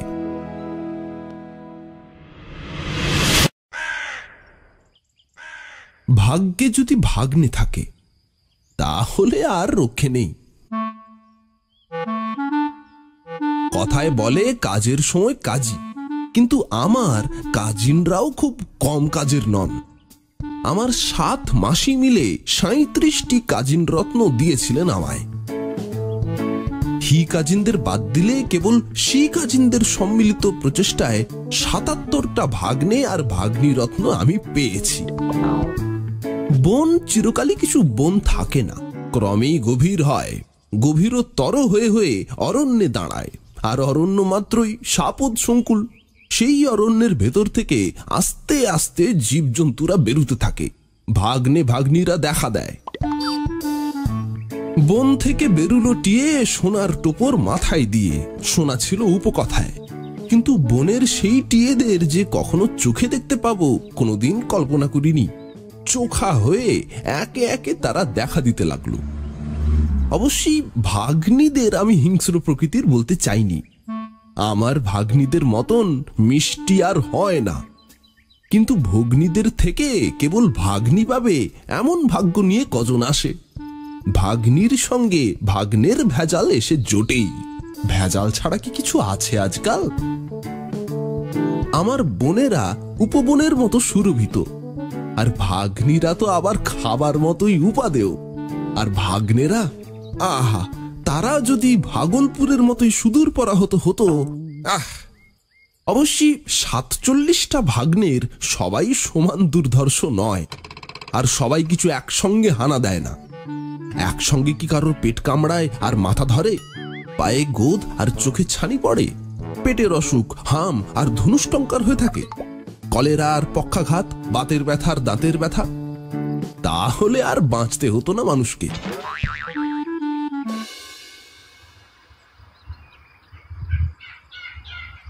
আমার ভাগ্নেরা একসঙ্গে হামলা করলে আমি আর মর্তলোকে বর্তমান থাকতুম না। তারা মৃদু মন্দ সমীরণের ন্যায় ক্ষণে ক্ষণে প্রবাহিত হয়, আর প্রথম শরতের বর্ষণের ন্যায় পশলায় পশলায় আসে। কেউ কেউ বা ঝড়ঝাপটার মতোই এসে পড়ে দাপটের সঙ্গে। মুহুর্মুহু ঠিক না এলেও প্রায় খেপে খেপেই তারা আসে। সেদিন যেমন তিনজন এলো। অশোক সত্যেন আর রথিন। মামা। মামা! কোনো ষড়যন্ত্র করে কিনা জানি না কলকাতায় তিন মুলুকের তিনজনা দেখা দিল একসঙ্গে।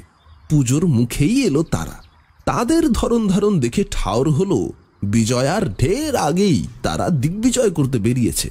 এসেই পুজোর পার্বণীর কথা তুলল।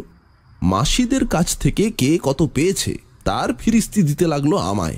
এরপর মামাদের কাছ থেকে কার কত আদায় হয়েছে, তার কথা পারবে বোধ হয়, আর তারপরেই পেড়ে ফেলবে আমাকেও। আগের থেকেই সতর্ক হওয়া ভালো। আমার চোটটাই দিয়ে রাখি আগে। আত্মরক্ষার শ্রেষ্ঠ উপায় আগের থেকেই আক্রমণ করা। আর এই দেখো আমার টেরিলনের স্যুট বাবা দিয়েছে পুজোয় বলল রথিন।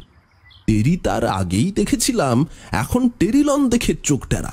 হুম এত এত পেয়েছিস বলছিস যখন তখন কিছু আমায় তোরা দিয়ে জানা হয়। আমি বললাম আমার অবস্থা ভারী কাহিল যাচ্ছে রে। অবশ্যই ধার দিতেই বলছিলাম আমি তোদের। সে ধারে আমরা নেই মামা। বলল অশোক। তার চেয়ে দেলখোস কেবিনে চলো বড় হ্যাঁ হ্যাঁ চলো মামা। হুম, ভেবে দেখলে সে ধারটাও খুব খারাপ নয়। নগদ দক্ষিণা না মিললেও আজকালকার বাজারে বিনি পয়সায় ভোজটাই বা কে দিচ্ছে অমনি। তক্ষুনি শার্টে মাথা গলিয়ে এক পায়ে খাড়া। না, ভাগ্নেরা খালি যে ভাগ বসায় তাই নয়। তিনজনের যোগে ত্রহস্পর্শ ঘটলে তাদের গুণও দেখা যায় বই কি? হ্যাঁ চল তাহলে, বেরিয়ে পড়ি।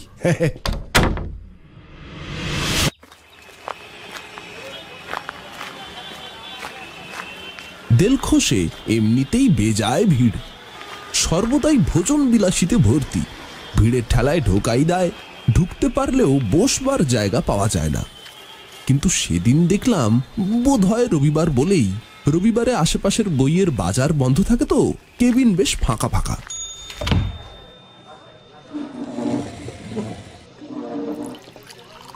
চার জনে বসা গেল এক ধার ঘেঁষে। অশোক বলল মোগলাই পরোটা মামা। রথিন বললে মুরগির মাংস। আমি বললাম মাটন চপ আর কিছু নয় মাটন চপ গ্রেভি বেশ চর্বিওয়ালা। আমি চর্বিত চর্বণের পক্ষপাতী। সত্যেন বলল সেই যে এই আপ বড় মুরগির কাটলেট ডিম দিয়ে ভেজে দেয় খাইয়েছিলে তুমি একদিন। প্লেট জুড়ে যায় একবারে পেটও ভরে যায় একটাতে এতেও খাসা। তার নাম কি জানি না আমি তাই খাব একখানা। হ্যাঁ তার নাম কবরেজি কাটলেট। আমি জানালাম। বেশ তাহলে তাহলে সবার জন্যই সব আসুক। হ্যাঁ? হ্যাঁ মামা হ্যাঁ হ্যাঁ, সবাই মিলে বললুম তখন। হ্যাঁ, হ্যাঁ। সবার জন্যই সব আসুক। হ্যাঁ, হ্যাঁ। সবাই খাক সব রকম হ্যাঁ? সবাই খাক। এই যে নিয়ে এসো। এসে গেল। চারখানা মোগলাই পরোটা চারটে কবিরাজি কাটলেট চারখানা মটন চপ গ্রেভি বেশ চর্বিওয়ালা। আর চার প্লেট চিকেন কারি। বিল হলো আঠেরো টাকা আশি পয়সার। অশোক ওদের বড় তাকেই সম্বোধন করে বললাম অশোক বচ্চ দিয়ে দাও টাকাটা এবার। আমি তো টাকা আনিনি মামা। বলল সে। আমার কাছে নগদ আঠেরো পয়সা আছে কেবল। বাড়ি ফেরার ভাড়াটাই। এখান থেকে বরানগর বাসে যেতে আঠেরো পয়সাই লাগে তো। রথিন বললে আমার আট পয়সা সম্বল। এখান থেকে সোজা বাগবাজারে গিয়ে নামবো সেকেন্ড ক্লাসের ট্রামে। সেখান থেকে মদন মোহনতলা হেঁটে মেরে দেবো। সত্যেন কিছুই বলল না। সে সবচেয়ে ছোট। এসব অর্থনৈতিক ব্যাপারে তার কোনো দায়িত্ব আছে বলে মনেই করল না সে। মামা তোমার কাছে সত্যি টাকা নেই মামা? শুধালো অশোক। কোথায় টাকা? এই এই আমি দু পকেট উল্টে দেখিয়ে দিলাম। একটা নয়া পয়সাও নেই কোথাও। সে কি?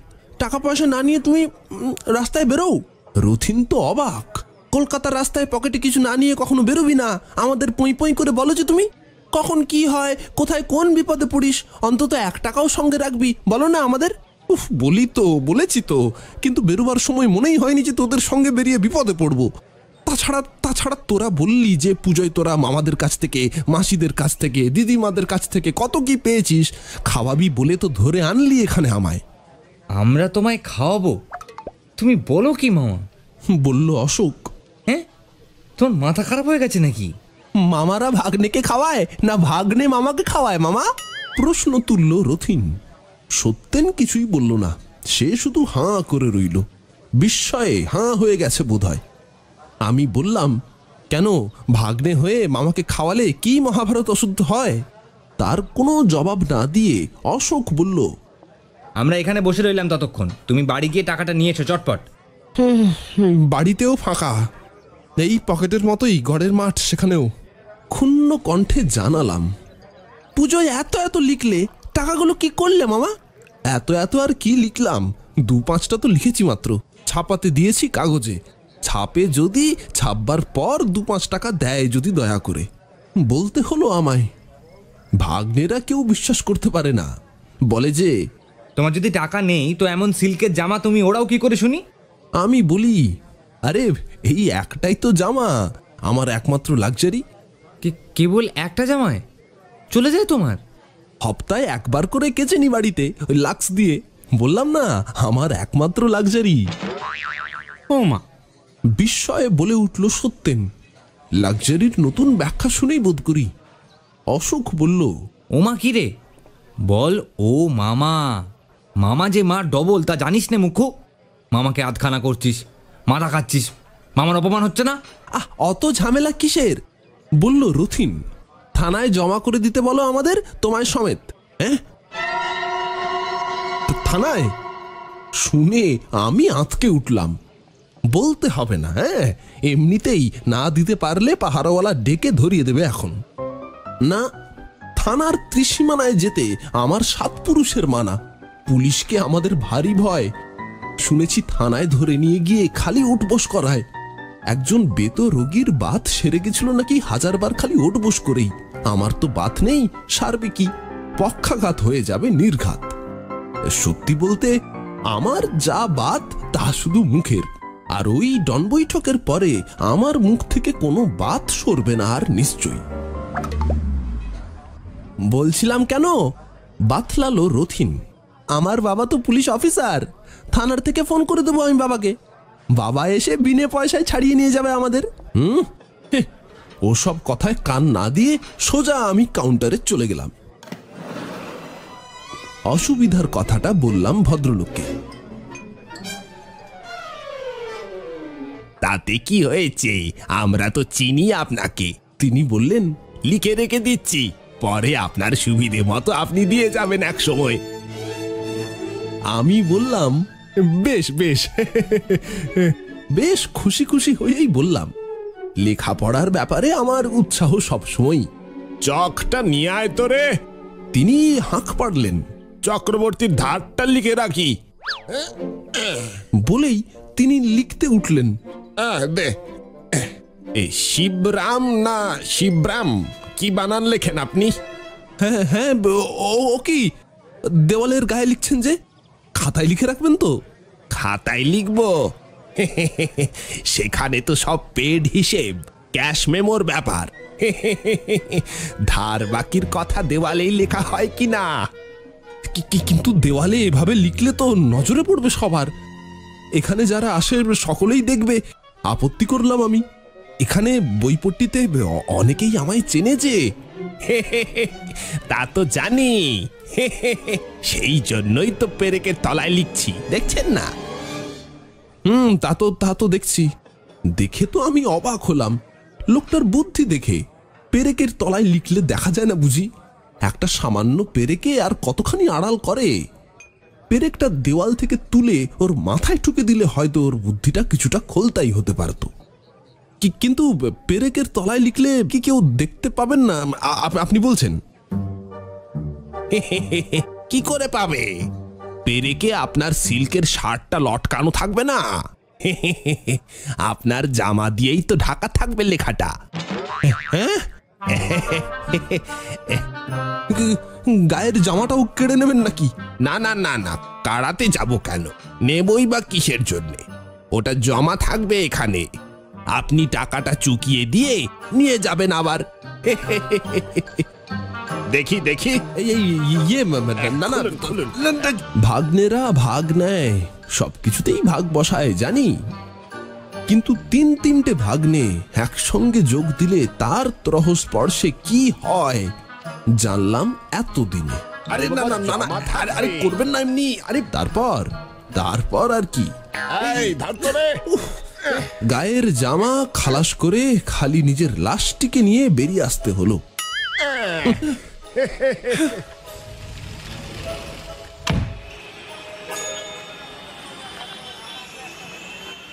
জামাই সেজে ঢুকেছিলাম, খালাসি হয়ে বেরুলাম। ভাগ্নে যদি ভাগ্যে থাকে।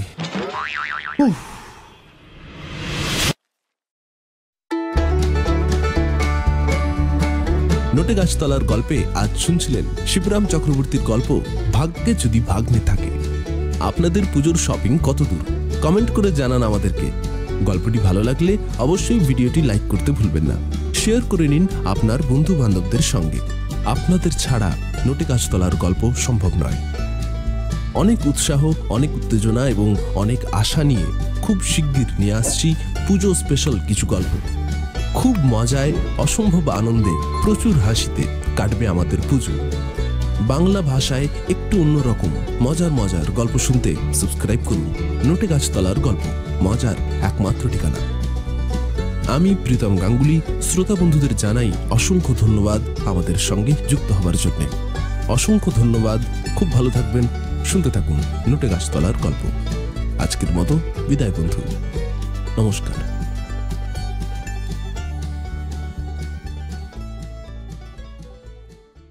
নমস্কার, আপনি শুনছেন নোটে গাছতলার গল্প। আমাদের আজকের পরিবেশনায় শিবরাম চক্রবর্তীর লেখা গল্প অবলম্বনে সমস্যার চূড়ান্ত নোটে গাছতলার গল্পে আজ প্রথমবার মিস আইভির চরিত্রে শ্রীময়ী বিশ্বাস। গল্প পাঠে আমি প্রীতম গাঙ্গুলি। শ্রোতা বন্ধুদের কাছে অনুরোধ, আমাদের ভিডিওগুলিতে প্রচুর প্রচুর লাইকস দিয়ে আমাদের পাশে থাকবেন। শুরু হচ্ছে আজকের গল্প সমস্যার চূড়ান্ত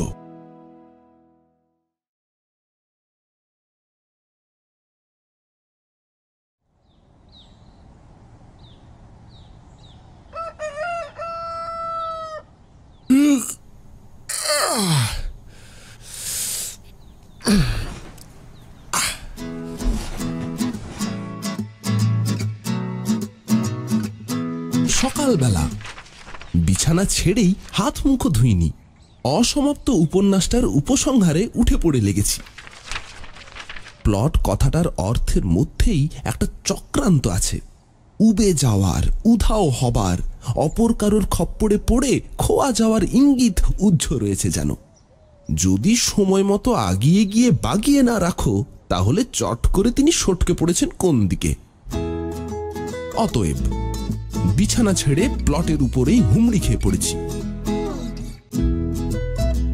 এমন সময় হাফ প্যান্ট পরা একজন হুড়মুড় করে টেবিলের কাছে এসে হাজির।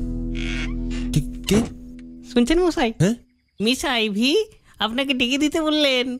শুনতে না শুনতেই ফ্রক পরা আরেকজন ঢুকে পড়ে ঘরের মধ্যে। এই যে কে কে কে? হ্যাঁ, হ্যাঁ? আইভি দিদি আপনাকে একবার ডাকছেন। হুম।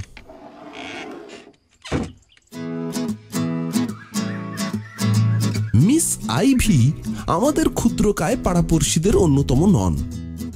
দস্তুর মতন একজন শিক্ষয়িত্রী। এই বৎসরে কলেজ থেকে বেরিয়ে এক মেয়ে স্কুলে ঢুকেছেন আর বাসা নিয়েছেন আমাদের পাড়ায়। আমারই পাশের বাড়ি, মেয়েদের বোর্ডিংয়ে কাজেই ডাক পেয়ে উঠতে হলো। প্লট উবে যায় যাক, ওকে উপেক্ষা করা তো যায় না। তাছাড়া মাস্টারদের প্রতি আমার চিরকালের ভীতি। তা সে মেয়ে মাস্টারি কি আর ছেলে মাস্টারি কি? নাম শুনলেই কাঠ হয়ে যাই। কেমন যেন ঘাবড়ে যাই ভয়ানক। আর ওই জন্যই বোধ হয় এই জন্মে স্কুল কলেজের চৌকাঠ ডিঙানো গেল না আমার। কি করে যাবে? ইংরেজি আর অঙ্ক, ইতিহাস আর ভূগোল, সবটাতেই আমি কাঁচা। বিশেষ করে অঙ্কটায় তো বেথড়ক। আর, এই বাংলাতে কি খুব সুবিধা করতে পেরেছি? আমার তো মনে হয় না। অতএব ভয়ে ভয়েই উঠে পড়ি। এক্ষুনি যদি আইভি দিদি এসে পড়ে আমার বানান ভুল কাটাকাটি করতে শুরু করেন, আমাকে মার্জনা না করে আমার লেখার পরিমার্জনায় লেগে যান, ভাষাকে আরও সাধু আর সুস্বাদু করতে সচেষ্ট হন, অসমাপ্ত গল্পের আগা পাশতলা শুধরে দেন সব, তাহলেই তো গিয়েছি, হয়ে গেছে আমার। আমার ঘরে অবশ্যই বেঞ্চি নেই, কিন্তু তাতেই বা কি ভরসা? টেবিল তো রয়েছে, আর ওই ছোট্ট টেবিলের ওপরে এই ভারী বয়সে আমি আবার যদি দণ্ডায়মান, না না, কিছুতেই না, ভালো করে ভাবতে না ভাবতেই ঊর্ধ্বশ্বাসে উধাও হয়ে গেছি। এই যে, মিস সেন, ডেকেছেন আমাকে? রুদ্ধশ্বাসে গিয়ে বলি। হ্যাঁ একটু ডেকেছিলাম। শ্রীমতী আইভি বলেন হন্তদন্ত হয়ে এসেছেন দেখছি। চলে যাচ্ছে কি না আজ? সামার ভ্যাকেশনের ছুটি হয়ে গেল। বোর্ডিং এর মেয়েরা সবাই চলে গেছে। কালই বাড়ি চলে গেছে সব। আমিও চেঞ্জে যাচ্ছি ছুটিতে। ও তাই নাকি? তা বেশ তো। এর বেশি আর কি বলব? ছুটি হয়েছে তো আমার কি? আমাকে ছোটাছুটি করানো কেন? এই সকালে এমন উদ্ধত করে এইভাবে আমার গল্পের কবল থেকে সবলে ছিন্ন করে এনে উদ্বাস্ত করা। সামার ভ্যাকেশনের সঙ্গে আমার কি সম্পর্ক? বিন্দু বিসর্গ আমি ঠাউরে উঠতে পারি না। আসলে ওই চেঞ্জে যাচ্ছি। দেখুন বাধা দিয়ে আমি বলি কলকাতা ছেড়ে কোথাও এক পাও যাওয়া আমার পক্ষে অসম্ভব। সব কথা খুলেই বলছি আপনাকে।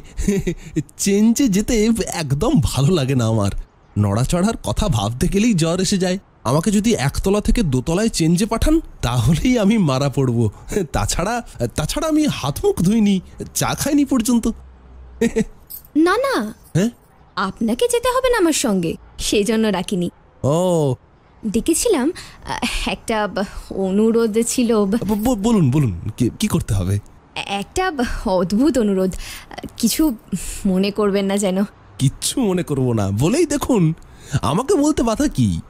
সিটি বুকিং থেকে কালই টিকিট কেনা হয়েছে। মালপত্র সব চাকরের সঙ্গে স্টেশনে পাঠিয়ে দিয়েছি সকালে।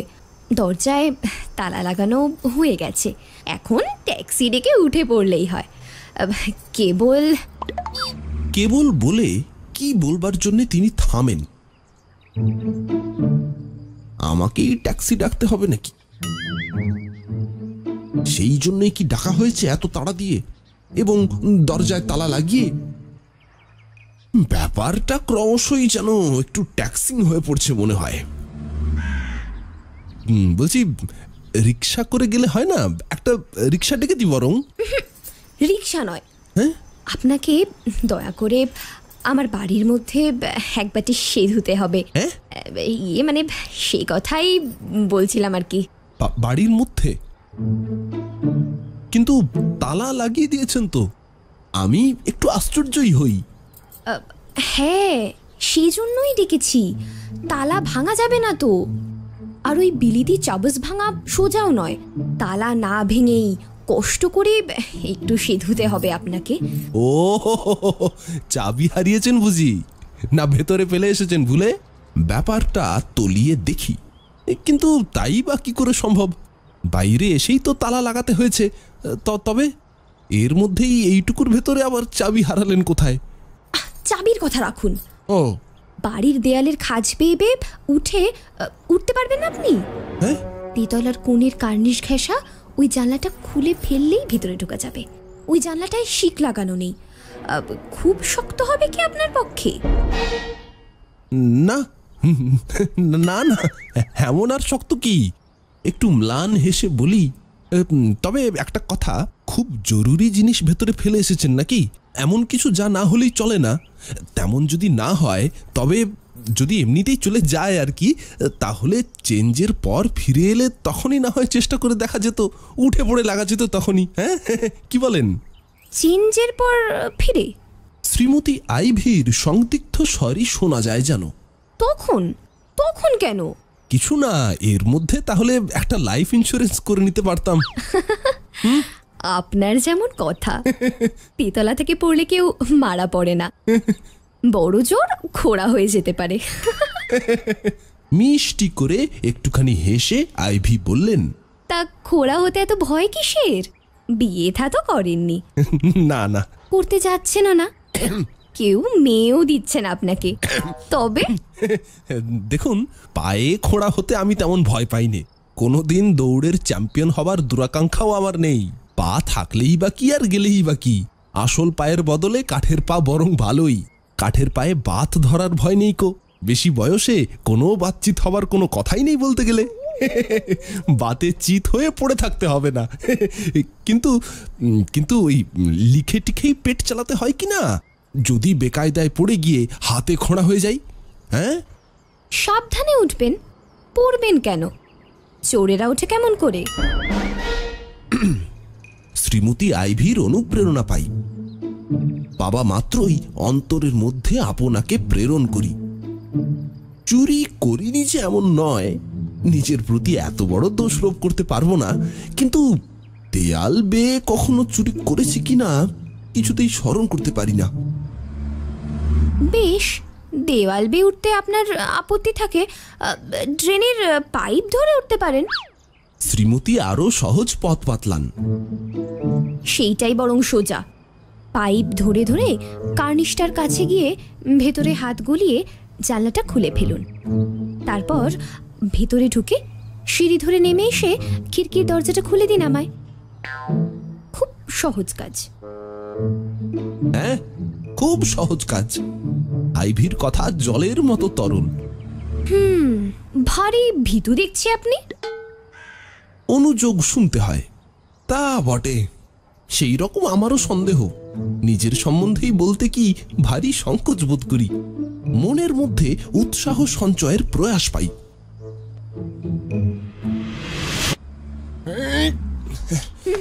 হচ্ছে হচ্ছে। গীতার সেই মারাত্মক বাক্যটা ক্লৈপং মাম্য গম পার্থ মনে মনে ঝালিয়ে নি একবার। নৈতত্ত্ব যু পপদ্দতে। এই তো এই তো আওড়াতে না আওড়াতে পা উদ্যত হয়ে ওঠে। কাপুরুষতা কাঁপতে কাঁপতে পালায়। ক্ষুদ্রং হৃদয় দৌর্বল্যং তক্ততিষ্ঠ পরন্তপ। পরন্তপ ততক্ষণে পাইপ ধরে উঠে পড়েছেন। বেশ তক্তবিরক্ত হয়েই উঠেছেন, তার বলতে হবে না।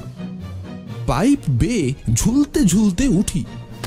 কখনো দেওয়ালের খাঁজে পা পড়ে, নিজেকে আটকে নিয়ে একটু জিরিয়ে নি কখনো খাঁজ ফাজ কোনো কিছুর খোঁজ পাইনি দেওয়ালের গায়ে পা দিয়ে হাত রাতে থাকি। অন্ধের মতো হাতড়ে হয়তো কোনো খাঁজের বদলে পাইপেরই একটা গাঁট পা দিয়ে হাতিয়ে ফেলি। এদিকে হাত অবশ হয়ে প্রায় বেহাত হবার গতি। জরাজীর্ণ পাইপ কোনো উপায়ে একবার হাত ছাড়া হলেই পদস্খলনের আর কিছু বাকি থাকে না। উফ, হাতির সঙ্গে হাতাহাতি, ঘোড়ার সঙ্গে ঘোরাঘুরি করে যেসব পাপ করেছি, বেশ বুঝতে পারি এতদিনে তার প্রায়শ্চিত্ত হচ্ছে। বাড়ির সঙ্গে বাড়াবাড়ি আর কাকে বলে?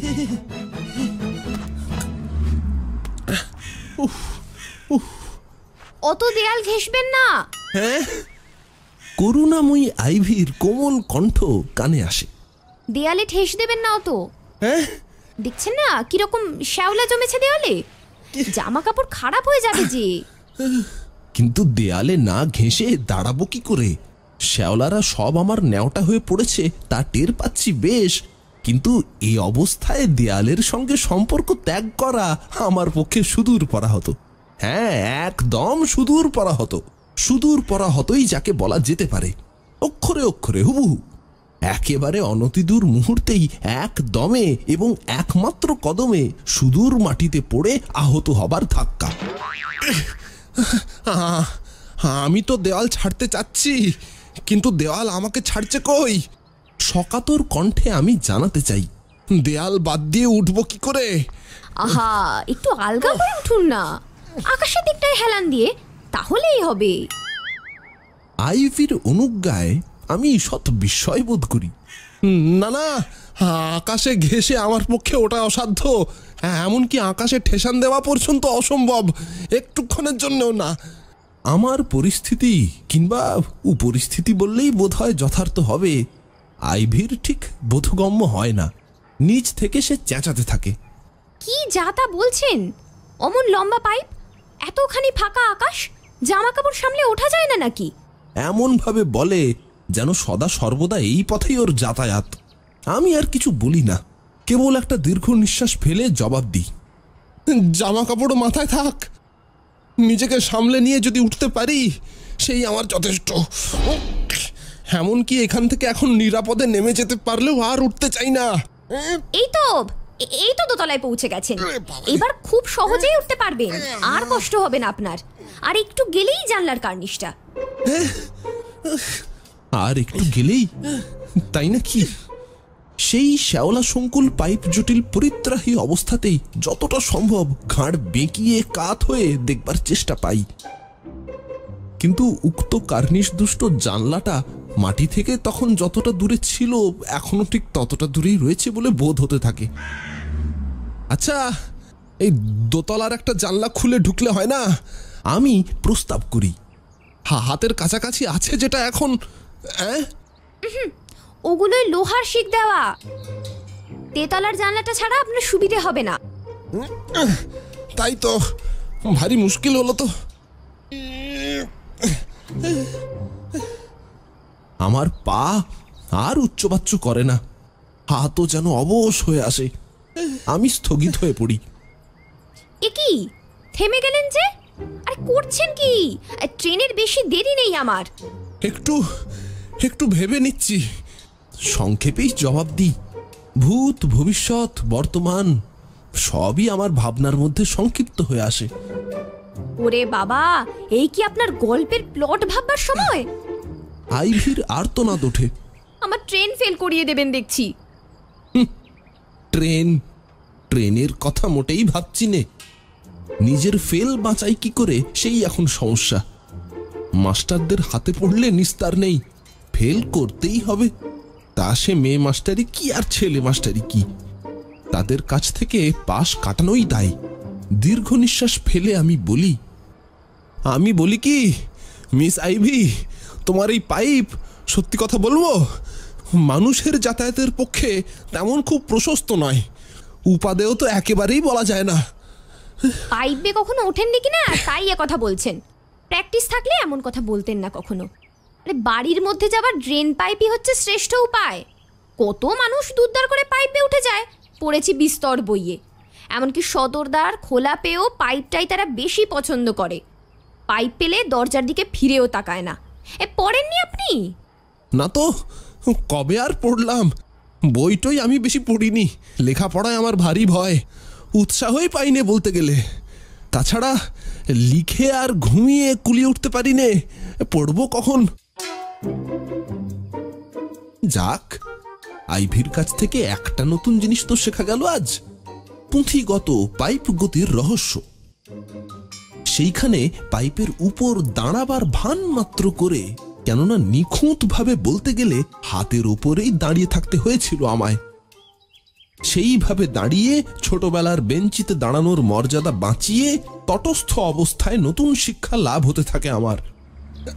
বেশ চেঞ্জ থেকে ফিরে এসে দেবো আপনাকে খান কতক। পড়ে দেখবেন। মিস আইভি আশ্বাস দেন। হ্যাঁ পাইপ থেকে ফিরতে পারলে পড়ব বই কি? নিশ্চয়ই পড়ব। আমিও ভরসা দিই এবং অভিযান শুরু করি।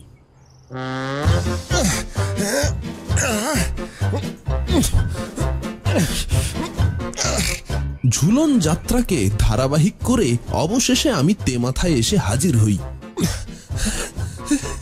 পাইপের তেমাথায়। সেখান থেকে একটা শটাং ঊর্ধ্বে আর দুটো তেরছা হয়ে ছাদের দুদিকে পৌঁছেছে। এইবার এইবার কোন পথে যাই? জিজ্ঞেস করি আমি। আইভির এবং আমার নিজের উদ্দেশ্যেই প্রশ্নবান নিক্ষিপ্ত হয়। হ্যাঁ হ্যাঁ এ- এ- এই তো এই তো সোজা ডানহাতি পাইপ ধরে চলে যান। তাহলেই জানলার কাছে গিয়ে পৌঁছবেন। তারপর একটু এগোলেই সেই কার্নিশ। ডান দিকে ডান ওরে বাবা। ডান দিকের পাইপের দৈহিক অবস্থা দেখে আমার আশঙ্কা হতে থাকে। সুস্থ, সবল বলতে যা বোঝায়, সেরকম আখ্যা কিছুতেই দেওয়া যায় না এই পাইপকে। খুব যে হৃষ্টপুষ্ট, এমনও বলা চলে না। তেমন শক্ত সমর্থ নয় বলেই আমার সংশয় হয়। আদেও ওতে হস্তক্ষেপ করা সমীচীন হবে কিনা আমি ভাবতে থাকি। যে রকম ওর আকার প্রকার, তাতে ওর ওপর নির্ভর করা যাবে কিনা কে জানে। ও কি বিশ্বাসের মর্যাদা রাখবে? হয়তো ওকে বিশ্বাস করেই শেষ নিঃশ্বাস ছাড়তে হবে আমায়। শেষ না বিশ্বাস। ও কি জুঝতে পারবে আমার সঙ্গে? যা ওর চেহারা ওর প্রতি আমার অনাস্থা জ্ঞাপন করি। একদম নিরাপদ কিচ্ছু ভয় নেই। নিচের থেকে উচ্চস্বরে জানান দেয় আইভি। বহুবারের ভ্রমণ কাহিনীর প্রবীণ অভিজ্ঞতা ওর কণ্ঠস্বরের নিঃসংশয়তার ভেতর দিয়ে ব্যক্ত হতে থাকে। কতক্ষণ আর সন্দেহ দোলায় দোদুল্যমান থাকা যায়? দুর্গা বলে ঝুলে পড়ি।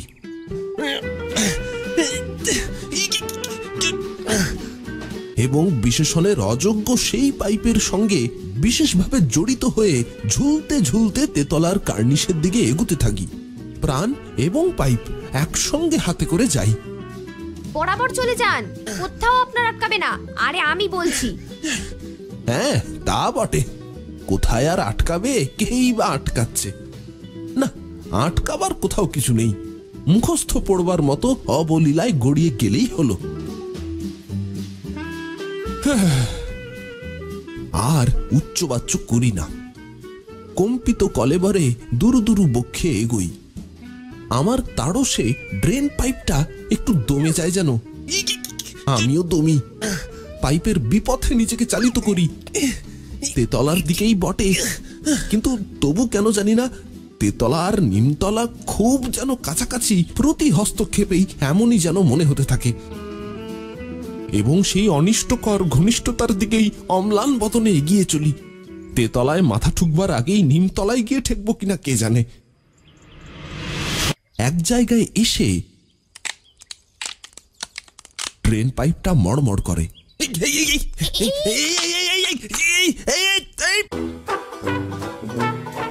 আমি একটা চিৎকার ছাড়ি পাইপের মতোই লম্বা এক চিৎকার কিছু মনে করো না আপনার লক্ষ্মী বোনটি আমার কাউকে দিয়ে আমার বিছানাটা নামিয়ে নিয়ে ঠিক আমার এই নিচেই এখানে পাতো দেখি বিছানা আইভি অবাক হয়ে যায়। কি যা তা বকছেন? আইভিকে আপনি বলতে বাধে আমার। মৃত্যুর মুখে দাঁড়িয়ে ভদ্রতা রক্ষা করা কঠিন। আদব কায়দা বজায় রাখা ভারী শক্ত তখন। নিতান্ত পরও অত্যন্ত শত্রু সেই মারাত্মক মুহূর্তে ভারী আত্মীয় হয়ে ওঠে। অন্তত সেই রকম বলে ভ্রম হয়। ওই সর্পতে রজ্জু ভ্রম আর কি। যদিও তার কয়েক দণ্ড পরেই একান্ত আত্মীয় একেবারে পর ছাড়া কিছুই নয়। আইভিকেও ভয়ানক আপনার বলে বোধ হতে থাকে তখন। ওরে বাবা, একটা বিছানায় কুলোবে না। পাড়া সব বিছানা এনে জোগাড় করো। ও করে পুঁজি করো নিচটায়। এই ঠিক ঠিক আমার নিচেই।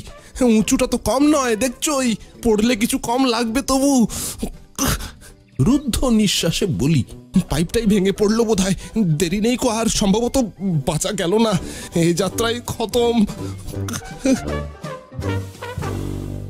পড়ছেন কোথায়? দিব্যি আটকে রয়েছেন তো। হ্যাঁ এতক্ষণে। আ- আ- আটকে রয়েছি? আমার নিঃশ্বাস পড়ে। তাই নাকি? তাহলে পাইপ ভেঙে যায়নি এখনও? ও, না না পাইপটা ভাঙো ভাঙো হয়েছিল জানো। মর্মর ধ্বনি শুনলাম কি না? কানের ভ্রম ভুল শুনেছেন। দিব্যি লাগানো রয়েছে পাইপ দেওয়ালের সঙ্গে আস্ত। আইভির আশ্বাসে সত্যি ভরসা পাই এবার। মনে মনে ওকে অনেক ধন্যবাদ জানাই ওকে এবং এই পাইপকে দুজনকেই। কিন্তু যাই বলুন মিস আইভি পাইপগুলোয় গলদ আছে। তৈরি করার সময় জল নামানোর দিকে যতটা লক্ষ্য রাখা হয়েছিল মানুষ তুলবার দিকে ততটা নজর দেওয়া হয়নি। এই পাইপটার কথাই ধরুন না কেন? জল নামানোর পক্ষে যথেষ্টই এমনকি একে ওস্তাদও বলা যায়। কিন্তু মানুষ তুলতে একেবারেই কোনো কাজের না। কতটাই বার? হাত তিনেক তো মোটে আর একটু পা চালিয়ে গেলেই ব্যাস। পা? পা চালিয়ে? পা কোথায় দেখতে পেলেন মিস আইভি? পা তো কবেই ইস্তফা দিয়েছে। পাইপ পথে পা অপরাগ। তবে কি আমার সামনের দুটো পাকেই মানে যাকে হাত বলেই ভ্রম করার কথা মিস আইভি এভাবে কটাক্ষ করছেন? হাতের পদচ্যুতিতে প্রাণে লাগে কিন্তু লাগলেই বা কি করব? হাতও আমার চলৎশক্তি রহিত। না আপনি মাটি করলেন গাড়ি আর পেতে দিলেন না দেখছি। আবার শ্রীমতী আইভির ভয়ার্তনাদ। আমার ভয় হয়। উনি ওখানে পড়ে থাকলেন। আমি উপরে থাকলাম। আর ওধারে ওর মালপত্র চাকরের সঙ্গেই কিনা কে জানে চেঞ্জে চলে গেল বেবাক। আবার আমাকে সামনের পায়ে জোর দিতে হয়। পেছনের হাত দুটোকে দেওয়ালের খাঁজে লাগিয়ে পুনরুন্নতি লাভের প্রয়াস পাই। অবশেষে পাইপ ফুরোয়। নিঃশেষ হয় এক জায়গায় এসে। আমিও নিঃশ্বাস ফেলে জানলাটাকে ধরে ফেলি। কার্নিসের ওপর বসি পা ঝুলিয়ে। পা এবং হাতকে যথাস্থানে উপভোগ করি আবার। এতক্ষণ বাদে যদিও খুব সংক্ষেপের মধ্যে তবুও বসে বেশ আরাম পাই। হ্যাঁ হ্যাঁ এই তো এইবার জানলাটা খুলে ফেলুন ঝট করে। আইভি আবার উত্তাল হয়। ঝরকার ভেতর দিয়ে হাত গলিয়ে দিন।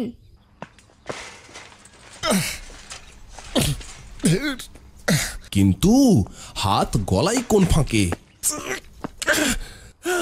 যতই স্বাধীন না কেন একটা ঝরকাও হাঁ করে না। হাঁ করলে তবে তো হাঁকড়াবো। ভেতর থেকে কে যেন ওদের চেপে রয়েছে। লোহার পাত মেরেই আটকানো কিনা কে জানে? খুলছে না যে। করুণ স্বরে বিজ্ঞাপন দি খুলছে না? কি মুশকিল! ফ্যাসাদ বাঁধালেন দেখছি। এই আইভির আইটাই ফুরোতে চায় না। আচ্ছা লোক তো আপনি? আবার আমি প্রাণপণে লাগি। ঝরকার সঙ্গে ঝটাপটি বাঁধিয়ে দিই। কিন্তু কাকস্য পরিবেদনা, তাছাড়া কার্নিসের কিনারায় বসে ওইভাবে কায়ক্লেশে থেকে ঝরকার আর কি কিনারা করতে পারব? ওইটুকু জায়গার মধ্যে কতখানি গায়ের জোর ফলানো যায়? বসে থাকাই দায় বলতে গেলে। হুম, এসব ঝরকা খুলবার নয়। ভারী অবাধ্য এরা। এই বলে জবাব দিই আইভিকে আর ঝরকাদের। তাহলে শীত কাঠি দিয়ে খোলে কি করে? তাহলে? আইভির সাদা সিধা জিজ্ঞাসা। এ হেন ধারালো প্রশ্নে আমি কিন্তু কিংকর্তব্য বিমূঢ় হয়ে পড়ি। তাই তো শীতকাঠি দিয়ে খোলে কি করে? চোরেরা কি আমাদের চেয়েও চোখা আর চালাক? মানে ভদ্রলোকদের থেকেও বেশি ওস্তাদ এ বিষয়ে। কিন্তু হঠাৎ আমার রাগ হয়ে যায়। নিজেকে আর সংবরণ করতে পারি না। বলে উঠি "কি- করে কি করে শীতকাঠি দিয়ে খোলে? আমি জানব কি করে? রীতিমতোই রাগ হতে থাকে। সামলানো একটু শক্তই হয় আমার পক্ষে। হঠাৎ আমার মনে সংশয়ের ধাক্কা লাগে। খটকা জাগে কি রকম? ওর এই প্রশ্নটা, এই শীতকাঠির প্রশ্নটা একটু কেমন কেমন না? আমাকেই ঘুরিয়ে একটু নাক দেখানোর মতো নয় কি? ওর এই অমূলক প্রশ্নে, এই অন্যায় সন্দেহে আমার মেজাজ খিচড়ে যায়। আমি চেঁচিয়ে উঠি। তাছাড়া তাছাড়া শীতকাঠির সঙ্গে আমার কি সম্পর্ক? আমি কি আমি কি? আমি যে কি, আমি তার ভাষায় কুলিয়ে উঠতে পারি না। একটা অবান্তর ব্যাকুলতা আমার বুকের মধ্যে হুটোপুটি লাগিয়ে দেয়। কিন্তু ওর সন্দেহ ক্রমশ আমার মধ্যে সঞ্চারিত হয়। আমার অন্তরেও ছায়াপাত করে। সামান্য ছায়া ঘন হয়ে ঘনীভূত হয়ে ওঠে ক্রমে ক্রমে। আমিও নিজের সম্বন্ধে সন্দেহ পোষণ করতে শুরু করি। বেশ একটু কাঁচুমাচু হয়েই বলি তাছাড়া শীতকাঠিটা সঙ্গে করে আনা হয়নি তো? অনুতপ্ত কণ্ঠেই প্রকাশ করি জানো বাসাতেই পড়ে রয়েছে। ভুলে ফেলে এসেছি। তাহলে আর কি করবেন? ছুরি দিয়ে ঝরকাটা কাটুন তবে। হ্যাঁ ছুরি? আইভি নতুন ব্যবস্থাপত্র বার করে। পকেট হাতড়ে দেখি অবশ্যই না হাতড়ালেও ক্ষতি ছিল না কেননা ছুরি টুরির ধার বড় ধারি নে। দাড়ি কামানো প্রাক্তন ব্লেডেই পেন্সিল কেটেছি চিরদিন। তবু যাবতীয় সন্দেহ ভঞ্জন করে ফেলাই ভালো। না ছুরিও কাছে নেই কো। আরে উঠবার আগে তো বলতে হয়। আমার কাছে ছিল ছুরি। এখন আবার ছুরি নেবার জন্য আপনাকে নেমে আসতে হবে। আর একবার হ্যাঁ? আরেকবার। ব্রহ্মা, বিষ্ণু, মহেশ্বর, মা দুর্গা, মা কালী খোদাতাল্লা এবং মেরি মাতা। প্রভৃতি আমার প্রিয়পাত্র সব দেবতার নাম স্মরণ করে নি। তারপরে হাত পা ছেড়ে দিয়ে পাইপ নেমে আসি শটান। উঠতে যতটা সময় লেগেছিল, তার চেয়ে ঢের কম সময় লাগে নামতে।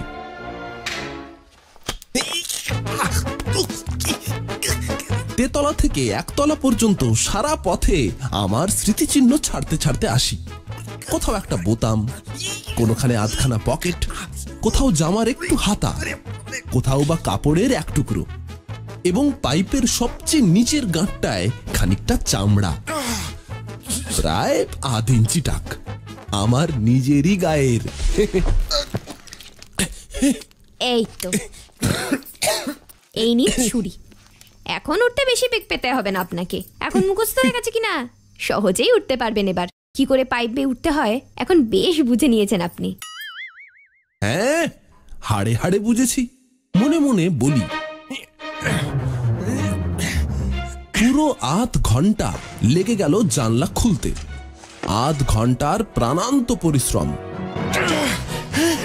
যাক, খুলতে পেরেছি। খুলতে পেরেছি শেষটায়। নিচে জনৈকা ভদ্রমহিলা না থাকলে টার্জেনের মতন পেল্লায় একটা হাঁক ছাড়তাম। বিরাট এক ডাক ছেড়ে দিক বিদিকে নিজের বিজয় ঘোষণা করে দিতাম। নিজের জয় ডঙ্কা গৃহপ্রবেশের চূড়ান্ত করেছি। পাল্লাগুলো ছাড়িয়ে জানলার মধ্যে সবেমাত্র মাথা গলিয়েছি। কপালের ঘাম মুছেছি কি মুছিনি, শ্রীমতী আইভি বললে ভেতরে আসতে পারছেন না? টপকে চলে আসুন। হ্যাঁ? আওয়াজটা এত কাছাকাছি যে প্রথমে আমার মনে হলো শ্রীমতী আইভিও যেন ড্রেন পাইপ ধরে আমার পেছনে পেছনে ধাওয়া করে প্রায় আমার আশেপাশেই এসে দাঁড়িয়েছেন। তার পর মুহূর্তেই তাকে দেখতে পেলাম ঘরের মধ্যেখানে। হ্যাঁ? এ- কি? আমি চমকে যাই। দম আটকে আসে আমার। ঘরের মধ্যে ঢুকলেন কি করে আপনি? ও, চাবি খুঁজে পেয়েছেন নাকি? চাবি তো হারায়নি? আইভি বলে বেশ মর্যাদার সঙ্গেই বলে। চাবি হারালো কখন? তার তার মানে? তাহলে এত কাণ্ড কারখানা এত হাঙ্গামা এসব করা কেন? আমি চলে যাচ্ছি কিনা? আজ দুপুরের গাড়িতেই চলে যাচ্ছি। শিলং যাচ্ছি চেঞ্জে। এই আসলে বাড়ির মধ্যে সহজে সেধুনো যায় কিনা, কেউ ঢুকতে পারে কিনা, শীত কেটে আসা যায় কিনা সিধে, এই সেইটাই জানার দরকার ছিল আমার। সদরি তো তালা কারোর সাধ্যি নয় খোলে, জানালাও সবই নিরাপদ। কেবল আমার ঘরের এইটাতেই গড়ার দেওয়া নেই কো আমার এই জানলাটা নিয়েই ভাবনা ছিল ভীষণ। কিন্তু যাক গড়াদ না থাকলেও খড়খড়ি ফাঁক করে ছিটকিনি খুলে, জানালা গলে সেধুনো, যত সোজা বলে ভাবা গিয়েছিল, আসলে দেখা যাচ্ছে কাজটা তত সহজ নয় আদৌ। আপনার মতন এক্সপার্ট লোককেও যখন হিমশিম খাইয়ে দিয়েছে, আর আপনি ছাড়া না, শীত কাটার কথা বলছি না তবু আপনি ছাড়া এই পাড়ায় আর এমন দুঃসাহসকার আছে বলুন? এই পাড়ায় আপনি তো কেবল গল্প লিখেন। এবার আমি অনেক নিশ্চিন্ত মনে চেঞ্জে যেতে পারব। খুব ধন্যবাদ আপনাকে। আপনি যে আমার জন্য এতখানি ত্যাগ। শ্রীমতী আইভি আরও যেন কি কি বললেন, তার একটা কথাও কানে এলো না। ততক্ষণে আমি নিজের আরও ত্যাগ স্বীকার করেছি। মাথা ঘুরে তিন পাক বেয়ে কি করে যে নেমে এসেছি মাটিতে, না, নিজেই আমি জানি নে। ইয়ে মানে আপনাকে যে কি বলে ধন্যবাদ জানাব? কি হলো? ইচ্ছা।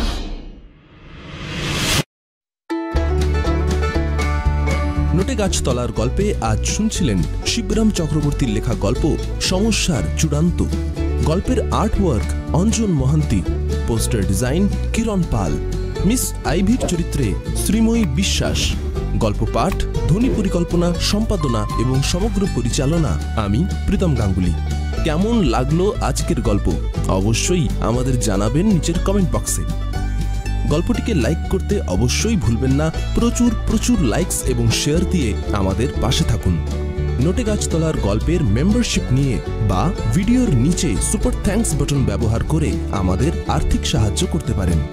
বাংলা সাহিত্যের নানান নতুন মজার গল্প শুনতে সাবস্ক্রাইব করুন নোটে গাছতলার গল্প। খুব শিগগির খুব শিগগির ফিরে আসব আরও মজার গল্প নিয়ে। শ্রোতা বন্ধুদের জানাই অসংখ্য অসংখ্য ধন্যবাদ আমাদের সঙ্গে সময় কাটানোর জন্য। আজকের মতো এখানেই বিদায়। খুব ভালো থাকবেন, হাসতে থাকবেন, শুনতে থাকুন নোটে গাছতলার গল্প। মজার একমাত্র ঠিকানা। নমস্কার।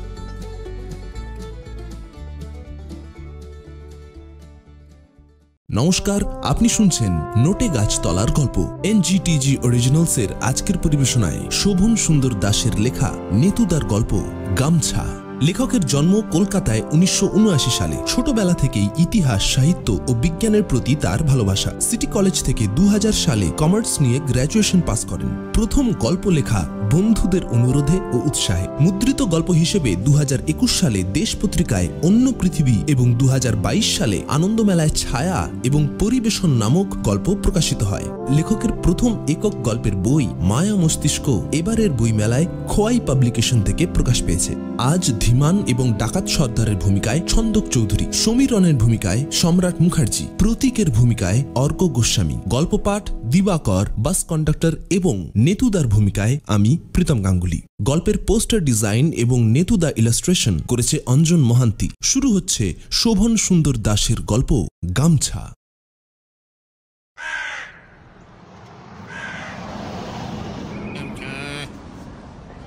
গামছা চাই ভালো শান্তিবিটি গামছা। এই এই এই এই গামছা। হ্যাঁ। আরে কি এখনও গামছা খুঁজে বেড়াচ্ছিস? টাওয়েল ব্যবহার করতে পারিস না? বিদ্রুপের সুরে মন্তব্যটা করল সমীরণ। যাকে উদ্দেশ্য করে বলল সেই ধীমান অবশ্য এক ফুঁতে সেটা উড়িয়ে দিয়ে বলল গামছা অনেক বেটার আর ভালো জল টানে চান করে উঠে একবার তোর ওই বিলিতি টাওয়েলের বদলে গামছা দিয়ে গা মুছে দেখবি। আরাম কাকে বলে?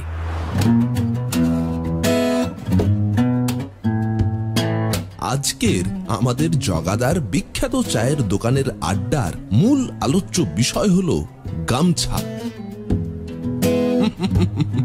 অবশ্য তার সূত্রপাত হয়েছিল এক গামছাওয়ালার সুবাদে। দোকানের পাশ দিয়ে যাবার সময় তার ওই গামছা।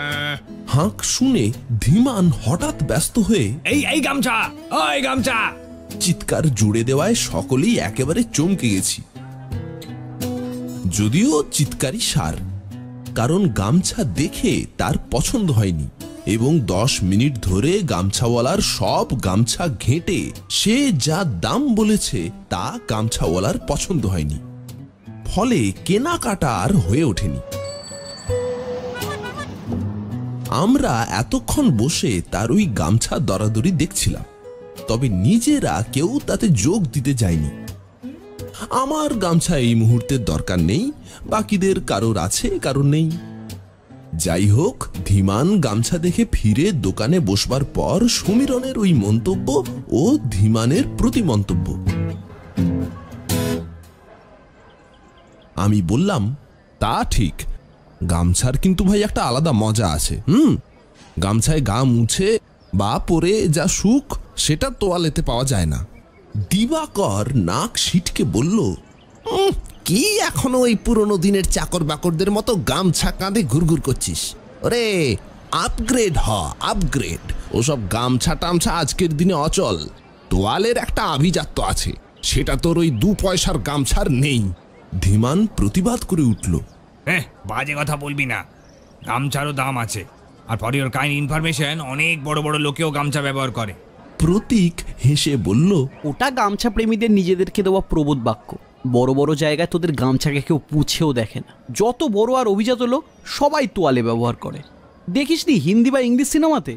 সেখানে তো সবাই তোয়ালে জড়িয়ে ঘুরছে। কটা হিরো বা হিরোইনকে দেখেছিস গামছা কাঁধে? সে তো সাহেবিয়ানা নকল করার ফল।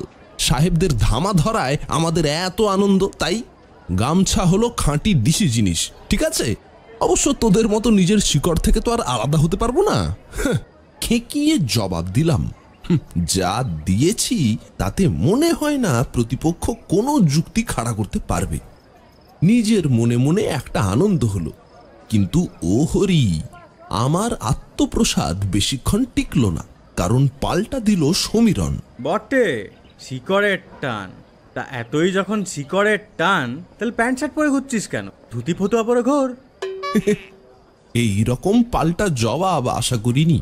আর সত্যি বলতে কি, নিজের যুক্তির জালে নিজেই জড়িয়ে গেছি। এর কি উত্তর দেব ভাবছি আর মাথা চুলকোচ্ছি। কারণ যুক্তিটা একেবারে অকাট্য এবং তা খণ্ডন করার কোনো উপায় মাথায় আসছে না। আমতা আমতা করছি ঠিক সেই মুহূর্তে। কানে এলো সেই চিরপরিচিত গলা। গামছাকে হেলা ফেলা করো না। গামছার মতো উপকারী আর সর্বগুণ সম্পন্ন বস্ত্র পৃথিবীতে নেই। হ্যাঁ? আর আমাদের পায়েকে গামছা প্রেমীদের হয়ে নেতুদা নিজে অস্ত্র ধরেছেন অতএব যুদ্ধে জিত নিশ্চিত। সমীরণ অবশ্য সহজে দমে যাওয়ার পাত্র নয়। সে বলল তাই নাকি? গামছার এত গুণ তা সেই গুণের কিছু নমুনা দিন, শুনি। শুধু কথায় তো আর চিড়ে ভিজবে না। নেতুদা জগাদার বাড়িয়ে দেওয়া চায়ের কাপে একটা লম্বা চুমুক দিয়ে বললেন গুণের নমুনা তো ভুরি ভুরি, দিয়ে শেষ করা যাবে না, বুঝেছ? গামছা বাঙালি জীবনের একটা অপরিহার্য অঙ্গ। তার উপকারিতা কেবল চান করে গা মোছায় সীমাবদ্ধ নয় আমাদের বাংলা প্রবাদগুলোই দেখো না কেন? গলায় গামছা দিয়ে প্রণাম করা। কোমরে গামছা বেঁধে নিয়ে যাওয়া। খিদের সময় খাবার না পেলে পেটে গামছা দিয়ে শুয়ে পড়া। এমনকি বেঁচে থাকতে অনীহা বোধ হলে গলায় গামছা দিয়ে ঝুলে পড়া পর্যন্ত? এর কি শেষ আছে? এত উপকারিতা বা বাক্যে এত ব্যবহার, অন্য কোনো বস্ত্রের নেই। এসব প্রবাদ তো আগেকার দিনের সৃষ্টি। তখন গামছা ছাড়া আর কিছু ছিল না বলে এর এত ব্যবহার। এর সঙ্গে উপকারিতার কি সম্পর্ক? আপনি যেরকম শুরু করলেন যেন গামছা দিয়ে লোকে নিজের প্রাণ বাঁচাতো। হ্যাঁ তাও বাঁচিয়েছে। তাই নাকি? নেতুদার এই কথায় সবাই আগ্রহ ভরে তার দিকে তাকালাম। সত্যি বলতে কি গামছা কীভাবে লোকের প্রাণ বাঁচাতে পারে সেটা আমার মতো অতি বড় গামছা প্রেমীরও মাথায় ঢোকেনি। এই গামছার জন্যই একবার ধনে প্রাণে বেঁচে গেছিলাম। এই একটা কথায় আমরা বুঝে গেলাম যে একটি গল্প আসন্ন। সকলের চোখে আনন্দের ঝিলিক খেলে গেল। আগেও দেখেছি যে নেতুদার গল্প শোনার সময় যুযুধান দুপক্ষই নিজেদের বিবাদ ভুলে সন্ধি করে নেয়। এবারেও তার অন্যথা হলো না। ধীমান আহ্লাদে গলে গিয়ে বলল বলুন না বলুন না নেতুদা। কি কি কি সেই ঘটনা? হ্যাঁ আমার তো দশ হয়েছে না বলুন না। নেতুদা একটু হেসে ধীমানের দিকে একটা প্রসন্ন দৃষ্টি দিয়ে বললেন বলছি বলছি। তারপর একটা সিগারেট ধরিয়ে তাতে লম্বা দুটো টান দিলেন। চোখের দৃষ্টি দোকানের বাইরে সন্ধ্যার অন্ধকারে প্রায় কালো হয়ে যাওয়া আম গাছটার মাথায়।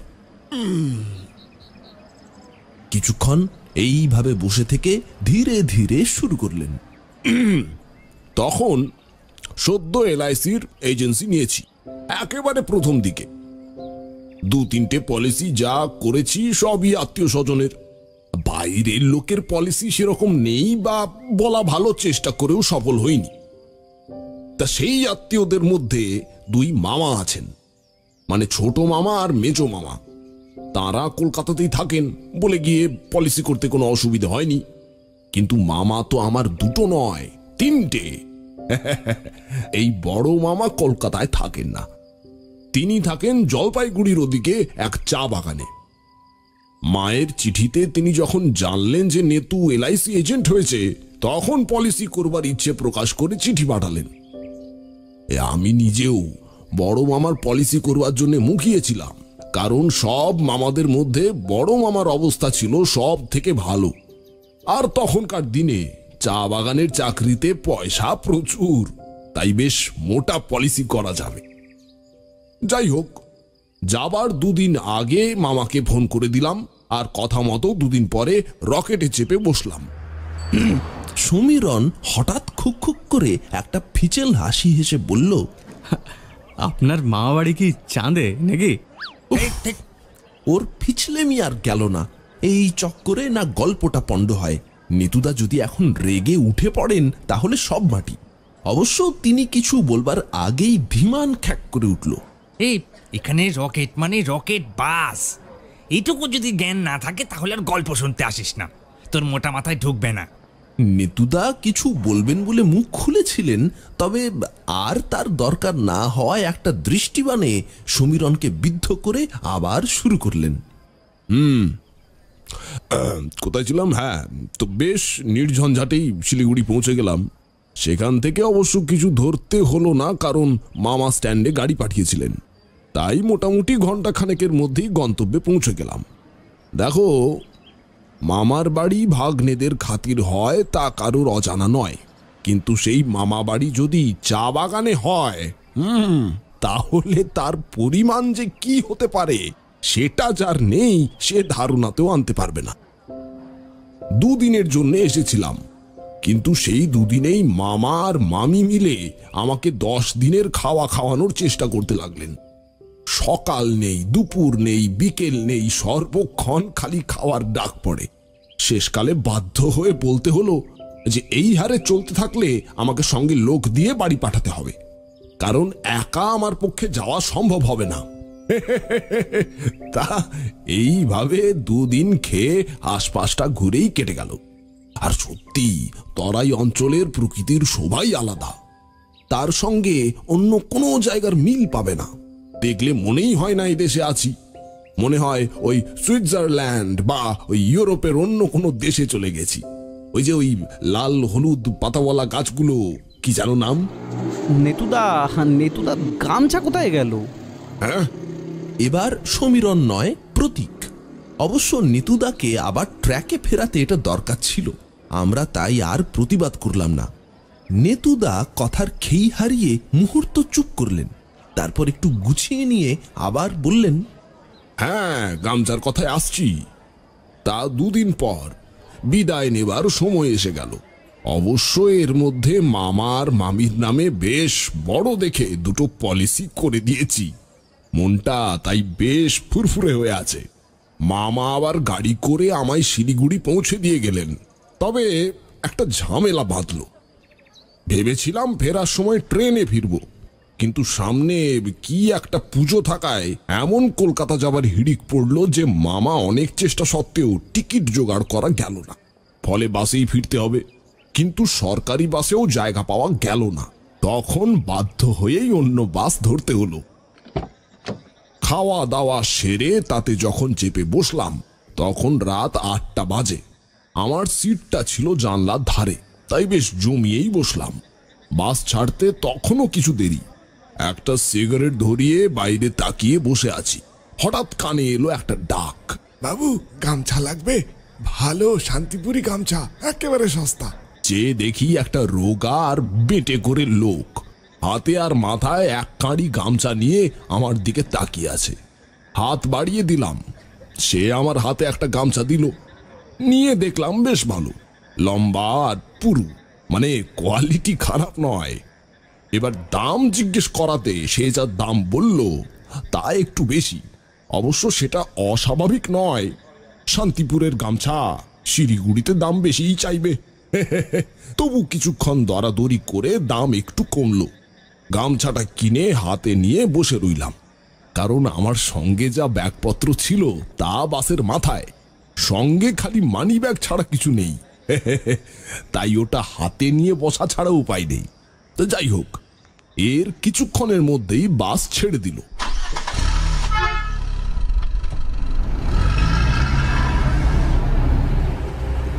বাস ছাড়বার পর ভিতরে নজর দিলাম। সব সিটি ভর্তি, কিছু লোক দাঁড়িয়েও আছেন।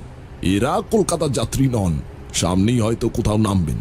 এক নাগাড়ে দাঁড়িয়ে কলকাতা যাওয়াটা একটা বিভীষিকা। অবশ্য সেই অভিজ্ঞতাও আমার হয়েছে। তবে সে ঘটনা অন্য একদিন শোনাবো। যাকে তা চারিদিকে চোখ বুলিয়ে সেটা আটকালো গিয়ে আমার পাশের সিটে। সেখানে এক ভদ্রলোক বসে আছেন। অবশ্য ভদ্রলোক শুনে আমাদের চোখে যে ছবিটা ফুটে ওঠে, তার সঙ্গে এনার বিস্তর অমিল, কারণ চেহারা আর মুখ চোখের মধ্যে কীরকম একটা গুন্ডা মার্কা হাবভাব। ওরকম লম্বা জুলপি বাবরিকার চুল, লাল চোখ আর পেল্লাই গোফের বহর দেখলে মনে হয় কোনো হিন্দি সিনেমার ভিলেন শুটিং শেষের পর মেকআপ না তুলেই পাশে এসে বসেছে। কেন জানি না, বুঝলে? ভালো লাগল না লোকটাকে। সঙ্গে আবার খাবার বহর। বাস ছাড়ার পর থেকে সমানে মুখ চলেছে। এই বাদাম, এই বিস্কুট হ্যাঁ এই পেঁড়া তো এই ছানা বড়া লোকটা যেন বাসে যেতে নয়, খেতে উঠেছে। সর্বক্ষণ কানের কাছে মুখ চলার শব্দ আর কার ভালো লাগে। তার উপর মাঝে মাঝেই খালি জানলা দিয়ে মুখ বাড়িয়ে বাইরেটা জরিপ করার চেষ্টা। সেখানে ওই ঘুটঘুটে অন্ধকারে অত দেখার কি আছে বুঝে পেলাম না। বিরক্ত হয়ে এক সময় জিজ্ঞেস করলাম, কি দেখছেন বলুন তো? লোকটা আমার বিরক্তিটাকে একটুও পাত্তা না দিয়ে স্বাভাবিক সুরেই বলল কোথায় এলো দেখছিলাম। তারপর ভুরুটা একটু কুঁচকে আমার দিকে তাকিয়ে বলল কেন? আপনার কি অসুবিধে হচ্ছে নাকি? এই জিজ্ঞেস করার ধরনটা অনেকটা পায়ে পা দেওয়ার মতো। মানে আমি একটু রাগ দেখালেই এক্ষুনি ঝগড়া শুরু হবে। আমার অবশ্য ঝগড়া করার মুড ছিল না। তাছাড়া ঝগড়া অবধি ঠিক আছে। কিন্তু সেটা যদি শেষকালে হাতাহাতিতে গড়ায় তাহলে এই অসুরের সঙ্গে পেরে ওঠা আমার পক্ষে সম্ভব নয়। বাধ্য হয়েই একটু তেঁতো হাসি হেসে বললাম না অসুবিধে আর কি? আসলে পেটটা ভর্তি তো তাই আচমকা আপনার ওই কুনুইয়ের চাপটা পেটে পড়ছে বলে? ও তাই তো সরি বলে লোকটা অন্যদিকে মুখ ফিরিয়ে নিল। আমিও আর কিছু বললাম না। বাইরে অন্ধকার আকাশের দিকে তাকিয়ে রইলাম। হাওয়া খেতে খেতে কখন যে চোখটা বুঝে এলো টেরই পেলাম না। কতক্ষণ হয়েছিল জানি না। একটা গোলমালের শব্দে ঘুমটা ভেঙে গেল। বাস রোকো! ও ড্রাইভার বাস রোকো! চোখ মেলে দেখি পাশের ভদ্রলোকটি চিৎকার জুড়েছেন। বাস রোকো! বাস রোকো! বোঝো। হঠাৎ কি হলো বুঝতে পারলাম না। কারণ বাইরে খালি জঙ্গল ছাড়া কিছু নেই। এখানে নামবেন নাকি ভদ্রলোক? কন্ডাক্টর বলল এখানে বাস থামানো যাবে না। থামাতেই হবে। থামাতেই হবে বাস রোকো। আবার চিৎকার। লোকটা বাস থামানোর জন্য এক মরিয়া জিদ ধরেছে। বাস রোকো। কি ব্যাপার জিজ্ঞেস করতে গিয়ে লোকটার হাব ভাবটা ভালো করে লক্ষ্য করে বিষয়টা পরিষ্কার হলো। অতি ভোজনের ফল। হ্যাঁ, লোকটা একটা হাত দিয়ে নিজের পেটটা আঁকড়ে ধরে আছে আর অন্য হাত দিয়ে সিটের হাতলটাকে ভাঙার আপ্রাণ চেষ্টা করছে। আরে থামাও আমি আর পারছি না। আবার চিৎকার করে উঠল। তার অবস্থা দেখে বাস শুদ্ধ লোক চিৎকার জুড়ে দিল। কারণটা পরিষ্কার। উনি যদি সত্যি আর না পারেন তাহলে আর বাকি রাস্তা এই বাসে বসে যাওয়া যাবে না। কন্ডাক্টর! আচ্ছা আচ্ছা জঙ্গলটা পেরিয়ে দাঁড়াচ্ছি। কিন্তু তার কথা শেষ হবার আগেই লোকটা এমন কোঁকিয়ে উঠল যে বাসটা ব্রেক মারতে বাধ্য হলো। ব্রেক মারার সঙ্গে সঙ্গে লোকটা তিড়িং করে সিট থেকে এক লাফ দিয়ে গেট থেকে নেমে বাইরে জঙ্গলে অদৃশ্য হয়ে গেল। দেখি দেখি দেখি দেখি দেখি।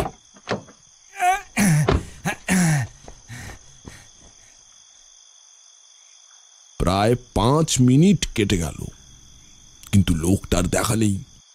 এদিকে এক নাগাড়ে বাসে বসে পায়ে ঝিঝি ধরে গেছে। তাই ভাবলাম হাত পাটা একটু চালিয়ে আসি। কন্ডাক্টর অবশ্য নামতে দিচ্ছিল না, কারণ জিজ্ঞেস করায় বলল, জায়গাটা ভালো নয়। আমি তাকে আশ্বাস দিলাম যে আমি দূরে কোথাও যাব না। বাসের পিছনেই থাকব আর ওই ভদ্রলোক ফিরলেই উঠে পড়ব। অনিচ্ছা সত্ত্বেও সে রাজি হলো। আমি নেমে বাসের পিছন দিকে গিয়ে একটা সিগারেট ধরিয়ে সবে তাতে দুটান দিয়েছি। তখনই ঘটল ঘটনাটা। নেতুদা থামলেন তার সেই বরাবরের অভ্যাস। মূল ঘটনার আগে থেমে গিয়ে রহস্য সৃষ্টি করা। আমরা যদিও এটার সাথে পরিচিত আর প্রতিবারই তার প্রতিবাদ করি। এবারেও বাদ গেলাম না। সবাই মিলে তারপর তারপর তারপর কি হলো? কি হলো? বলে চিৎকার জুড়ে দিলাম। কিন্তু প্রতিবার যা ফল হয় এবারেও তার অন্যথা হলো না। তিনি এক গাল হেসে, আরে দাঁড়াও, গলাটা ভিজিয়ে নি। বলে জগাদার বাড়িয়ে দেওয়া চায়ের কাপে একটা লম্বা চুমুক দিলেন। আমরা চুপচাপ বসে তার চা খাওয়া হজম করতে লাগলাম। চা শেষ হলে একটা সিগারেট ধরিয়ে এক গাল ধোঁয়া ছেড়ে নিতুদা আবার শুরু করলেন। তা আমি পাটা ছড়ানোর জন্য বাসের পিছনে পাইচারি করছিলাম। হঠাৎ।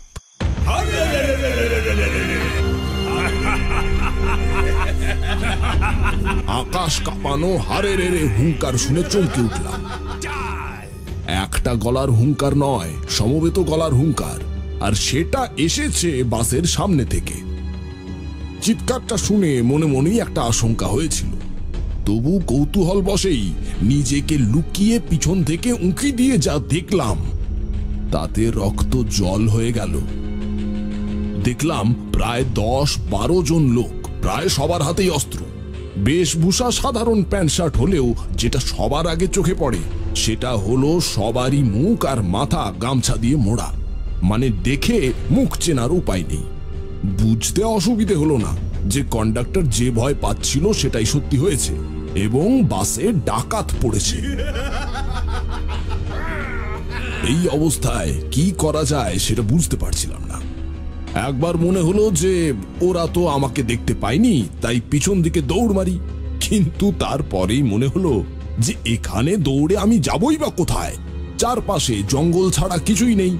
ওদিকে সময় কম, কারণ লোকগুলো আস্তে আস্তে বাসটার দিকে এগিয়ে সেটাকে ঘিরতে শুরু করেছে। ঠিক সেই সময় নজরে পড়ল হাতের গামছাটার দিকে। আর সঙ্গে সঙ্গে মাথায় একটা বুদ্ধি খেলে গেল। যদিও তাতে ঝুঁকি প্রচুর, আর ধরা পড়লে প্রাণ নিয়ে টানাটানি হওয়ার সম্ভাবনা। তাও শেষ চেষ্টা করতে দোষ কি? এই ভেবে জয় মা বলে নিজের হাতের গামছাটা দিয়ে ভালো করে নিজের মুখটা আর মাথাটা মুড়ি দিয়ে নিলাম এবার লোকগুলো বাসের পিছন অব্দি আসার আগেই আমিও তাদের সঙ্গে চেঁচিয়ে উঠলাম। সঙ্গে বাসের গায়ে থাবড়া দিতে লাগলাম। ডাকাতগুলো দেখলাম আমার সাথেই বাসের গায়ে থাবড়া মারছে আর মুখ দিয়ে চিৎকার করছে। দুই ডাকাতকে দুপাশে নিয়ে আমিও তাই করতে লাগলাম। বুঝলাম ওই আধো অন্ধকারে বাসের ব্যাকলাইটের আলোয় গামছা মুখে আমার সঙ্গে দলের লোকের তফাত ওরা করতে পারেনি। এরপর যা হয় তাই হলো। চারজন বাসের ভিতরে ঢুকলো লুট করতে। আর চারজন উঠল মাথায়। আমি আর জনা দুয়েক ডাকাত নিচেই রইলাম। ওপরের ডাকাতরা মালগুলো ছুঁড়ে নিচে ফেলতে লাগল আর বাকিরা সেগুলো হাতড়ে দামি জিনিস সব বার করতে লাগল। ভাগ্যাক্রমে আমার ব্যাগটা খোঁজার দায়িত্ব আমার হাতেই পড়ল। আমিও তাড়াতাড়ি সেটা খুলে সবকিছু দেখে নিয়ে খালি আমার শেভিং ক্রিম আর ব্রাশটা পকেটে ঢুকিয়ে সেটা আলাদা করে রাস্তার পাশে রেখে দিলাম।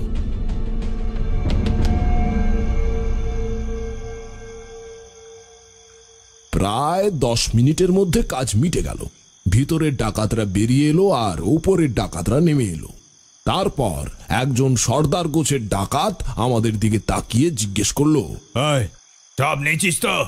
আমরা সমস্বরে চিৎকার করে উঠলাম। সর্দার তখন চল তবে। জয় মা কালে। বলে এক বিশাল হাঁক লাগিয়ে পাশের জঙ্গলের দিকে দৌড় লাগালো।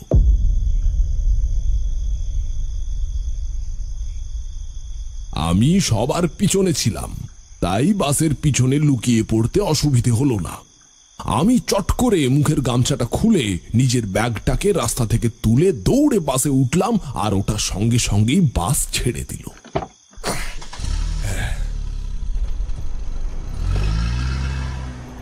বাসের ভিতরের পরিস্থিতি তখন খুবই মর্মান্তিক। সকলের মুখ উস্কো খুস্কো। মেয়েরা ডুকরে ডুকরে কেঁদে উঠেছে। গয়নাগাটি খোয়া যাবার কষ্টটা সেই কান্নায় মিশে তার তেজ আরও দ্বিগুণ বাড়িয়ে তুলেছে। আমাকে দেখে কন্ডাক্টর অবাক হয়ে তাকিয়ে ভয় আর বিস্ময় মেশানো গলায় জিজ্ঞেস করল, ও মশাই, ডাকাত পড়েছিল তো?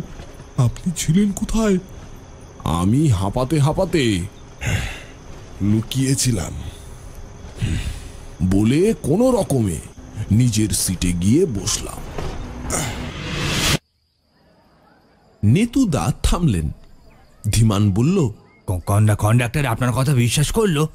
না করার তো কোনো কারণ নেই। ডাকাত দেখে আমার লুকিয়ে পড়াটাই স্বাভাবিক নয় কি?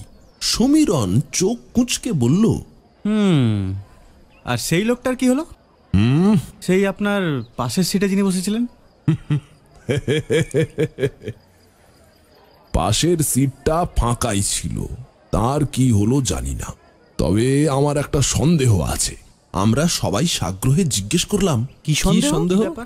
সন্দেহ সর্দারের গলাটা কারণ সেটা আমার বেশ চেনা লেগেছিল ওই চেহারা আর ওই গলা। আমি বেশ কয়েক ঘণ্টা ধরে আমার পাশেই হজম করছিলাম। সবাই আশ্চর্য হয়ে গেলাম। আমি জিজ্ঞেস করলাম তার মানে ওই সর্দারই আপনার পাশে বসেছিল? আর বাস থামাতে বাধ্য করেছিল। নেতুদা নিঃশব্দে ঘাড় নাড়লেন। তারপর হঠাৎ হাতের ঘড়ির দিকে তাকিয়ে স্প্রিংয়ের মতো লাফিয়ে উঠলেন। এই দেখো এই রে দেরি হয়ে গেল। বলে সেই চেনা বাণী জগা লিখে নিও। হুম চলি হে। বলে দৌড়ে দোকান থেকে বেরিয়ে গেলেন। সমীরণ হেসে বলল খালি একটা জিনিস মাথায় ঢুকলো না। সবাই ওর দিকে কৌতূহলী দৃষ্টিতে তাকালাম। সে আমাদের সবার দিকে চোখটা একবার বুলিয়ে নিয়ে বলল বাসটা যদি আরও পাঁচ কিলোমিটার পরে গিয়ে থামতো তাহলে কি হতো? হেসে বললাম কেন কি আবার হতো? ডাকাতি হতো না। এই সোজা ব্যাপারটা না বোঝার কি আছে বুঝলাম না। সমীরণ একটা বাঁকা হাসি হেসে বলল সেটুকু তো আমিও জানি। কিন্তু তাহলে কি দলের বাকি ডাকাতরা সর্দারের আশায় সারা রাত জঙ্গলে দাঁড়িয়ে মশার কামড় খেত? না, বাসের পিছনে দৌড়তো। ও।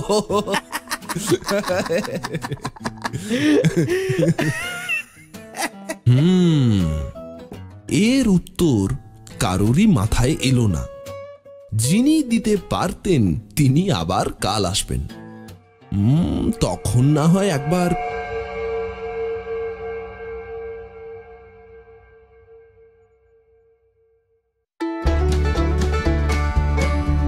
নোটে গাছতলার গল্পে আজ শুনছিলেন শোভন সুন্দর দাসের লেখা নেতুদার গল্প গামছা। কেমন লাগল আজকের গল্পটি অবশ্যই আমাদের জানান নিচের কমেন্ট বক্সে ভিডিওটিতে লাইক দিতে ভুলবেন না এবং শেয়ার করে নিন আপনার বন্ধুদের সঙ্গে। নোটে গাছতলার গল্প মেম্বারশিপ এবং ভিডিওর নিচে সুপার লাইক ব্যবহার করে আমাদের আর্থিক সাহায্য করতে পারেন। আপনার সুবিধের জন্য চ্যানেলে নানান প্লেলিস্ট সাজানো আছে। চ্যানেল ঘুরে অবশ্যই দেখুন। বাংলা সাহিত্যের নানান মজার গল্প শুনতে সাবস্ক্রাইব করুন নোটে গাছতলার গল্প, মজার একমাত্র ঠিকানা। আজকের গল্পটি আমরা নিয়েছি প্রতিলিপিতে প্রকাশিত শোভন সুন্দর দাসের নেতুদা সিরিজ থেকে। তার লেখা বেশ কিছু গল্প যেমন মরণ বাঁশি, ঘূর্ণি, আলেয়া, আলো আধারি বিভিন্ন অডিও স্টোরি চ্যানেলে অডিও স্টোরি রূপে প্রকাশ পেয়েছে। আজকের গল্পের ধ্বনি পরিকল্পনা, সম্পাদনা এবং সমগ্র পরিচালনা আমি, প্রীতম গাঙ্গুলি। আজকের মতো এখানেই বিদায়। খুব ভালো থাকবেন, হাসতে থাকবেন, শুনতে থাকুন নোটে গাছতলার গল্প, মজার একমাত্র ঠিকানা। আজ আসি, নমস্কার।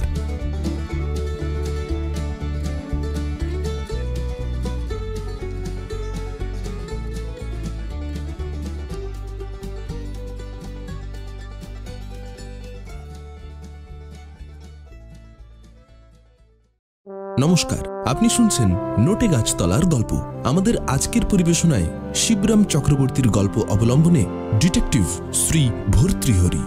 আজ গল্প পাঠে এবং বিভিন্ন চরিত্রে আমি প্রীতম গাঙ্গুলি। শ্রোতা বন্ধুদের কাছে একটাই অনুরোধ, আমাদের গল্প ভালো লাগলে অবশ্যই লাইক বাটনে ক্লিক করুন। সম্প্রতি আমরা আঠাশ হাজার রসিক মানুষের একটা দল হয়েছি। নতুন বন্ধুদের স্বাগতম জানাই। চ্যানেল ঘুরে অবশ্যই দেখুন। প্রচুর মজার গল্প, বেশ কিছু রহস্যময় গল্প, অতুলনীয় কিছু ছোট গল্প পাবেন। নানান প্লেলিস্ট সাজানো আছে আপনার সুবিধের জন্য। আর কথা নয়, শুরু হচ্ছে আজকের গল্প। ডিটেকটিভ শ্রী ভর্তৃহরি।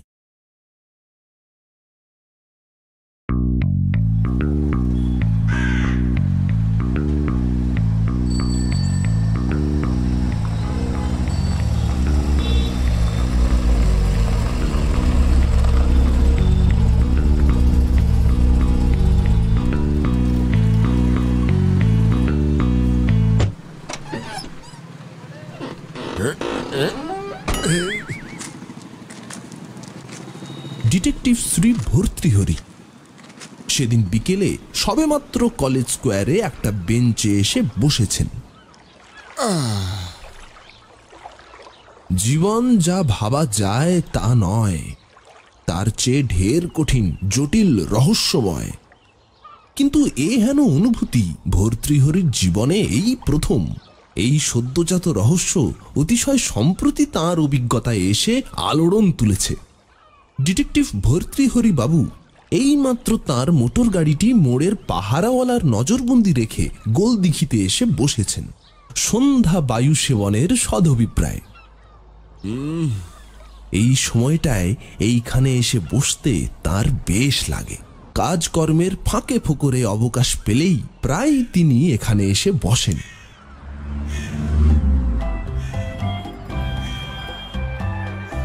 দিঘির পশ্চিম দিকে কলেজ স্ট্রিট দিয়ে tram, bus, omnibus, taxi, motor অবিশ্রাম ছুটোছুটি করে। কত রকমের বিচিত্র যান অবিরাম চলেছে, আর কি জনস্রোত। আর এধারে দিঘির এক কোণে একটা বেঞ্চে অম্লান বদনে বসে শ্রীযুক্ত ভর্তৃহরি। ছুটবার কিছুমাত্র প্রয়োজন বিশ্বের কোনো দায়িত্ব তার ঘাড়ে নেই এখন। আপাতত, অন্তত এই মুহূর্তে তো নেই। কথাটা ভাবতেই কি আরাম? এই সময়টায় ভর্তৃহরি বাবুর ছুটি।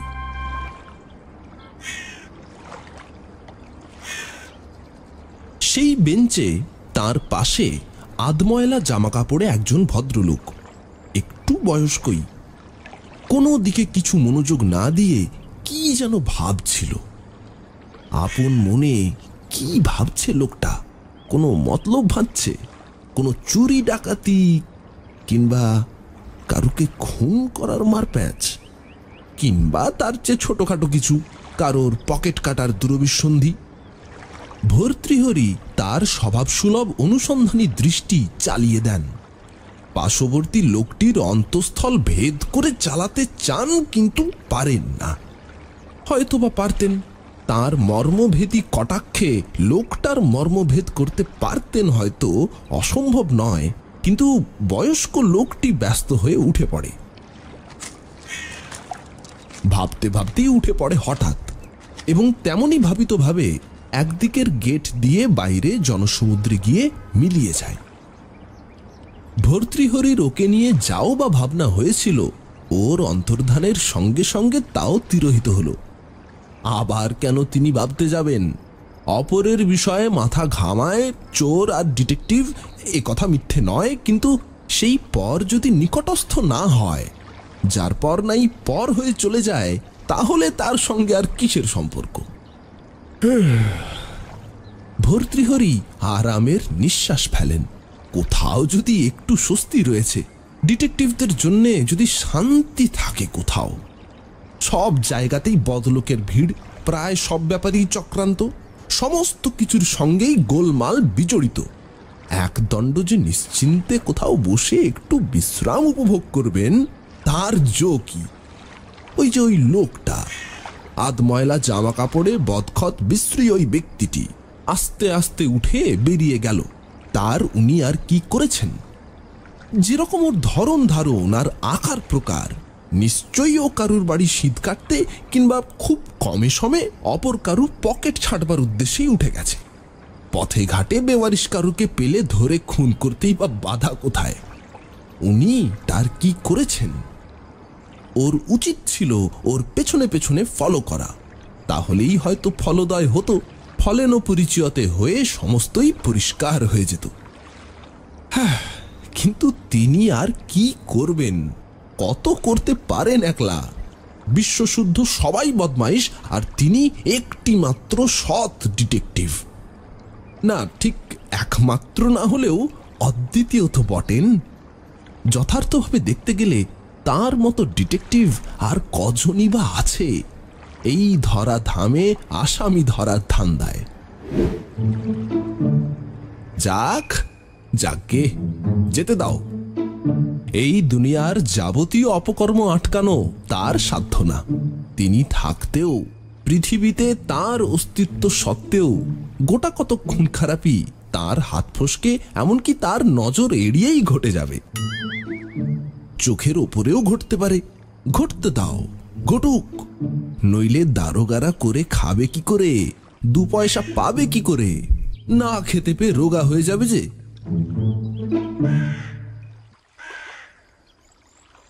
আদবয়সী লোকটি উঠে যেতে না যেতেই ভয়ঙ্কর এক ঝাঁকুনি দিয়ে বেঞ্চি কাঁপিয়ে একজন তরুণ বয়স্ক সেই স্থান অধিকার করল।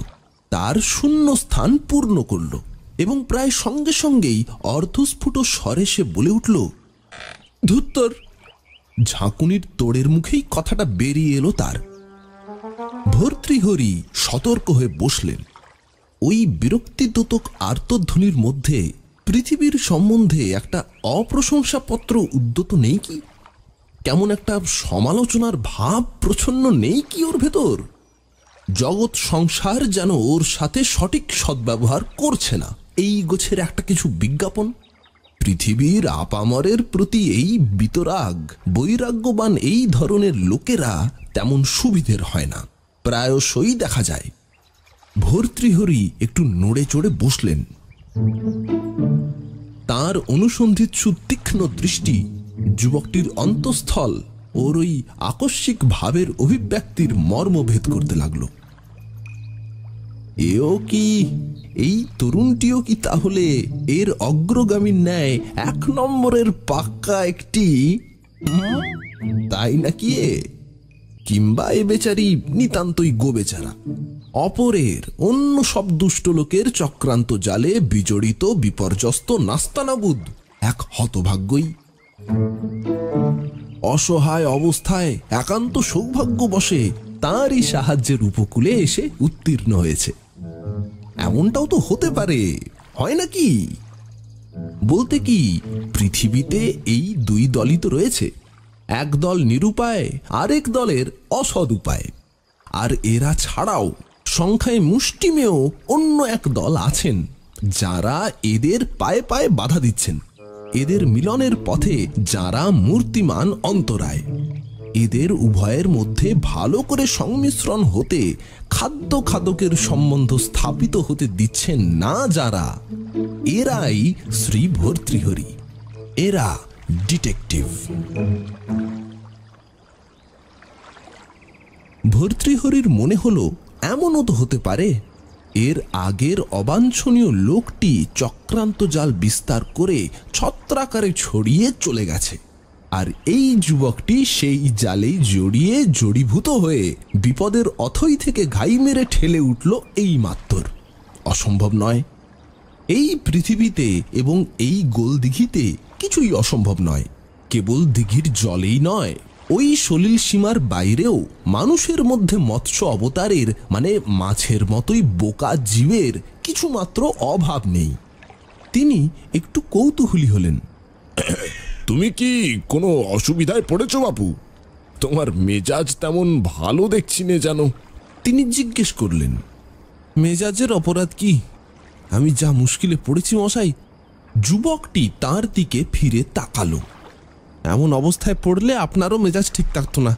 অনেক আগেই বিগড়ে যেত। ওহ বোকামি করে মানুষ এমন বিপদেও পড়ে? বলতে বলতে যুবকটি হঠাৎ চেপে গেল। বটে! ভর্তৃহরি ওকে উৎসাহ দিয়ে উস্কি দিতে চাইলেন। বলো দেখি কি হয়েছে? কি রকম মুশকিলটা? শুনি। বলব কি মশাই? আজ বিকালে এই একটু আগে এসে নেমেছি কলকাতায়। চেনা এক বন্ধুর বাড়িতে উঠবো এই স্থির। বছর দুই আগে একবার যখন এসেছিলাম তাদের বাড়িতে ছিলাম। এখন সেখানে গিয়ে দেখি কোথায় সেই বাড়ি কোথায় কি বন্ধুর পাত্তা নেই। বলো কি হে খুনটুন করে ফেরার নাকি তোমার সেই বন্ধুটি? ভর্তৃহরির বিস্ময় আরও বাড়ে। বাড়ির পলায়ন ভর্তৃহরির কাছে ভালো লাগল না। একটু বাড়াবাড়ি বলেই বোধ হলো যেন বাড়ির পালাবার কি প্রয়োজন ছিল। হুম কিন্তু বাড়িও নেই। বাড়ি পর্যন্ত লোপাটি? না না, বাড়ি ঠিকই আছে, বাড়ি কোথাও যায়নি, যেতে পারে না। যুবকটির মতো অদূরে নাস্তিক তিনি নন। আচ্ছা তুমি তুমি ভালো করে খুঁজে দেখেছ? খুঁজতে কি আর বাকি রেখেছি মশাই? যদ্দূর খুঁজবার তার কসুর করিনি, যুবকটি জানায়। কিন্তু খুঁজে আর কি হবে? সেখানে সিনেমা হাউস খাড়া হচ্ছে, নিজের চোখেই দেখে এলাম। আপনি কি এর পরেও খুঁজতে বলেন? যুবকটি জানতে চায়। হ্যাঁ এরকম প্রায় হয়ে থাকে বটে। ভর্তৃহরি এতক্ষণে আন্দাজ পান। আজ যেখানে ডাইং ক্লিনিং ছিল কাল দেখবে সেখানে চায়ের দোকান। বেমালুম রেস্তোরাঁ বনে গেছে। তার কদিন পরে যাও দেখতে পাবে রাতারাতি রেস্তোরাঁ বদলে হেয়ার কাটিং সেলুন। নাপিত খচখচ করে কাঁচি চালাচ্ছে। চুল ছাড়বার নাম করে রক ঘেসে তোর পকেটের উপরেই। আর কিছু না, এসব জোচ্চুরির ব্যাপার। অসাধু লোকের সংখ্যা বেড়ে গেছে বেজায়। আসল ব্যাংক মনে করে আজ যেখানে তোমার টাকা রাখলে, কাল দেখবে সেটা রিভার ব্যাংক। তোমার যথা সর্বস্বই চলে। তারা দয়া করে লালবাতি জেলে বসে আছেন। যে যা পাচ্ছে, যেখানে পারছে, যাকে পাচ্ছে। অপরের মেরে ধরে নিয়ে সটকে পড়ছে। লোক ঠকানো ব্যবসা আর কি। হুম, কিন্তু আমার বন্ধু বাড়ি সমেত উধাও হয়ে আমাকে যা ঠকিয়েছে মশাই, তার কাছে এসব লাগে না। ট্যাক্সি ড্রাইভার বলল, তার জানা কোথায় একটা হোটেল আছে নাকি? তা তার জানা সেই হোটেলে আমাকে তুলে দিয়ে ভাড়া নিয়ে এসে চলে গেছে। আর আমি করেছি কি, সেই হোটেলের একটা কামরায় আমার ব্যাগ, বেডিং, সুটকেস ইত্যাদি সব রেখে একটা টুথপেস্ট কেনার জন্য বেরিয়েছি। তারপর তারপর আর কি বলব? সেই হোটেল আর খুঁজে পাচ্ছি না এখন। হোটেলের নাম কি? ভর্তৃহরি জিজ্ঞেস করলেন। তার গলার স্বরে কিঞ্চিত ক্ষুণ্ণতা। ট্যাক্সি ড্রাইভার নিরাপদে পৌঁছে দিয়ে গেছে। জিনিসপত্র নিয়ে চম্পট মারেনি জেনে তিনি অনেকটা হতাশ হয়েছেন। এখন হোটেল খুঁজে পাওয়া যাচ্ছে না, এই হোটেল হারা একটি যুবক মাত্র।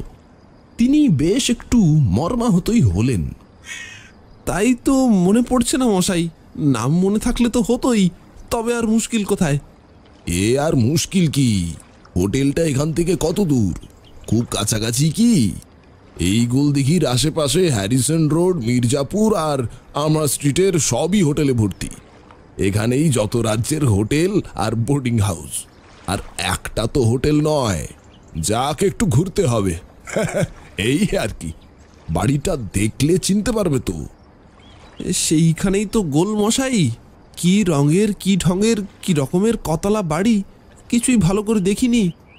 তাছাড়া কাছ থেকে একটা টুথপেস্ট কিনে এক্ষুনি ফিরে আসব। ভালো করে চিনে রাখবার দরকারও মনে করিনি। এখন দেখছ সব চিনে ম্যান কাউকেই চেনা যাচ্ছে না। হুম? ভর্তৃহরি যুবকটির ভগ্ন হৃদয় রসিকতার রস দিয়ে ভর্তি করতে চান। হুম তারপর? তারপর এ দোকান, সে দোকান করতে করতে কখন রাস্তা গুলিয়ে ফেলেছি। তাহলে তো সত্যি গোল পাকিয়েছ হে, দস্তুর মতো গোল। অনুসন্ধানের সূত্র পেয়ে, এমনকি দীর্ঘতর একখানা সূত্র পেয়েও ভর্তৃহরির অনুসন্ধিৎসা জাগে না। গরু খোঁজা আর বাড়ি খোঁজায় কার উৎসাহ হয়? তার উপরে গরুর জন্যে বাড়ি খুঁজতে হলেই তো হয়েছে। ভারী মুশকিল হয়েছে। বাড়িটা তো চিনে রাখিনি কোন রাস্তায় যে তাও জানি না। অথচ আমার জিনিসপত্র সেই হোটেলেই থেকে গেল। টাকা কড়ি যা কিছু যুবকটি হতাশা মাখানোর চোখে তাকায়। এখন কি যে করি? কি আবার করবে? এখন একমাত্র কাজ হচ্ছে সস্থানে প্রস্থান করা। হ্যাঁ? যেখান থেকে এসেছ সেইখানেই পত্রপাঠ ফিরে যাওয়া। নিজের বাড়ি পিটটান দেওয়া ছাড়া আর উপায় কি? এছাড়া তো আর পথ দেখছি নে। অবশ্যই কাছাকাছি থানায় একটা খবর দিয়ে যেতে পারো। তারা যদি তোমার হোটেল আর জিনিসপত্রের পাত্তা পায়, তো তখন তোমার দেশের ঠিকানায় পাঠিয়ে দেবে। বলতে বলতে ভর্তৃহরির মুখ বক্র সন্দেহবাদে ভর্তি হয়ে ওঠে। পুলিশের কার্যকারিতার প্রতি তাদের মানে ডিটেকটিভদের আস্থা যে কত কম, কিদৃশ অগভীর সেই কথাটাই যেন তার বদন মণ্ডলের চারিধার থেকে ভিড় করে বিকশিত হতে থাকে। তা না হয় গেলাম। পুলিশে খবর দিয়েই গেলাম না হয়। চলে গেলাম রাতের ট্রেনে। কিন্তু কিন্তু, কি যেন একটা কথা। বার হবার আগে দাঁতের চৌকাঠে এসে হঠাৎ হোঁচট খায়। কিন্তু বেয়ারিং পোস্টে ফেরত যাওয়া যাবে না তো। তা তো যাবেই না। তার কি করে যাবে? ভর্তৃহরি কথাটা গায়ে মাখেন না। হ্যাঁ হ্যাঁ। না না গেলেও যে হয় না তা নয়। বাড়ি থেকে টিএমওতে টাকা আনিয়ে নেওয়া যায়। বাবা তো দেশের একজন জমিদার টাকার তার অভাব নেই। খবর পেলেই টাকা পাঠিয়ে দেবেন এক্ষুনি। কিন্তু কিন্তু ছেলেটি আবার দ্বিধান্বিত হয়। কিন্তু আবার কি? এক্ষুনি তাহলে খবর পাঠিয়ে দাও। ভর্তৃহরির সঙ্গে সঙ্গে ব্যবস্থা। তার করে পাঠাতেই বা বাধা কিসের? কিন্তু তার আগে একটা ঠিকানাই তো ওঠা চাই। মানে টাকা পৌঁছবে কোথায়? দেখে শুনে একটা হোটেলে ওঠা দরকার বোধ হয় আমার ঠিক ঠিকানা দিতে হবে না? আহা, হোটেলের আবার অভাব কি? প্রশ্নপত্র পাওয়ার সাথেই ভর্তৃহরির উত্তর পেশ।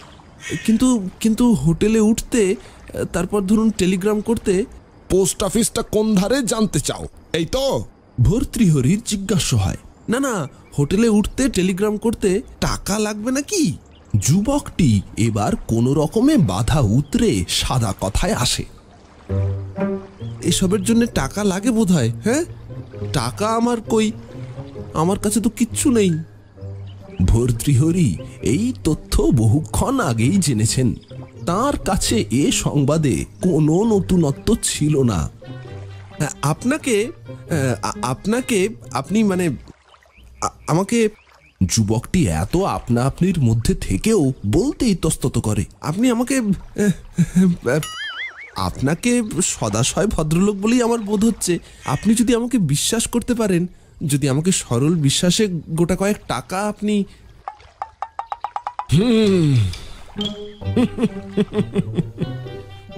হ্যাঁ নিশ্চয়ই তোমাকে আমি দিতাম। যদি তোমার এই কাহিনীতে আমি আস্থা স্থাপন করতে পারতাম। হ্যাঁ?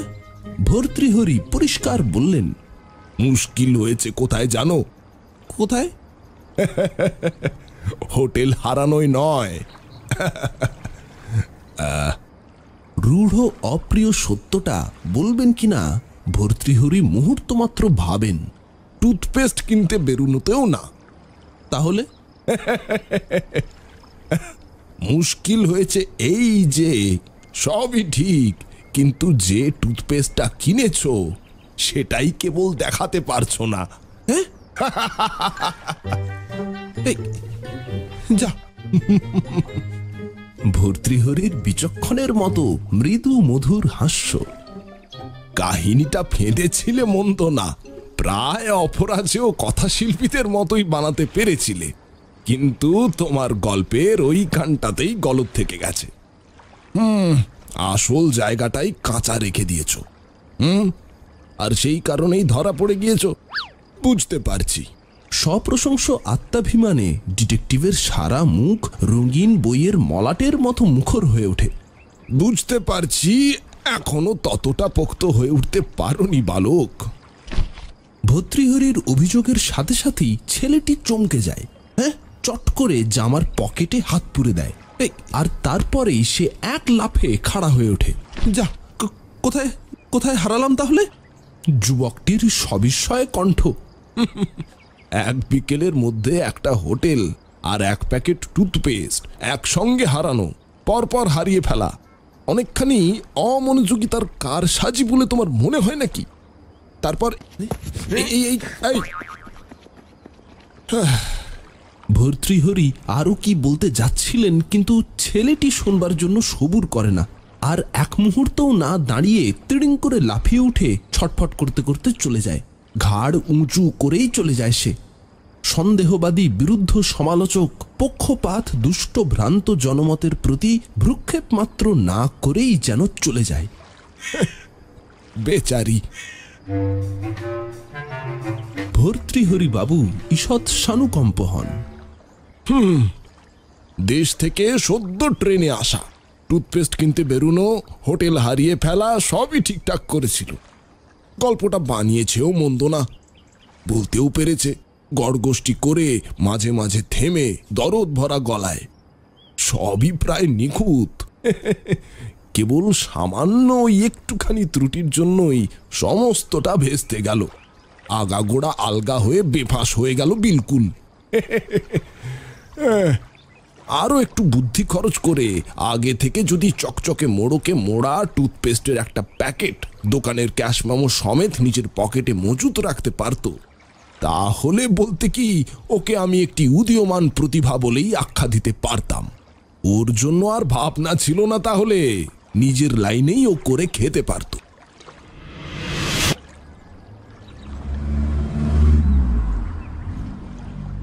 আস্তে আস্তে তিনি বেঞ্চি ছেড়ে ওঠেন।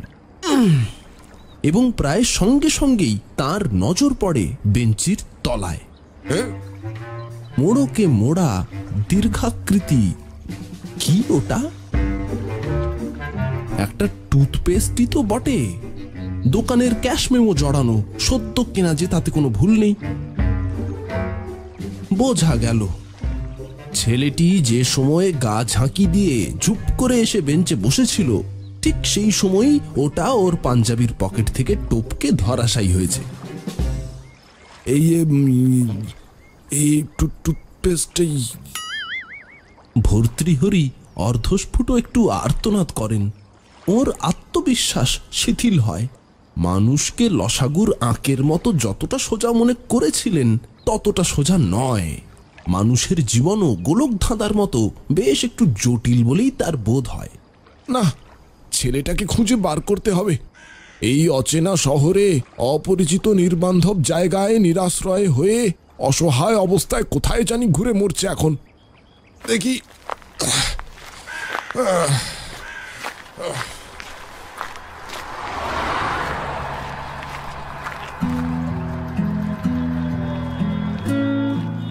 এধারে ওধারে চারিধারে খুঁজতে খুঁজতে যখন প্রায় হতাশ হয়ে হাল ছেড়ে দিতে তিনি উদ্যত হয়েছেন, এমন সময় দেখতে পেলেন, সেই ছেলেটি জনসমুদ্রের উত্তাল ঢেউয়ে টাল খেতে খেতে ওধারের মোড় ঘুরে রাস্তা পেরিয়ে এধার পানেই আসবার চেষ্টায় রয়েছে। ওহে ওহে, শোনো শোনো, এই যে সাইরেনের আওয়াজের মতো ভর্তৃহরির একখানা ডাক। যুবকটি উদ্ধতভাবে ফিরে তাকালো। তোমার গল্পের প্রধান সাক্ষী এসে পৌঁছেছে। এই বলে তিনি প্যাকেটে আটক টুথপেস্টটা হাত বাড়িয়ে দিলেন। এই নাও তোমার টুথপেস্ট। বেঞ্চির তলাতেই পড়েছিল। যখন তুমি ওখানে বসেছিলে তারই এক ফাঁকে ওটা হয়তো তোমার পকেট থেকে পড়ে গেছিল। তুমি চলে আসবার পর উঠতে গিয়েই নজরে পড়ল আমার। যাক যেতে দাও। তোমাকে অযথা সন্দেহ করেছি বলে কিছু মনে করো না হ্যাঁ? এই নাও। এই বলে ভর্তৃহরি তার পকেট হাতড়ে নোটে টাকায় খুচরো খাচরায় মিলিয়ে যা ছিল সব ঝেড়ে ঝুড়ে ছেলেটির হাতে তুলে দিলেন। এখন এই গোটা দশেক টাকা হলে যদি তোমার চলে। এ নাও। যদি এখনকার মতো চলে যায় আপাতত একটা হোটেল দেখে ওঠা আর বাড়িতে তার করে দেওয়ার পক্ষে যথেষ্ট বলে মনে করো। এবং আমার মতো অবিশ্বাসপ্রবণ ব্যক্তির কাছ থেকে টাকাটা নিতে অবশ্যই ঋণ হিসেবেই নিতে তোমার তেমন আপত্তি না থাকে না না ঠিক আছে। ছেলেটি তৎক্ষণাৎ হাত বাড়িয়ে টাকাটা পকেটস্থ করে তার সমস্ত সমস্যার মীমাংসা করে দেয়। আর এই আমার কার্ড এ- এতে আমার ঠিকানা আছে। আচ্ছা আচ্ছা। এই সপ্তাহের মধ্যে বা পরে আহ, যখন বাড়ি থেকে তোমার টাকাটা এসে পৌঁছবে তারপর সুবিধা মতো যে কোনো দিন এই টাকাটা ফিরিয়ে দিলেই চলবে। এ, আমার ঠিকানায় এমএও করে দিতে পারো। আর এই নাও তোমার টুথপেস্ট ভালো করে রাখো আবার যেন কোথাও হারিও না। এই প্যাকেটটা তোমার বিশ্বস্ত বন্ধুর মতোই কাজ করেছে। খাঁটি বন্ধুরা যেমন ছেড়ে চলে গেলেও দুঃসময় ঠিক ফিরে আসে। আসলে এরই কাছে এর সদ্ব্যবহারের কাছেই তুমি ঋণী। ভাগ্যিস টুথপেস্টটা আপনি পেয়েছিলেন। আমি তো এই বলে ছেলেটি তোতো করে কি দু একটা কথা যেন বলতে গেল। খুব সম্ভব ধন্যবাদের ভাষাই হবে। এবং তারপরেই সে যেধার থেকে এসেছিল। আসি। রাস্তা উতরে ফের সেদিকেই চোঁচা দৌড় মারল। বেচারি। ভর্তৃহরির মুখ থেকে বার হলো আবার। তরুণ যুবকটির উদ্দেশ্যেই। ভাবতে ভাবতে তিনি মুহ্যমান হয়ে পড়েন। ওপর ওপর দেখে আর কখনো আমি কোনো মানুষের বিচার করব না। প্রায়ই ভুল হয় তাতে। ওহ কি বিপদটাই না হতো আজকে? আমার ঠিক না হলেও ছেলেটির তো বটেই। কি অসুবিধাতেই না পড়তো বেচারা।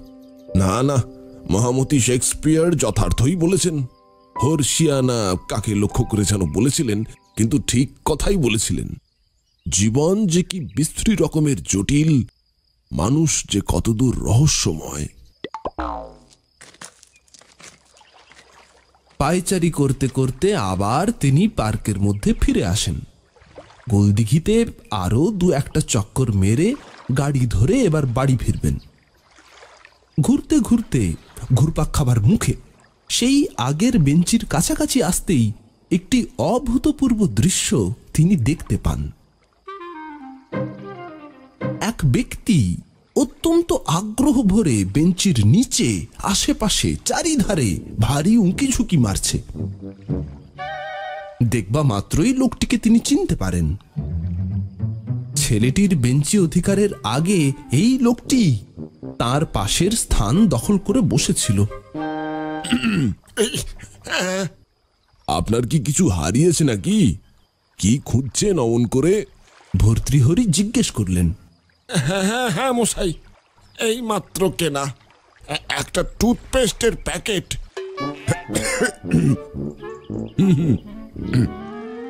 বলা বাহুল্য, সামলাতে ভর্তৃহরির বেশ একটু সময় লাগে। মানুষ সম্বন্ধে তার নিজের অভিজ্ঞতার প্রতিও আস্থার ততটা সুদৃঢ় নেই। এমনকি নিজের প্রত্যক্ষ দর্শন থেকেই নতুন এক জীবন দর্শন রচনায়, কি, কেবল রচনা কেন? মনের মধ্যে তার মুদ্রণে পুনঃ মুদ্রণে আর পুনঃ পুনঃ প্রুফ সংশোধনে যে সময় তিনি মশগুল হয়ে আছেন, সেই কালে সে সমস্ত সবকিছুর ভিত্তিমূল টলিয়ে দিতে হে আবার কি নতুন নিদর্শন? টুথপেস্টের জন্য ততটা না, ওটা হারালে তেমন কিছু ক্ষতি ছিল না। আধা বয়সী লোকটি তার চিন্তাসূত্র ছিন্ন করে দেয়। কিন্তু ওর মধ্যে ওই প্যাকেটের ভেতর আমার মাইনের হুম কখানা নোট ছিল। আটখানা দশ টাকার নোট মশাই। এ মাসের মাইনের প্রায় সবটাই। টুথপেস্টটা কিনে ভাবলুম যা পকেট মারা যায় আজকাল নোটগুলো ওর প্যাকেটের মধ্যে পুরে রাখলে নিরাপদ হবে। এই মনে করে রেখে দিয়েছিলুম। আপনার বুঝি পঁচাশি টাকা মাইনে? আগে হ্যাঁ প্রায় ঠিক ধরেছেন। নিরানব্বই টাকার সামান্য কেরানি আমি। আঠারো টাকা ইন্স্যুরেন্সের প্রিমিয়াম জমা দিয়ে একাশি টাকা মোট ছিল। ভদ্রলোক দীর্ঘ নিঃশ্বাস ফেলে বলেন কিন্তু আর একটি আদলাও আমার কাছে নেই। বাড়তি টাকাটা দিয়ে ছেলের জন্য টুথপেস্ট কিনেছিলাম। আহ, হুম। ভর্তৃহরি গম্ভীর হয়ে গেলেন। দেখুন, আপনার টাকাটা খোয়া যাওয়ার জন্য আমিই দায়ী। গলাটা ঝেড়ে নিয়ে আস্তে আস্তে শুরু করলেন ভর্তৃহরি। বলছি আচ্ছা আপনি আমার বাড়ি চলুন। আমি ক্ষতিপূরণ করব। আমি অবশ্য একটু দূরেই থাকি, কলকাতার কাছাকাছিও বটে, আবার বাইরেও বলা যায়। এই ডায়মন্ড হারবার রোডে। তা আমার মোটর রয়েছে। যাওয়ার সময় আপনার অসুবিধে নেই। আর ফেরবার ট্যাক্সি ভাড়াটা আপনাকে আমি দিয়ে দেব।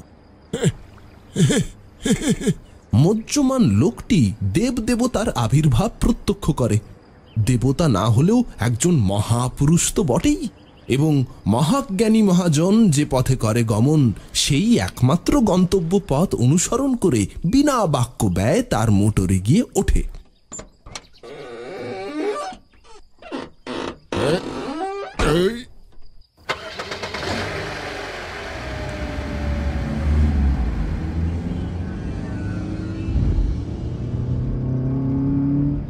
ডায়মন্ড হারবার রোড দিয়ে ভর্তৃহরির মোটর হুহু করে ছুটছে।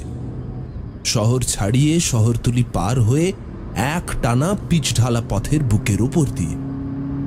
দুধারেই ফাঁকা, নির্জন রাস্তা এবং মাঝে মাঝে এক আধখানা বাড়ি, বাগান বাড়ি বেশিরভাগ। ভর্তৃহরি বেপরোয়া হয়ে গাড়ি চালাচ্ছেন। তার পাশে বসে মুখ বুজে চুপটি করে সেই আত্মহারা, সর্বশান্ত ভদ্রলোক। হঠাৎ ভর্তৃহরির কেমন একটা খটকা লাগে, কেমন যেন সংশয় জাগে। তিনি পার্শ্ববর্তীর দিকে একবার ভ্রুক্ষেপ করেন। তারপরেই কুটিল একটা কটাক্ষ বাঁ চোখের কোণ দিয়ে বেরিয়ে আসে। লোকটাকে যেন কুটি কুটি করে কাটে সেই চাউনিটা। এই টুথপেস্ট হারা লোকটি সেই গৃহহারা যুবকটির মাস্তুত ভাই নয় তো? সন্দেহ হতেই তিনি নিজের বাঁ পকেটে হাত পুরে দেন। হুম, ঠিক, ঠিকই তো।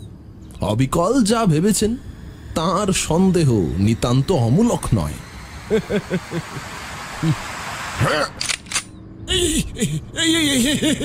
অমনি ডান পকেট থেকে তার রিভলভার বার হয়ে আসে গোয়েন্দার পকেটে আর কিছু থাক বা না থাক পিস্তল আর হাত কড়া প্রায় সবসময় মজুদ থাকে লোকটিও অমনি একটিও কথা না বলে নিজের পকেট থেকে ঘড়ি চেন সব বার করে দেয় বিনা বাক্য ব্যয় হ্যাঁ। ভর্তৃহরি ঘড়ি চেন পকেটস্থ করতে করতে ভাবেন যা ভেবেছি। পৃথিবীটা কি পাল্টায়? রাতারাতি পাল্টায় নাকি? এতদিনের পৃথিবী একদিনে পাল্টাবার নয়। সব মানুষই প্রায় সেই রকমই রয়ে গেছে, আগের মতোই দাগি। হুম, দেখি, হাত দেখি। ডান পকেট থেকে হাতকড়ি মুক্ত করে পার্শ্ববর্তীর হাতে পরিয়ে দিতে তার দেরি হয় না। তারপর মোটর থামিয়ে, নামো, আউট! লোকটিকে পথের মাঝখানেই তিনি নামিয়ে দেন। পত্রপাঠ তৎক্ষণাৎ। দয়া করে পুলিশে আর দেন না। হাতকড়ি হাতে মরুগ্গে বেটা ঘুরে ঘুরে।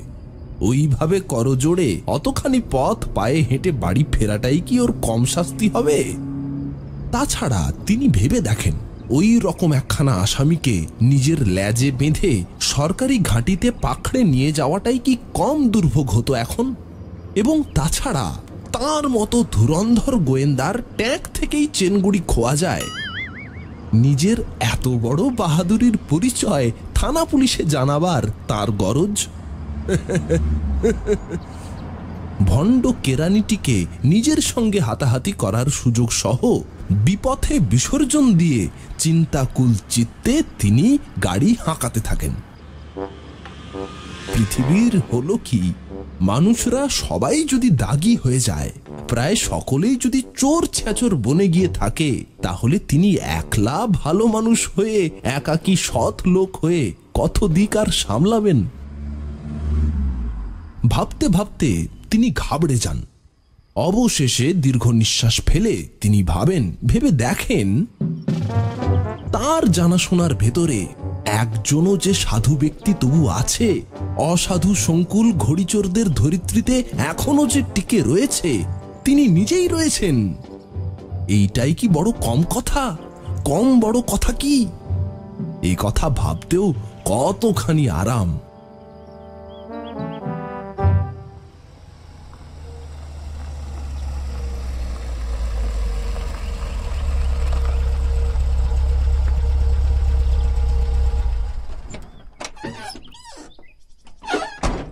পৃথিবীর অষ্টম পরমাশ্চর্য। সেই একমাত্র অভিব্যক্তির সম্বন্ধে সগর্ব ধারণা নিয়ে গৌরবের জয় পতাকা বহন করে ভারাক্রান্ত মনে তিনি বাড়ি ফেরেন। চৌকাঠের ওধারে পা না বাড়াতেই তার ছোট ছেলে সত্যহরি ছুটে এসেছে। বাবা বাবা! এই তো। তোমার চেন ঘড়িটা আজ তুমি নিয়ে যাওনি যে? হ্যাঁ। তুমি তো বলো তোমার কোনো কাজে কখনো ভুল হয় না? তোমার নাকি দিব্য দৃষ্টি। ভগবানের মতোই সবকিছু টের পাও। তবে আজ কেন এমন ভুলে গেলে বাবা? হুম? টেবিলের ওপরেই পড়ে রয়েছে দেখো গে। তখন থেকেই পড়ে আছে। তুমি ভয় কেউ না বাবা? আমার অনেকবার ইচ্ছে হয়েছিল কিন্তু ওটাকে আমি মেরামত করিনি। ও। ভালো ঘড়ি মেরামত করে কি হবে? যদিও ভালো ঘড়িকে তার কলকবজা খুলে আরও ভালো করে সারানো যায় কিন্তু ভালো ঘড়ি সারাতে গেলে তুমি রাগ করো যে। তুমি যে বলো ভালো ঘড়ি কখনো সারানো যায় না শুধু একেবারে হারানো যায়। হুম। তাই ওটা ঢাকনি টাকনি কোনো কিছু আমি খুলিনি। একটুও কিছু করিনি। তুমি বাজিয়ে দেখতে পারো বাবা।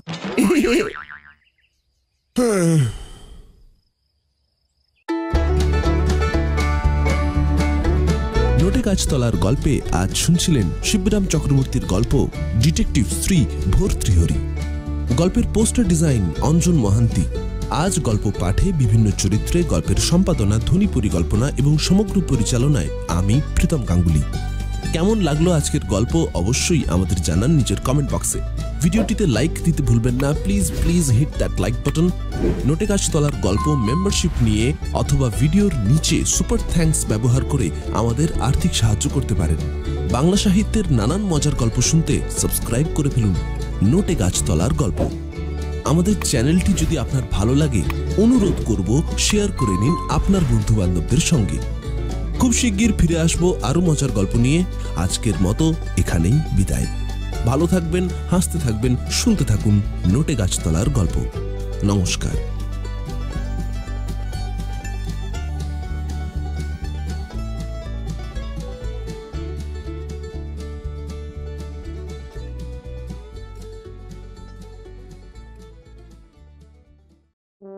নমস্কার, আপনি শুনছেন নোটে গাছতলার গল্প।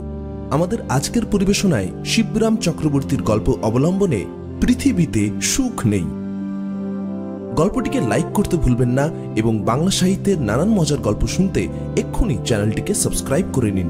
শুরু হচ্ছে আজকের গল্প, পৃথিবীতে সুখ নেই।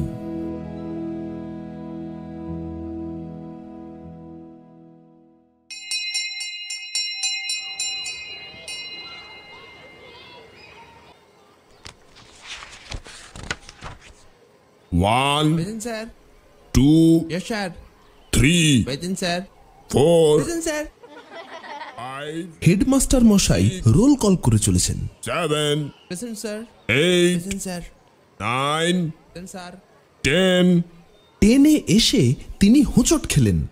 টেন নম্বর টেন আসেনি সমীর? আজও আসেনি সে। সমীরের পাশের বাড়ির ছেলে অশোক দাঁড়িয়ে বলল স্যার তার অসুখ করেছে স্যার। অসুখ? সমীরের অসুখ? হেডমাস্টার বিস্মিত হয়ে উঠলেন। সে তো খুব হেলদি ছেলে। তার আবার কি অসুখ হলো? আমি স্যার ঠিক উচ্চারণ করতে পারব না। অশোক ইতস্তত করে অপসার না কি জানো স্যার? কি বললে? অপসার। হেডমাস্টার মশাইয়ের বিস্ময়ে যার পর নাই। সে আবার কি ব্যারাম? কি জানি স্যার ও তো তাই বলল। তারপর কি যেন ভেবে নিয়ে অশোক একটা কৈফিয়ত দিতে যায়। স্যার পরশুদিন একটা ষাঁড় ওকে তাড়া করেছিল। তাই থেকেই হয়েছে কিনা কে জানে? হুম ষাঁড় থেকে অপসার। হুম সে আবার কি? আচ্ছা আমাদের ডাক্তারকে জিজ্ঞেস করে দেখব।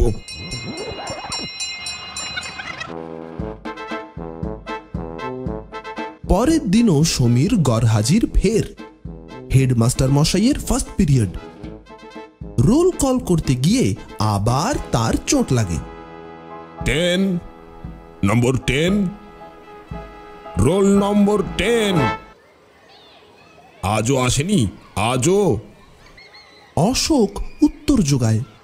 না স্যার তার শরীর আজ আরও খারাপ। ও হ্যাঁ হ্যাঁ হ্যাঁ মনে পড়েছে অপসার। ষাঁড়ের অপভ্রংশ নাকি? তুমি কাল বলছিলে না?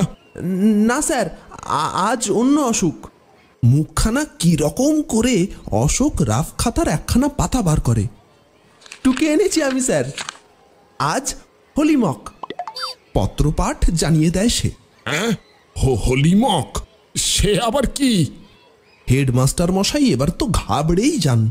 সে আবার কি অসুখ হ্যাঁ? ওই ওই হোলি খেলার থেকে কিছু হয়েছে নাকি ওর?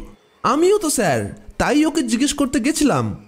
ও বললে সে তুই বুঝবি না রে হোলিমক ভারী শক্ত ব্যারাম। হোলির সঙ্গে কোনো সম্পর্কই নেই এর। ও একটা কোবরেজি অসুখ। কোবরেজি অসুখ? আচ্ছা। আমাদের ডাক্তারকে যেতে বলব আজ তাহলে ওদের বাড়ি। কিন্তু কোবরেজি অসুখ কি ডাক্তারি ওষুধে সারবে? হ্যাঁ আমি নিজেই একবার যাব না হয়। হ্যাঁ স্যার, যাবেন, স্যার, নিশ্চয়ই যাবেন। ও ভারী ম্রিয়মান হয়ে পড়েছে। সমীরের অসুখ নিয়ে সারা স্কুলে শোরগোল পড়ে গেল বেজায়। এমনকি মাস্টারদের মধ্যেও। ফোর্থ ক্লাসে ভর্তি হয়ে এই ফার্স্ট ক্লাসে ওঠা অবধি একটি দিনের জন্যেও তার অসুখ করেনি। এক দিনও তার স্কুল কামাই নেই কো। রেগুলার অ্যাটেন্ডেন্সের প্রাইজ পর পর তিন বছর একা সমীরই মেরেছে। সেই সমীরেরই উপরি উপরি তিন তিন দিন কামাই। অসুখের অজুহাত করে সমীরের মতো ছেলের গাফিলতি। ভাবতেই পারা যায় না যে সমীর সে ধরনের ছেলেই নয় যে যতই দশটার দিকে কাঁটা এগোয়, ততই তার গায়ে কাঁটা দিতে থাকে। কেমন যেন মাথাটা ধরে ওঠে আর পেট কামড়াতে লেগে যায়। ডায়রিয়া, ডিসেন্ট্রি, ডিপথেরিয়া সব হইচই করে একসঙ্গে এসে পড়ে। না, সে ধরনের ছেলেই সে নয়। অসুখের ছুতনাতা করে একটা বাঁধা প্রাইজ এক চেটেই তার। এমন হাত ধরা বাৎসরিক পুরস্কার একখানা। সে যে এত সহজে হাতছাড়া করবে সে ছেলেই নয় সে। আচ্ছা হলো কি তবে সমীরের? ড্রিল মাস্টার হেডমাস্টার মশাইকে প্রশ্ন করলেন। বলতে কি, সমীর বিহনে তাঁরও মন খারাপ? ড্রিল করানোর উৎসাহই নেই কো আর। সমীরের ড্রিল ছিল একটা দেখবার মতো। তার অ্যাটেনশন তার অ্যাবাউট টার্ন তার ফলোইং কি সে যে কি জিনিস না দেখলে বোঝা যায় না। এমন এক মিলিটারি কায়দা যে দেখলেই চমক লাগে। এমনকি ড্রিল মাস্টার মশাই নিজেই এক একবার চমকে যান। বয় স্কাউট দলের সমীরই তো ছিল আদর্শ। আর সেই সমীরের এ কি কাণ্ড? সমীরের অভাবে ড্রিল মাস্টারের ড্রিলের কোনো উদ্দীপনাই আসছে না আদেও সমীরের ফলিন ছাড়া সমস্তই যেন বিফল। ওই তো হোলি হ্যাঁ না কি যেন একটা বিদঘুটে ব্যারাম হয়েছে তার। গম্ভীর মুখে প্রকাশ করেছেন হেডমাস্টার। অশোক বলল আমায় কাল বিকেলে দেখতে যাব আমি যদি কাল কেউ সে না আসে। তার পরের দিন সমীর ক্লাসে এসে হাজির। সেই সমীরই বটে কিন্তু অশোক যা বলেছিল তার চেয়েও বেশি তার ডবল ম্রিয়মান। হেডমাস্টার মশাই তাকে দেখে রোল কল বন্ধ রেখেই বললেন এই যে সমীর এসেছ আজ? বাবা কি খবর বলো তো তোমার? হোলির হাঙ্গামা টাঙ্গামা চুকেছে সব। না স্যার হলিমক নয়। যা ভেবেছিলাম তা নয়। নয়? আমার আমার লক্ষণ নির্ণয় ভুল হয়েছিল। বিবর্ণ মুখে সমীর বিবৃত করে খুব সম্ভব এটা আমার পাণ্ডু রোগ কিংবা গুল্মও হতে পারে পেটে। কি? পাশ থেকে অশোক ফিসফিস করে এই কোন গুল্ম রে? লতা গুল্ম নাকি রে? পাদপ নয় তো? পেট ফুঁড়ে তোর গাছ বেরোবে পা দিয়ে না মাথা দিয়ে? সে তুই বুঝবি নে। শক্ত কবরেজি অসুখ সমীরের কণ্ঠস্বরে গম্ভীর বিষণ্ণতা। সমীর এক কাজ করো। হেডমাস্টার মশাই বললেন আমাদের ডাক্তারবাবু কে বলে রেখেছি? যেও তার কাছে। তিনি ভালো করে তোমাকে পরীক্ষা করে দেখবেন।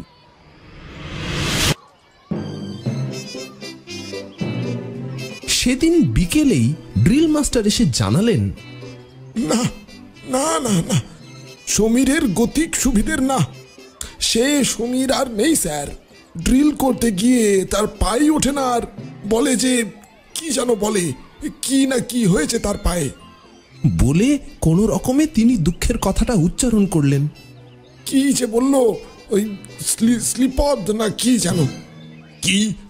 শ্রীপদ হেডমাস্টার মশাই হকচুকিয়ে যান। তবে যে বলল ওই গুলমো না কি এর মধ্যেই এই ক ঘণ্টার মধ্যেই অসুখ আবার বদলে গেল কি রকম কি করে বলব স্যার? ওই সমীরই জানে। বললেন ড্রিল মাস্টার। তো কি বলল সমীর? হেডমাস্টার দু চোখ তার কপালে তোলেন। কি হয়েছে বললে? এর মধ্যেই আবার কি বিপদ হলো তার? ওই স্লিপদ না কি যে বলল? ড্রিল মাস্টার মশাই স্মরণশক্তির সাহায্য নিয়ে ব্যক্ত করেন আবার। বলছে যে স্যার বোধহয় আমার স্লিপদ হয়েছে। কই পা তো তেমন আর তুলতে পারছি না তো। আচ্ছা স্লিপদ কি বস্তু? বিশদ রূপে জানতে চান হেডমাস্টার মশাই। কি জাতীয় অসুখ? হা কি করে জানব বলুন তো? ড্রিল মাস্টার মশাই মুখ বেখান। বলছে যে স্লিপদ কিংবা ধনুস্তম্ভ এই দুটোর একটা কিছু হবে বোধ হয় শুনে তো মশাই আমি নিজেই স্তম্ভিত হয়ে রয়েছি। হে আবার কি ব্যামো? কোত্থেকে আসে? কি জানি মশাই পক্ষাঘাত হলেও বুঝতুম ধনুষ টঙ্কার হলেও বোঝা যেত। ড্রিল মাস্টার জানান। আবার বলছে এই স্লিপদ থেকে শেষটায় নাকি উম, গৃধ্রসীও হতে পারে। এই বলে ড্রিল ছেড়ে দিয়ে মাথায় হাত দিয়ে বসে পড়েছে সমীর। বসে আছে তখন থেকেই। মুখ চুন করে এক কোণে গিয়ে বসে রয়েছে। দেখে দেখে এমন বিচ্ছিরি লাগছে আমার। কি সর্বনাশ! কি- বললেন গৃধিনী না আচ্ছা যাকে যাকে তাহলে তো ওকে বাড়ি পাঠানোর ব্যবস্থা করা দরকার। দেখি দেখি দেখি। হেডমাস্টার মশাই তক্ষুনি ওকে ছুটি দিতে ব্যস্ত হন। পরদিন সমীর ফের অ্যাবসেন্ট আবার তার দেখা নেই। অশোক বলল মানে রাফখাতার পাতা উল্টে ভালো করে খতিয়ে দেখে সে বলল ওর অশ্বরী হয়েছে স্যার। হুম। পাছে আমার মাথায় না থাকে তাই আমি খাতায় টুকে নিয়ে এসেছি। হেডমাস্টার মশাই এবার আর ভড়কান না। বোধহয় এমনই একটা বিজাতীয় কিছুর জন্য তিনি প্রস্তুত হয়েই ছিলেন মনে মনে। সহজেই ধাক্কাটা সামলে নেন তিনি। অশ্বরী কোনো অশ্বটস্য তাড়া করেছিল নাকি এবার? কি করে জানব স্যার? আমিও তো তাই জানতে চেয়েছিলাম কিন্তু কিন্তু কি বলব? আগে কিছু জিজ্ঞেস করতে গেলে তেড়ে আসতো স্যার। এখন কেবল মুখ কাঁচুমাচু করে চুপ করে থাকে আর ফ্যাল ফ্যাল করে তাকায় আর বলে আমি আর বেশি দিন বাঁচবো না রে। আমি মানে সে অশোক আরও ভালো করে খোলসা করে। আমি নিজে মরতে যাচ্ছি না স্যার, সমীর যাচ্ছে। সে খালি বলছে স্যারদের সঙ্গে, তোদের সঙ্গে এই আমার শেষ দেখা হয়তো। অশ্বরী অশ্বরী অশ্বরী কোসমিন কালেও শুনিনি এমন। কোনো অমানসিক ব্যাধি নিশ্চয়ই। মানুষের তো এসব রোগ হবার কথা নয়। অশ্বটশ্বরই হয়তো এসব হয়ে থাকে। গাধাদেরও তো হয় না যতদূর জানা গিয়েছে। কি বলেন স্যার? অশোক জানতে চায়। আমিও তো সেই কথাই বলেছি ওকে।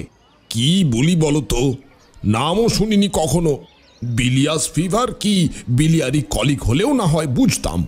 এমনকি মেনিনজাইটিস ফেনিনজাইটিস হুপিং কাপ ব্রঙ্কাইটিস এসব হলেও কিছু একটা বোঝা যেত। বললেন হেডমাস্টার।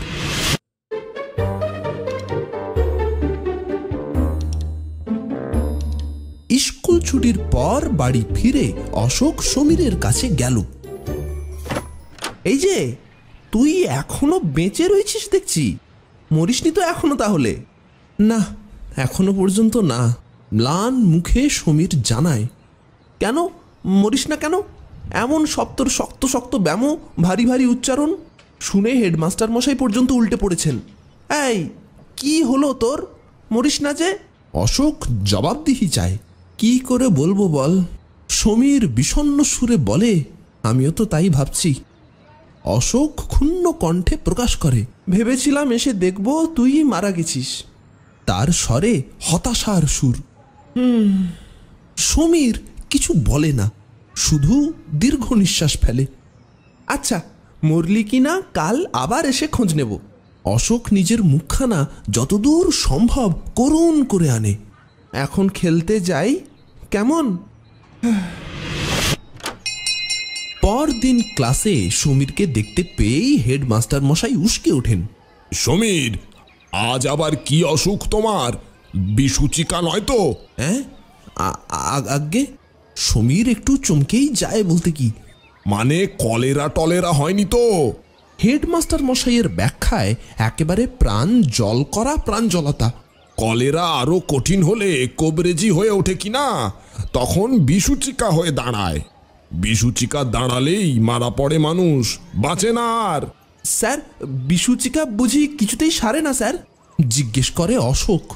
হ্যাঁ সারে বই কি? সূচিকা দিয়ে নুন জল ভরলে তবেই সারে। হেডমাস্টার মশাই জানান। কিন্তু সে ভারী হ্যাঙ্গাম। তার চেয়ে মারা যাওয়া ঢের সহজ। না স্যার কোনো অসুখ না স্যার। সমীর জানালো, আমি ডাক্তারবাবুর কাছে গেছিলাম। তিনি ভালো করে পরীক্ষা করে দেখে বললেন, আমার নাকি কোনো অসুখই হয়নি। বেশ একটু ক্ষুণ্ণ স্বরেই সমীর বলল হ্যাঁ অসুখ হয়নি? যাক, বাঁচা গেল। হেডমাস্টার মশাই উছলে উঠলেন, তবে আর কি, তবে তো ভালোই। খাও, দাও, আর পড়াশুনো করো মন দিয়ে। আর হ্যাঁ ড্রিল, ড্রিলটাও করো হ্যাঁ না স্যার ভালো না। সমীর চিঁচি করে। আমি নিজে বুঝতে পারছি স্যার আমার শরীর ভালো নেই কো না না না তোমার কিছু হয়নি সমীর। সত্যি কিছু হয়ে থাকলে ডাক্তারবাবু ধরতে পারতেন। সব তোমার কাল্পনিক অসুখ। তুমি আমাদের স্কুলের আদর্শ ছেলে। তোমার কি এরকম সাজে কখনো? হেডমাস্টার মশাই উদার্ত কণ্ঠে ঘোষণা করেন। তবুও সমীর কোনো প্রেরণা পায় না। কাতর দেহে সারা পৃথিবীর সমস্ত পীড়া বহন করে প্রপীড়িত সমীর মলিন মুখে দাঁড়িয়ে থাকে। তারপর সমীর, স্কুলের আদর্শ ছেলে সমীর উপরি উপরি চার দিন স্কুল কামাই করল। আর অশোক তার রাফখাতা উল্টে পাতার পর পাতা পাল্টে চার দিনে চার রকমের অসুখের ফিরিস্তি দিল। শোধ রক্তাতিসার গলক্ষত আর কামলা। সেই সঙ্গে এও জানালে এই চার দিনেই তার হাড় কখানা ছাড়া দেখবার মতো আর কিছুই নেই। ড্রিল মাস্টার বললেন অগ্নিমান্দ হলেও বুঝতুম কামলা আবার কি ব্যামো মশাই? হুম কানমোলা দিলেই সারবে। জানালেন হেডমাস্টার। তবে মনে হচ্ছে বেশ কষে মলা দরকার। সেই মতলবে হাত কষে রসকষায়িত হয়ে সেই দিন বিকেলেই সমীরের বাড়িতে গিয়ে হাজির হলেন তিনি। সমীর বাড়ি আছো? বলে একখানা বাঁচ খাই ডাক ছাড়লেন। হেডমাস্টারই জাঁদরেল ডাক। রয়েছি স্যার। ওপর থেকে কাহিল গলায় জবাব এলো সমীরের। এখনও রয়েছি স্যার। হ্যাঁ জীর্ণ, শীর্ণ, সমীর, কম্পিত চরণে নিচে নেমে এসে দরজা খুলে দাঁড়ালে। শরীরে তার কিছুই নেই। এই গরমের দিনেও মোটা একটা কোট। সেই কোট ছাড়া আর কিছুই নেই তার শরীরে। আর তার কোটের কোটরে একতারা কি জানো সব।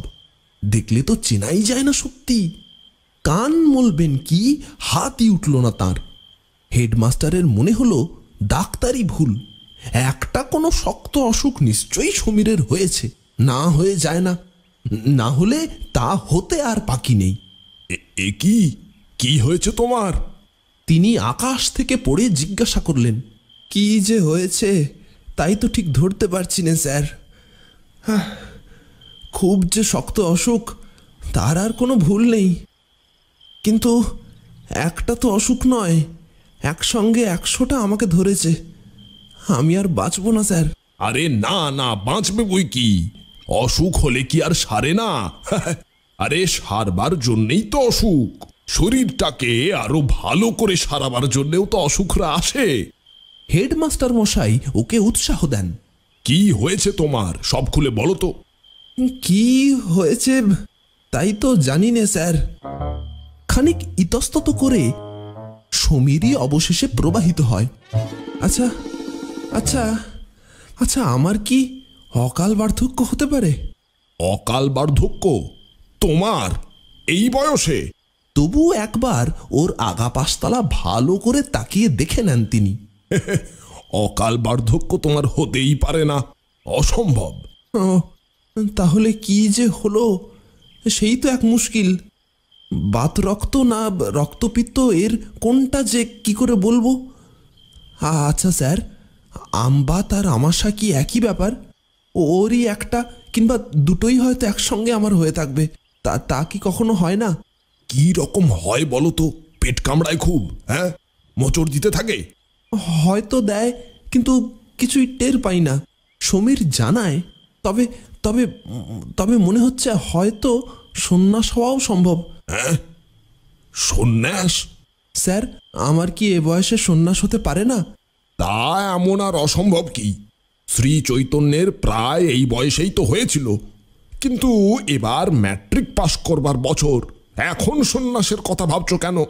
না স্যার সে সন্ন্যাস নয় সন্ন্যাস ব্যায়ামও হঠাৎ হয় হলে মানুষ শ্রীচৈতন্য নয় একেবারে অচৈতন্য হয়ে পড়ে। কিন্তু স্যার আজ কদিন ধরে আমার গলার ভেতরটা ভারী খুসখুস করছে। গলগণ্ড হয়েছে কিনা কে জানে? নাকি গোদ? নাকি আপনি বলছেন অন্য কিছু? গলার ভেতরে কি গোদ হয় না, স্যার? গলগণ্ড কি বুঝি পিঠেই হয় কেবল? দিন রাত এইসব ভেবে ভেবেই আমি আরও কাহিল হয়ে পড়েছি, স্যার। এত রকমের অসুখ আছে এই পৃথিবীতে, এত বিচ্ছিরি সব অসুখ। না, পৃথিবীতে আর সুখ নেই, স্যার।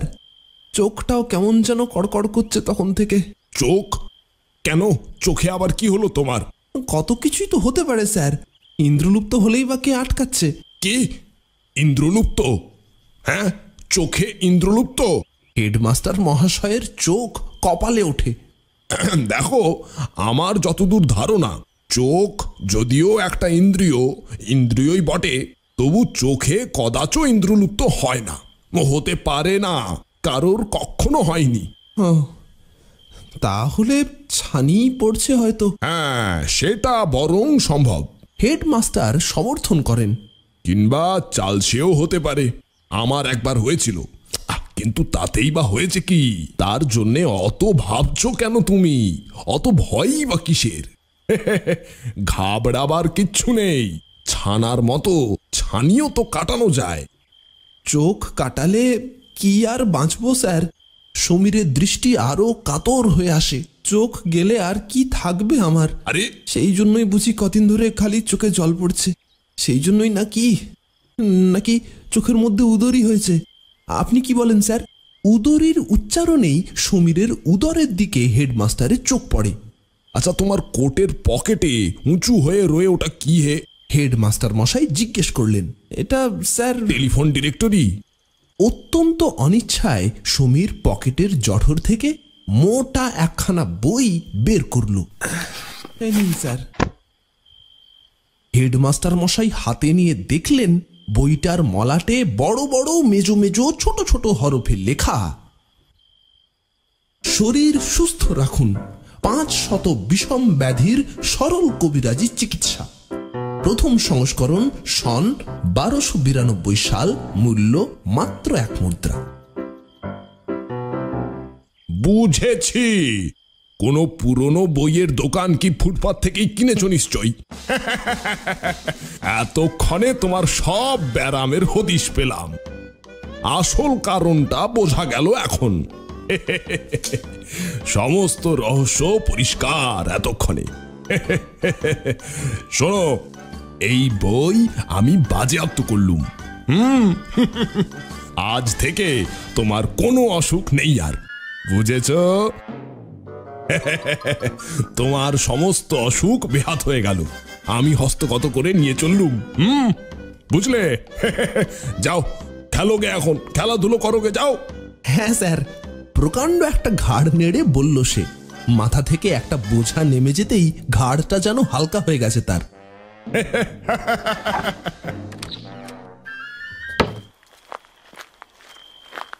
আর তারপরেই হেডমাস্টার মশাইয়ের অন্তর্ধানের প্রায় সঙ্গে সঙ্গেই তিড়িং বিড়িং করে লাফাতে লাফাতে খেলতে চলে গেল সে। হেডমাস্টার মশাই ফেরবার পথে ড্রিল মাস্টারের বাড়ি গিয়ে চড়াও হলেন। সদ্য লব্ধ শরীর ভালো রাখুন বইখানা বগল দাবাই করে। এই দেখুন মশাই আপনার সমীরের যত আদি ব্যাধি এই দেখুন আমার শ্রীহস্তে। দেখেছেন? দেখি দেখি। ও বাবা! হে, এ যে খালি অসুখ অসুখেই ভর্তি। পাঁচশো রকমের ব্যামো দেখছি এখানে। নিদারুণ যত ব্যারাম হ্যাঁ? হ্যাঁ সমীরের শুধু দশটার ওপর দিয়েই গেছে। চারশো নব্বইটা বাকি ছিল এখনও। কিন্তু তাদের আক্রমণ থেকে ওকে বাঁচিয়ে দিয়েছি। এক ধাক্কায় সরিয়ে দিয়েছি সবটাই।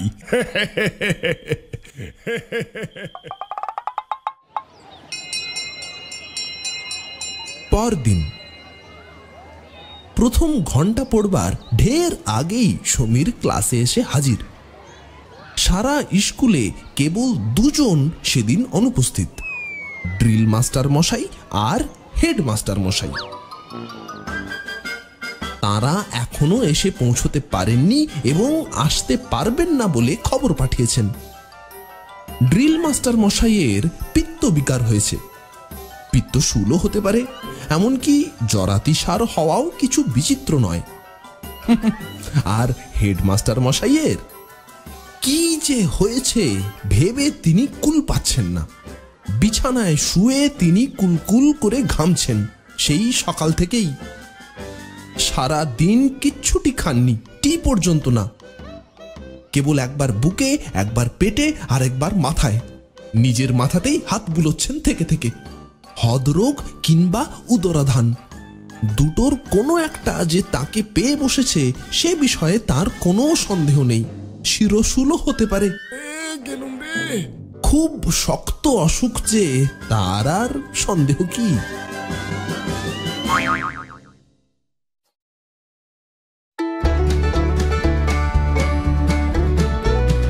নোটে গাছতলার গল্পে আজ শুনছিলেন শিবরাম চক্রবর্তীর গল্প, পৃথিবীতে সুখ নেই কেমন লাগল আজকের গল্প অবশ্যই আমাদের জানাবেন নিচের কমেন্ট বক্সে শ্রোতা বন্ধুদের কাছে অনুরোধ, ভিডিওটিকে লাইক এবং চ্যানেলটিকে শেয়ার করতে কখনোই ভুলবেন না। আপনার সুবিধের জন্য চ্যানেলে নানান প্লেলিস্ট সাজানো আছে। চ্যানেল ঘুরে অবশ্যই দেখুন গল্পের ধ্বনি পরিকল্পনা, সম্পাদনা এবং সমগ্র পরিচালনা আমি, প্রীতম গাঙ্গুলি। খুব শিগগির ফিরে আসব আরও মজার গল্প নিয়ে। আজকের মতো এখানেই বিদায়। খুব ভালো থাকুন, হাসতে থাকুন, শুনতে থাকুন নোটে গাছতলার গল্প, মজার একমাত্র ঠিকানা। নমস্কার, আপনি শুনছেন নোটে গাছতলার গল্প, মজার একমাত্র ঠিকানা। বাংলা সাহিত্যের নানান মজার মজার গল্প শুনতে চ্যানেলটিকে এক্ষুনি সাবস্ক্রাইব করে ফেলুন। আমাদের আজকের পরিবেশনায় শিবরাম চক্রবর্তীর গল্প অবলম্বনে মহাপুরুষের সিদ্ধি লাভ। আজ গল্প পাঠে এবং হেডমাস্টার মশাইয়ের ভূমিকায় আমি প্রীতম গাঙ্গুলি, হেড পণ্ডিত মশাই এবং জগার ভূমিকায় ছন্দক চৌধুরী, পোস্টার ডিজাইন অঞ্জন মহান্তি, গল্পের ধ্বনি পরিকল্পনা, সম্পাদনা এবং সমগ্র পরিচালনায় আমি প্রীতম গাঙ্গুলি। শুরু হচ্ছে আজকের গল্প মহাপুরুষের সিদ্ধি লাভ।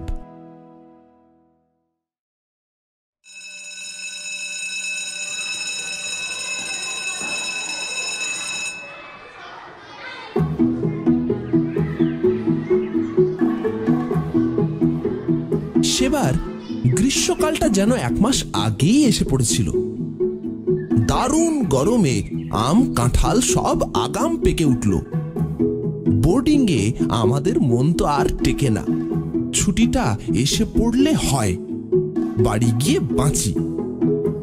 আমরা সত্তর আশি জন ছেলে। সুদূরবর্তী পাড়াগার বিভিন্ন অঞ্চল থেকে জেলার স্কুলে পড়তে এসেছি। বাধ্য হয়ে বোর্ডিংয়ে থাকি। বাধ্য হয়ে থাকা ছাড়া আর কি বলব? যা খাওয়া দাওয়ার ছিরি।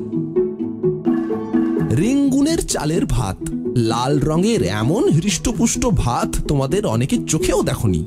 তার সঙ্গে জলবৎ তরলং ডাল আর এই এক টুকরো একটুখানি মাছ। ঝোলের বর্ণনা নাই দিলাম। বাড়িতে উঠেই এক বাটি মুড়ি আর এক টুকরো আম নিয়ে বসবো। দুপুরে আবার দুধ দিয়ে, ভাত দিয়ে, আমের রস দিয়ে আরেক প্রস্ত হবে। ভাবতেও জিভে জল আসে। আমাদের মধ্যে জগাই হচ্ছে মাতব্বর। সে বললে আয় হেডমাস্টারের কাছে ছুটির দরবার করি গে। হ্যাঁ চা চা চা।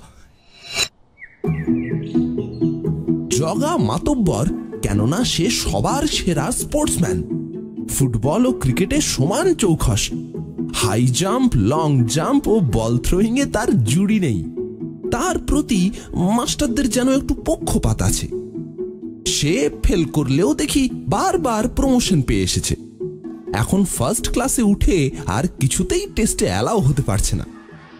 জগা বলে জানিস আমি পাশ করে বেরিয়ে গেলে তোদের স্কুলের মুখ রাখবে কে? আর সব স্কুলের সঙ্গে কম্পিটিশন ম্যাচে তোরা কি আর জিততে পারবি? তাই আমাকে ফেল করি এমনি করে আটকে রাখছে। আমরা তার কথা বিশ্বাস করতাম। স্বয়ং সে ছুটির দরবার করবে জেনে আশ্বস্ত হৃদয়ে আমরা সবাই তার পেছন পেছন গেলাম। হেডমাস্টার মশাই শুনে চোখ কপালে তুলে বললেন কি? এখনও কোয়ার্টারলি পরীক্ষা হয়নি? এখন ছুটি? যাও যাও পড়োগে মন দিয়ে। স্যার বড্ড গরম পড়েছে স্যার। হ্যাঁ গরম পড়বে না তো কি? শীতকালে বড্ড শীত পড়বে, গ্রীষ্মকালে ভয়ানক গরম পড়বে, বর্ষাকালে ভারী বর্ষা হবে। এ তো জানা কথা। তাই বলে পড়াশোনা কে ছেড়ে দিয়েছে? জগা, তোমার বাড়ি কি দার্জিলিং? যে বাড়ি যেতে চাইছো, সেখানে গরম পড়েনি। যাও যাও পড়োগে সময় নষ্ট করো না।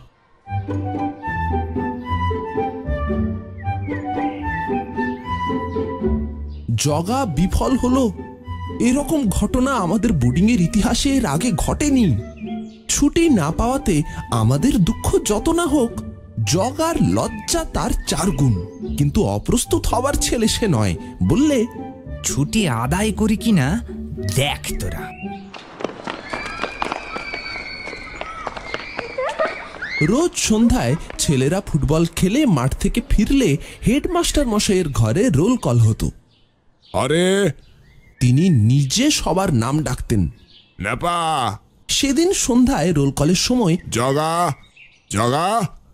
জগার সাড়া না পেয়ে তিনি ভারী চটে গেলেন। আমাকে ডেকে বললেন শিবু! স্যার? যা একটা বেত নিয়ে আয়। আচ্ছা স্যার। ব্যাপার যতদূর বোঝা গেল তা এই।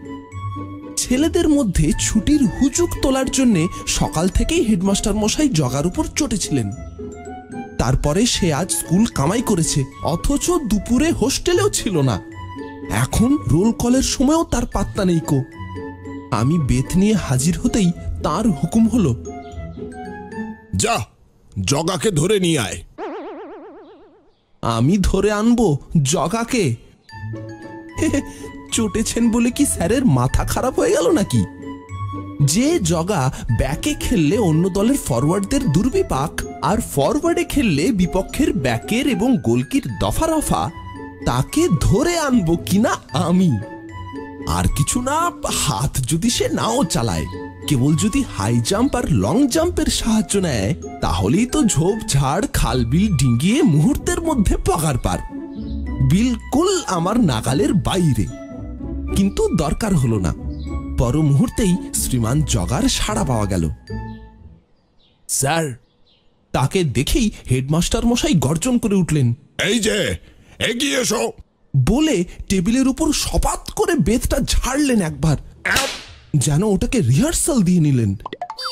এমন সময়ে এক অভাবনীয় কাণ্ড ঘটল।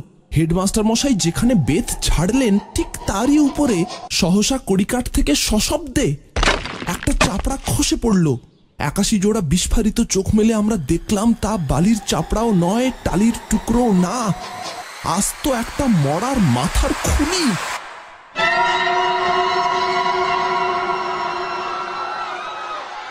হেডমাস্টার মশাইয়ের হাত থেকে বেত খসে পড়ল।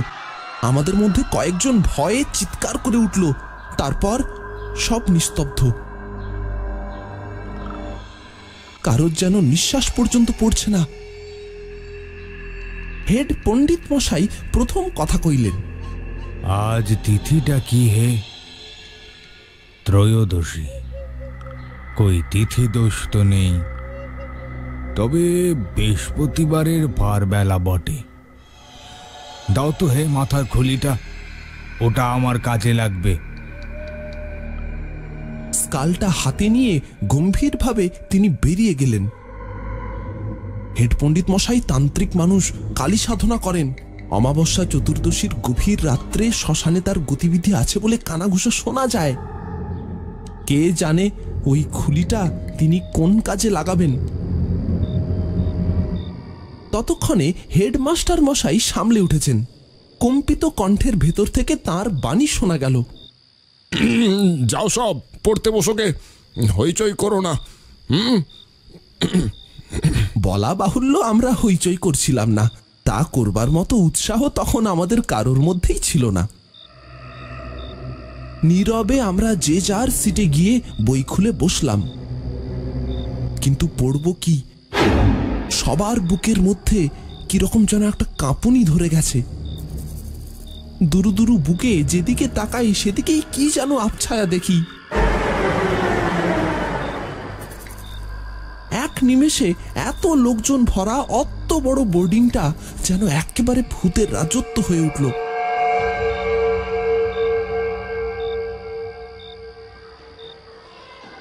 সে রাত্রে আর পড়াশুনো হলো না। হেডমাস্টার মশাইয়ের হুকুমে তাড়াতাড়ি দুটো নাকে মুখে গুঁজে ছেলেরা সব শুয়ে পড়ল। আমি হেডমাস্টার মশাইয়ের ঘরে থাকতাম।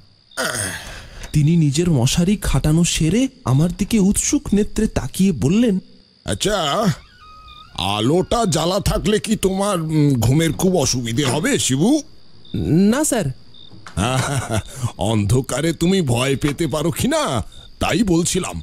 নইলে আমার কোনো দরকার নেই। নিভিয়ে দি তাহলে। দিন তবে।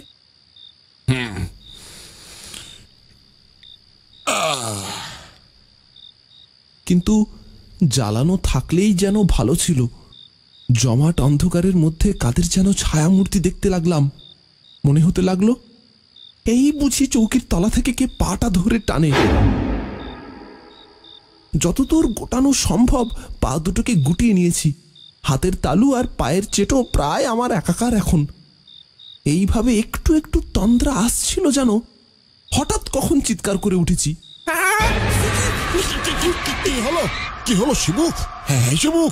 ঘরের অপর দিক থেকে হেডমাস্টার মশাইয়ের ভয়ার্ত কণ্ঠ শোনা গেল। কার যেন হাত ঠেকলো কপালে? হ্যাঁ?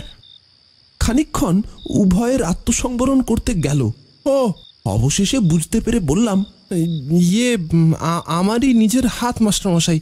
ও তাই বলো?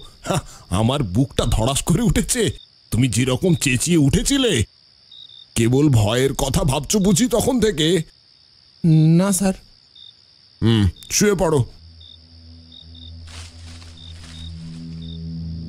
খানিক বাদে আবার হেডমাস্টার মশাইয়ের আওয়াজ পাওয়া গেল। শিবু কাগজের গাদাগুলো কে যেন হাটকাচ্ছে না। ভয়ে আমার গলা থেকে শব্দ বেরোলো না।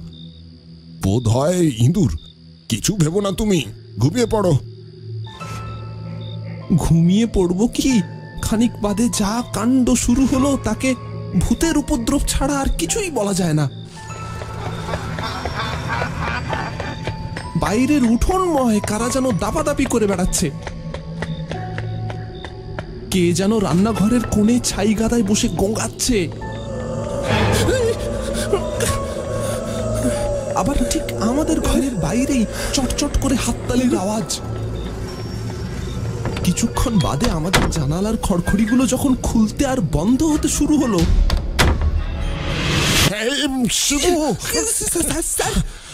হেডমাস্টার মশাই এক লাফে আমার বিছানায় এসে বসলেন।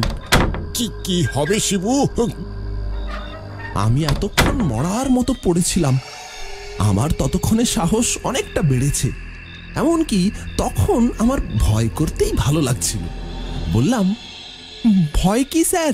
ভয় কিসের? না না আমার আবার ভয় কি? তোমার জন্যই ভাবছি। আপনি আমার কাছে বসে থাকুন তাহলেই আমার আর ভয় করবে না। হ্যাঁ হ্যাঁ সে সেই সেই সেই ভালো শিবু।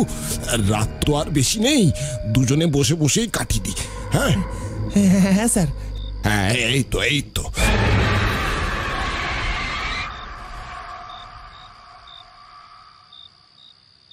হেডমাস্টার মশাই কতক্ষণ বসেছিলেন জানি না আমি কিন্তু বেশ ঘুমিয়ে পড়েছিলাম।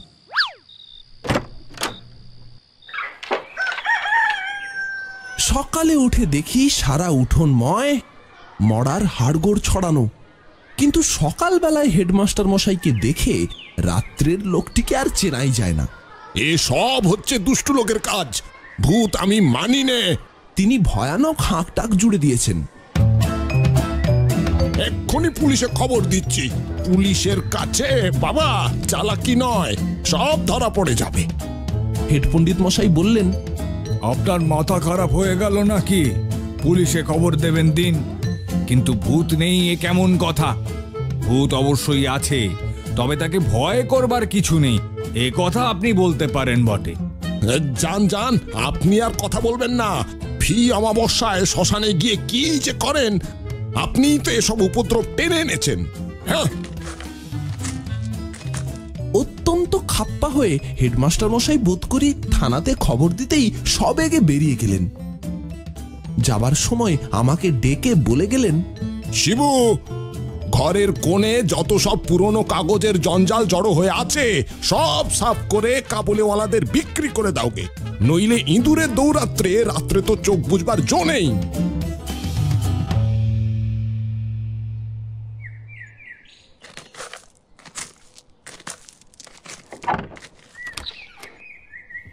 কাগজের গাদা নাড়তে গিয়ে দেখি, কি সর্বনাশ!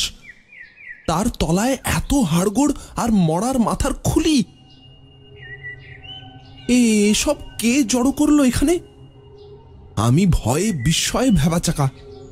এমন সময় জগা দৌড়তে দৌড়তে ঘরে ঢুকলো এসে। খবরদার কাগজের গাদায় হাত দিবি না বলছি। ও বাবা, এর মধ্যে আবিষ্কার করা হয়ে গেছে? যাক কাউকে আর বলিসনি। বললে তোকে আস্ত রাখব না। এসব কি ব্যাপার জগাদা? কাগজের গাদা আবার আগের মতো ঠিকঠাক করে রেখে আমার হাত ধরে জগা বলল আয় তোকে সব বলছি। তার সমস্ত কীর্তি কাহিনী ব্যক্ত করে রুমালে বাঁধা একটা জিনিস আমার হাতে দিয়ে বলল এখন কথা শোন। এটা যেন দেখিস নে। হেডমাস্টার মশাই শুয়ে পড়লে আস্তে আস্তে তার মশারির চালে এটা রেখে দিবি। রুমালটা খুলে নিবি অবশ্যই। পারবি তো? যদি পারিস, তাহলে কাল থেকে আমাদের ভ্যাকেশন অত্যন্ত উৎসাহিত হয়ে আমি বললাম, খুব পারব।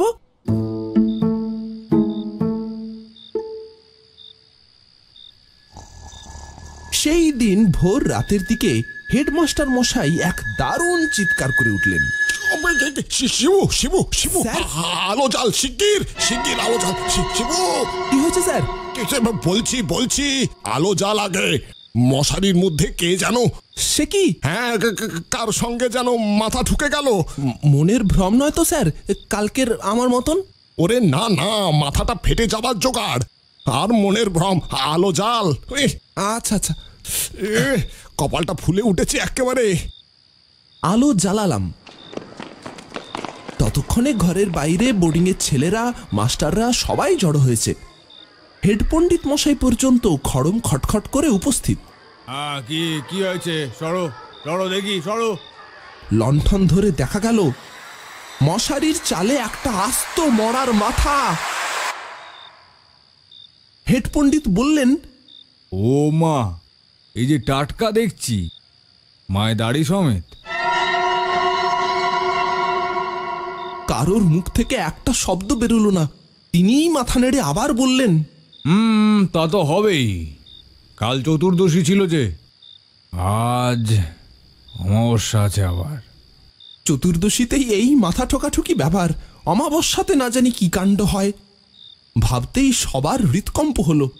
পণ্ডিত মশাই বললেন একে শনিবার তাই অমাবস্যা আজ একটা গুরুতর কথা বটে। ছোট ছেলেদের মধ্যে অনেকে কেঁদে ফেলল। দু একজনের মূর্ছার উপক্রম হলো। জগা মুখখানা অতিমাত্রায় কাঁচুমাচু করে বলল স্যার স্যার আমাদের চিঠি দিয়ে দিন স্যার। আমরা বাড়ি চলে যাই। আমরা এখানে থাকলে বাঁচবো না স্যার। হেড পণ্ডিত মশাই বললেন হ্যাঁ হ্যাঁ হ্যাঁ হ্যাঁ হ্যাঁ, হ্যাঁ তোমাদের ছুটি ছুটি। হা, হা, আজ সকালেই যে যার বাড়ি চলে যাও। আমিও সাড়ে এগারোটার ট্রেন ধরি। চতুর্দশীতে মাথা ঠুকে ছেড়ে দিয়েছে। অমাবস্যায় যদি ঘাড় ধরে মোটকে দেয় কাজ নেই। কই দেখি সরো সরো সরো। হেড পণ্ডিত মশাই বললেন ব্যাপারটা আমি বুঝতে পেরেছি। কোনো এক মহাপুরুষ তান্ত্রিক যোগী সন্নিকটে কোথাও সাধনা করছেন। এই ভৌতিক উপদ্রব তার সিদ্ধি লাভের অনুষ্ঠান। তাছাড়া আর কিছু না। এতে ভয় পাওয়ার কিছু নেই।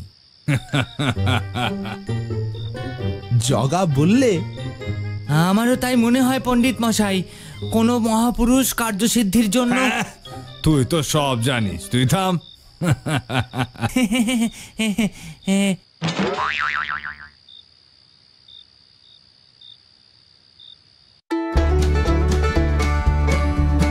নোটে গাছ তলার গল্পে আজ শুনছিলেন শিবরাম চক্রবর্তীর গল্প মহাপুরুষের সিদ্ধি লাভ।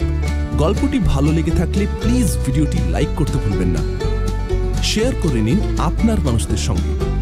বাংলা সাহিত্যের নানান মজার মজার গল্প শুনতে সাবস্ক্রাইব করুন নোটে গাছতলার গল্প মজার একমাত্র ঠিকানা।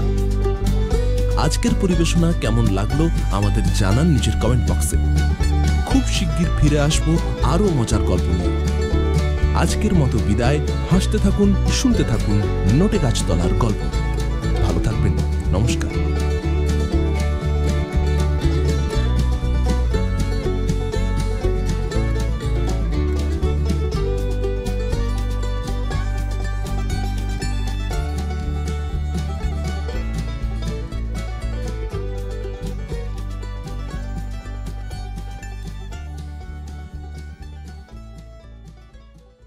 নমস্কার। আপনি শুনছেন নোটে গাছতলার গল্প। মজার একমাত্র ঠিকানা। আমাদের আজকের পরিবেশনায় শীতল গঙ্গোপাধ্যায়ের গল্প চিনি দাদুর অগ্নিমান্দ। ডক্টর শীতল গঙ্গোপাধ্যায় বাঁকুড়া জেলার ভূমিপুত্র। বর্তমানে আসানসোল নিবাসী। Amar Kanan college, Raniganj TDB college এবং কাজী নজরুল ইসলাম বিশ্ববিদ্যালয়ে অধ্যাপনা করে বর্তমানে অবসর জীবন যাপন করছেন।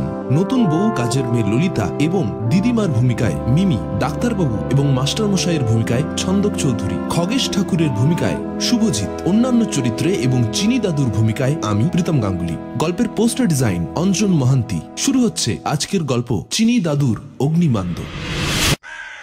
পুরুষ মানুষ বুড়ো হলেও পাকা আমের আটিতে টকের মতো। শৈশব যেন কিছুতেই ছেড়ে যেতে চায় না। মাথার উপর একজন অভিভাবক না থাকলে যেন স্বস্তি পায় না। মা বাবা মারা গেলে এই দায়িত্বটা স্বাভাবিকভাবেই এসে পড়ে স্ত্রীর উপর। স্ত্রীরা সানন্দে এই দায়িত্ব পালন করে, কেননা গার্জেনি করা মেয়েদের মজ্জাগত।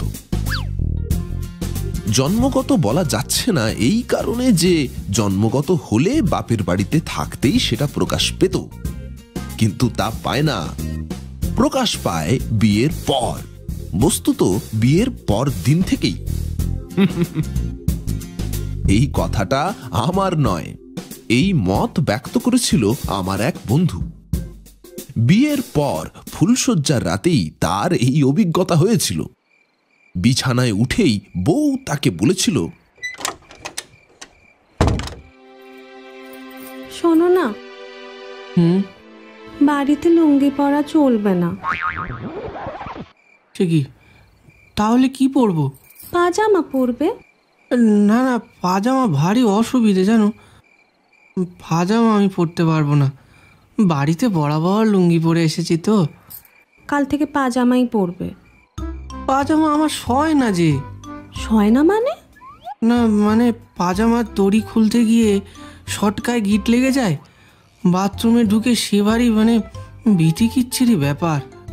সে আমি জানি না। কাল থেকে তুমি পাজামাই পরবে। কেন? মানে না মানে লুঙ্গি পরলে অসুবিধাটা কি? লুঙ্গি ভারী অসভ্য পোশাক। বললেই হলো। তুমি জানো কিশোর কুমার শুটিং করতে যাওয়ার সময় লুঙ্গি পরতেন। আমি কোনো কথা শুনতে চাই না। কাল থেকে তুমি লুঙ্গি পরবে না। আচ্ছা। এটাই আমার শেষ কথা। ঠিক আছে। সুতরাং বন্ধুকে সেই থেকে পাজামাই পরতে হচ্ছে। বন্ধু বুঝেছে স্বস্তির চেয়ে শান্তি ভালো। আমাদের পাড়ার রামু কাকা ছেলের বিয়ে দিয়ে মজলিসে বলেছিলেন বুঝলে? ছেলেটার জন্য একটা শক্তপোক্ত গাছ তলার ব্যবস্থা করে দিলাম। কথাটা আমার খুব খাঁটি মনে হয়। অবিবাহিত পুরুষ সুতো কাটা ঘুড়ির মতো কেবল লাট খেতে থাকে। তাকে শক্ত সুতোয় বেঁধে রাখে তার স্ত্রী। লাটাইটি নিজের হাতে রেখে। বিয়ে করা তাই পুরুষের একান্ত কর্তব্য। অনেকে ঠাট্টা করে বলে বটে যে বিয়ে হলো দিল্লি কা লাড্ডু। খেলেও পস্তাতে হয়, না খেলেও পস্তাতে হয়। তা পস্তাতেই যখন হবে, না খেয়ে পস্তানোর চেয়ে খেয়ে পস্তানোই তো ভালো। আমাদের চিনি দাদু না খেয়ে পস্তানোর বান্দা নন। তার খুঁটিটিও বেশ শক্তপোক্ত। চিনি দিদিমার অভিভাবকত্বে তিনি বেশ খোশ মেজাজেই আছেন। এখন বয়স হয়েছে নানা রকম রোগ জীবাণুরা তার শরীরটিকে ল্যাবরেটরি বানিয়ে নিরন্তর পরীক্ষা নিরীক্ষা চালিয়ে যাচ্ছে। তা নিয়ে অবশ্য দাদুর কোনো মাথা ব্যথা নেই। তার বক্তব্য, ওরা ওদের কাজ করছে, আমি আমার কাজ করছি। ওদের না ঘাটালেই হলো।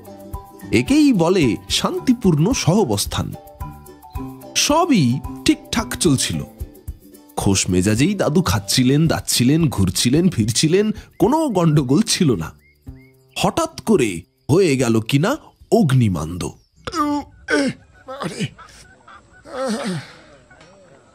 কিছুই আর খেতে ইচ্ছা করে না। খাওয়ার কথা শুনলেই যেন বমি পায়। এ তো ভীষণ সমস্যা। বাঁচার জন্যে খাওয়া দাদু বিশ্বাস করেন না। খাওয়ার জন্যে বাঁচাতেই তিনি আস্থাবান। দিদিমা বললেন, চলো তোমার ডাক্তার দেখিয়ে আনি। দাদু বললেন কে খেতেছ ডাক্তারের কাছে গেলেই তো গাদা গাদা ওষুধ দেবে। ওষুধ খেয়ে অন্য কিছু খাবার আর জায়গায় থাকবে না। হুম তাহলে আমি ব্যবস্থা করি। হ্যাঁ করো করো।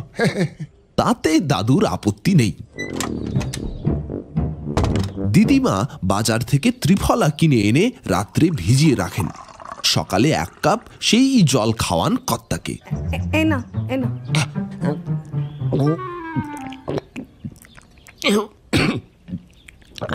চিনি দাদুর ধারণা ছিল ত্রিফলা বুঝি ত্রিশূলের তিনটি ফলার মতো তার অগ্নিমান্দকে এফোড় করে খতম করে দেবে।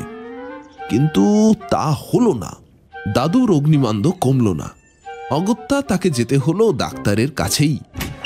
দিদিমাই টানতে টানতে নিয়ে গেলেন তাকে। ডাক্তার আর ভগবানের মধ্যে মিল খুব নিবিড়। দুজনেই জন্মদাতা এবং মৃত্যুদাতা এবং অসহায় মানুষ নিদানকালে এই দুজনেরই শরণাপন্ন হয়। জন্মদাতার সাহায্য দাদুকে নিতে হয়েছিল তার অজ্ঞাতেই। জ্ঞাতসারে মৃত্যুদাতার সাহায্য নেওয়ার ইচ্ছে তার বিন্দুমাত্র ছিল না। তবু অগ্নিমানদের ঠেলায় আর অভিভাবকের টানে তাকে যেতেই হয়। ডাক্তারবাবু জানতে চাইলেন তা বয়স কত হলো? তা আশি পেরিয়েছে। শরীরে কি কি আছে? শরীরে যা যা থাকার সবই আছে। আমি জানতে চাইছি রোগ ব্যাধি কি কি আছে। ও হ্যাঁ, অগ্নিমান্দ ছাড়া আর কি কি আছে জানি না। তবে সব রকম থাকাই সম্ভব। কেন? মাঝে মাঝে চেক করান না?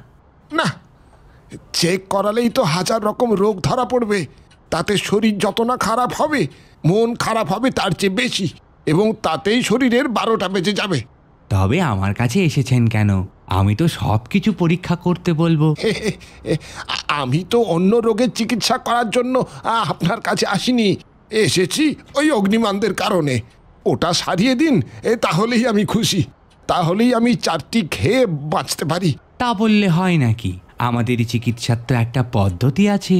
হুম বয়স তো বললেন আশি পেরিয়েছে। আর কতদিন বাঁচতে চান?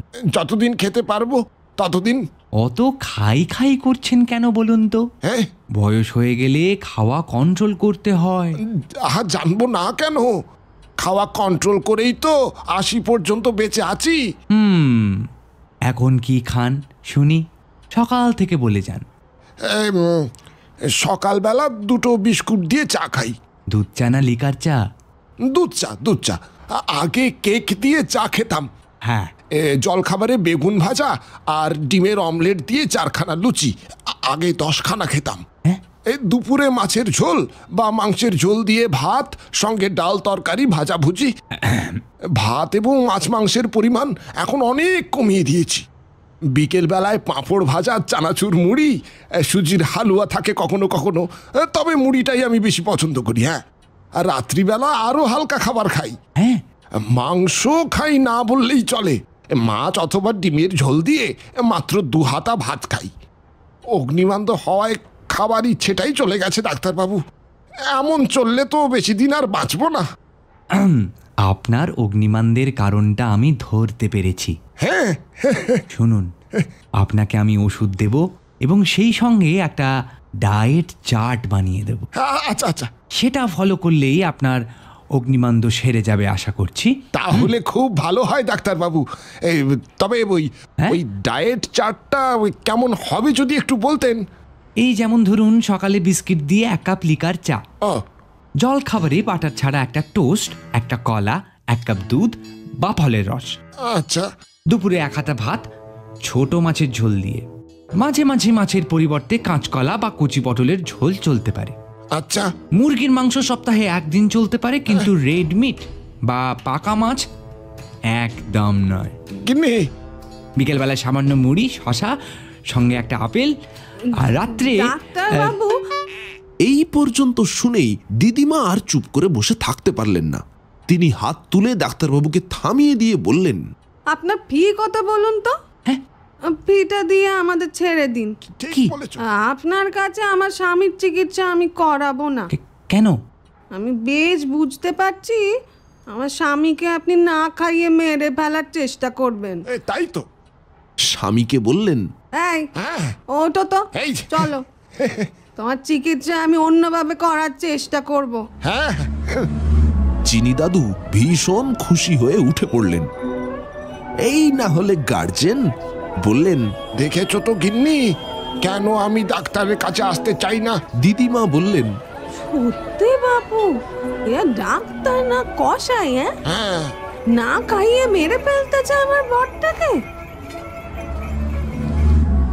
দিদিমা কিন্তু খুব চিন্তায় পড়ে গেলেন। ডাক্তারবাবুর কাছে তো বড় মুখ করে বলে এলেন আমার স্বামীর চিকিৎসা আমি অন্যভাবে করাবো। কিন্তু সেটা কীভাবে হবে? তা কিছুতেই বুঝে উঠতে পারছেন না। মুষ্টি চোখ যত রকম জানা ছিল, সব একে একে অ্যাপ্লাই করলেন। কিন্তু কিছুতেই কিছু হলো না।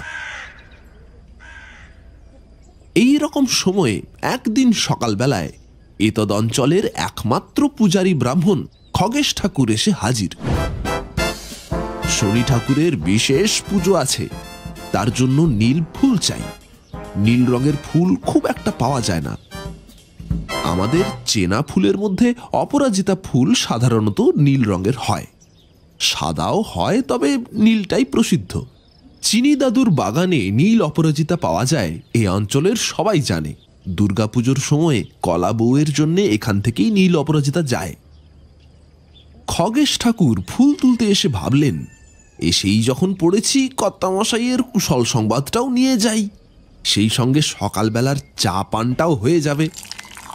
এক কাপ চায়ের সঙ্গে কুশল সংবাদ নিতে গিয়েই জানতে পারলেন কর্তামশাইয়ের অগ্নিমানদের কথা। বললেন সে কি? এই কথা আমাকে আগে জানালেন না কেন? এ কি ডাক্তার বুদ্ধির কম্য নাকি হ্যাঁ? ঠিক ঠিক। অগ্নিমানদের একটা অব্যর্থ ওষুধ আমার জানা আছে হ্যাঁ হ্যাঁ, হ্যাঁ।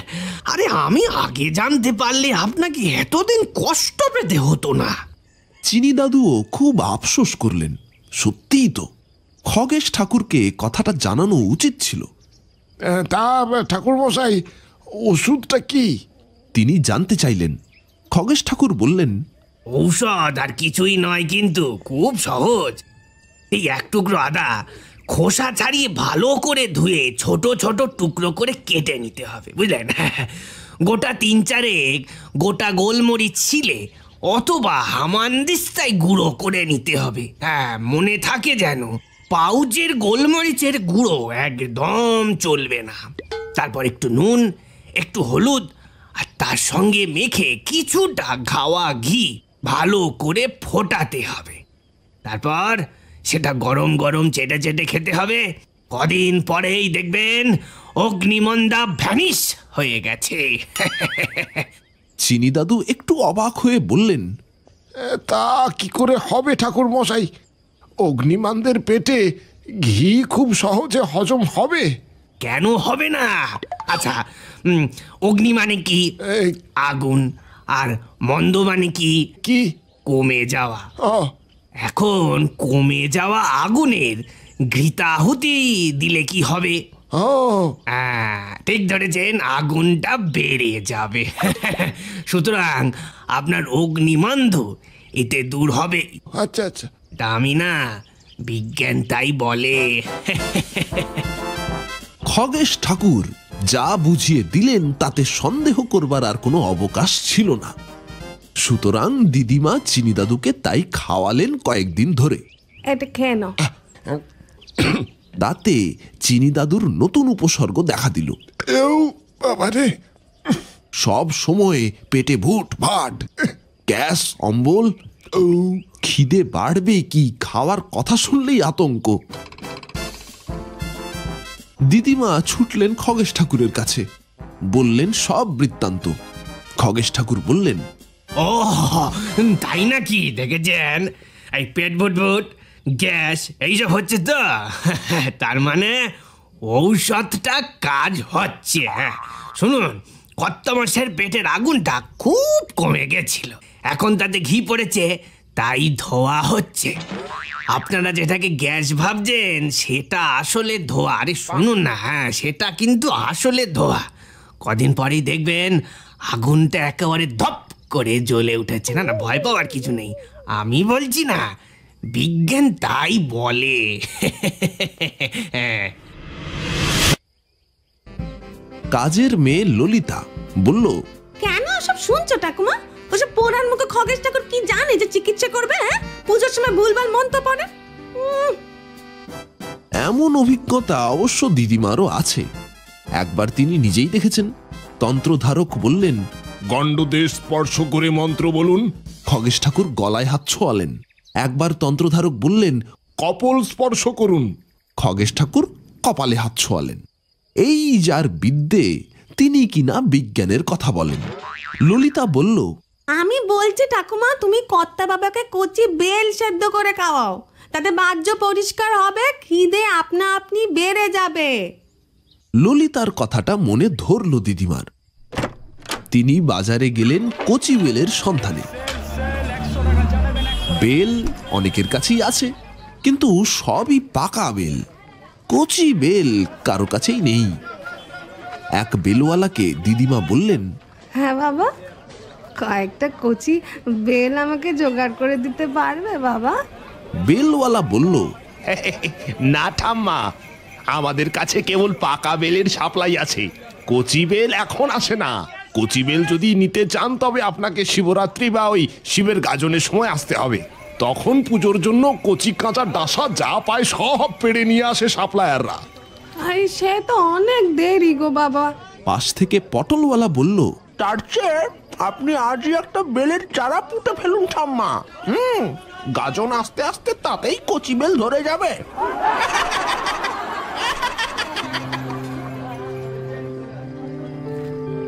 সুতরাং কচি বেলের আশা ত্যাগ করতে হলো দিদিমাকে। ইতিমধ্যে চিনি দাদুর অগ্নিমানদের খবরটা চাউর হয়ে গেছে চারদিকে। অনেকেই একে একে দেখতে আসছে দাদুকে। বয়স হয়েছে, বলা তো যায় না, কখন হুট করে ওপারের টিকিট কেটে বসবেন। দিদিমার হয়েছে জ্বালা। একেই কর্তার চিন্তায় অস্থির। তার উপর শুরু হলো অতিথি আপ্যায়ন। শুধু মুখে কাউকে তো আর যেতে দেওয়া যায় না। সেদিন এলেন হাই স্কুলের পণ্ডিত মশাই সকালেই রাধা মাধবের পুজো করেছেন। কপালে চন্দনের ফোঁটা ফটফট করছে। তার আশা তো নয় যেন আবির্ভাব। চিনি দাদুর বিছানার পাশে একটা চেয়ার রাখাই আছে কদিন থেকে। সেটাতে ফুঁ দিয়ে কল্পিত ধুলো ঝেড়ে বসলেন। বললেন, বুঝলেন কর্তা মশাই শাস্ত্রে আছে, সর্বরোগহারা যস্মিন তন্নমা হরিতকি। হরিতকির কত গুণ? চিবিয়ে খেলে বাড়ে আগুন। ঠান্ডা জলে কোষ্ঠ শুদ্ধি, গরম জলে মলের বৃদ্ধি। সেই তাঁতির গল্পটা জানেন তো? হুম? শুধুমাত্র হরিতকির গুণে সে রাজবৈদ্য হয়েছিল। আসলে দেখুন না, সেকালের মুনি ঋষিরা হরিত কিছু সেই হাজার বছর বাঁচতেন। হ্যাঁ আপনি হরিত কিছু শুন, দেখবেন সব ঠিক হয়ে গেছে। শাস্ত্রবাক্য দিদিমা মানেন না এমন নয়, কিন্তু শাস্ত্রবাক্য অনুসারে কর্তাকে হর্তুকি চুষতে দিতে তিনি রাজি নন। তাই বলে হাল ছেড়ে দেওয়ার পাত্রীও তিনি নন। দিদিমাকে যারা জানে, তারা জানে। একবার জেদ চেপে গেলে দিদিমাকে নিরস্ত করা সহজ নয়। প্রথমবার যে বিয়েটা দিদিমার অর্ধেক হয়েও ভেঙে গেল, তার পেছনেও ছিল দিদিমার এই জেদ। বিয়ে করতে এসে পাত্র হঠাৎ ঘোষণা করে বসল, একটা মোটর বাইক দেবার প্রতিশ্রুতি না দিলে সে বিয়ে করবে না। দিদিমা তখন সেজে গুজে অপেক্ষা করছেন। ছাদনা তলায় লোকাচার হচ্ছে, অতিথি আপ্যায়নও যথারীতি শুরু হয়ে গেছে। এই অবস্থায় পাত্রের এই দাবি খুব বাড়াবাড়ি মনে হলো অনেকের কাছে। তারা মোটামুটি বোঝাবার চেষ্টা করলেন যে ঠিক আছে, সেসব হবে, আগে বিয়েটা ভালোই ভালোই চুকে যাক। পাত্র তাতে রাজিও হয়েছিল, কিন্তু যেই দিদিমার কানে খবরটা পৌঁছালো, তিনি বেঁকে বসলেন। ওই পাত্রকে তিনি বিয়ে করতে রাজি নন। বিয়ে করতে এসে বউয়ের পরিবর্তে মোটর বাইক যার কাছে বড় হয়, অমন পাত্রের সঙ্গে তিনি সংসার করতে পারবেন না। তাকে অনেক বোঝানো হলো। লগ্নভ্রষ্টা হয়ে গেলে সেটা সংসারের পক্ষে অমঙ্গল, হয়তো তার আর বিয়েই হবে না। কিন্তু দিদিমাকে টলানো যায়নি। পাত্রপক্ষ শেষ পর্যন্ত ফিরে যেতে বাধ্য হয়।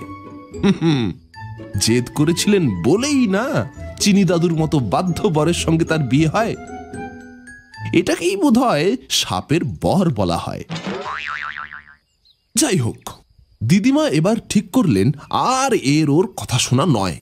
তার স্বামীর চিকিৎসা তিনি নিজেই করবেন। কিন্তু সেটা কীভাবে? হঠাৎ দিদিমার মনে পড়ে গেল একটি প্রবাদ বাক্য। সেটি হল, বিষে বিষে বিষক্ষয় তার স্বামীর ক্ষেত্রে এটাই প্রয়োগ করতে হবে।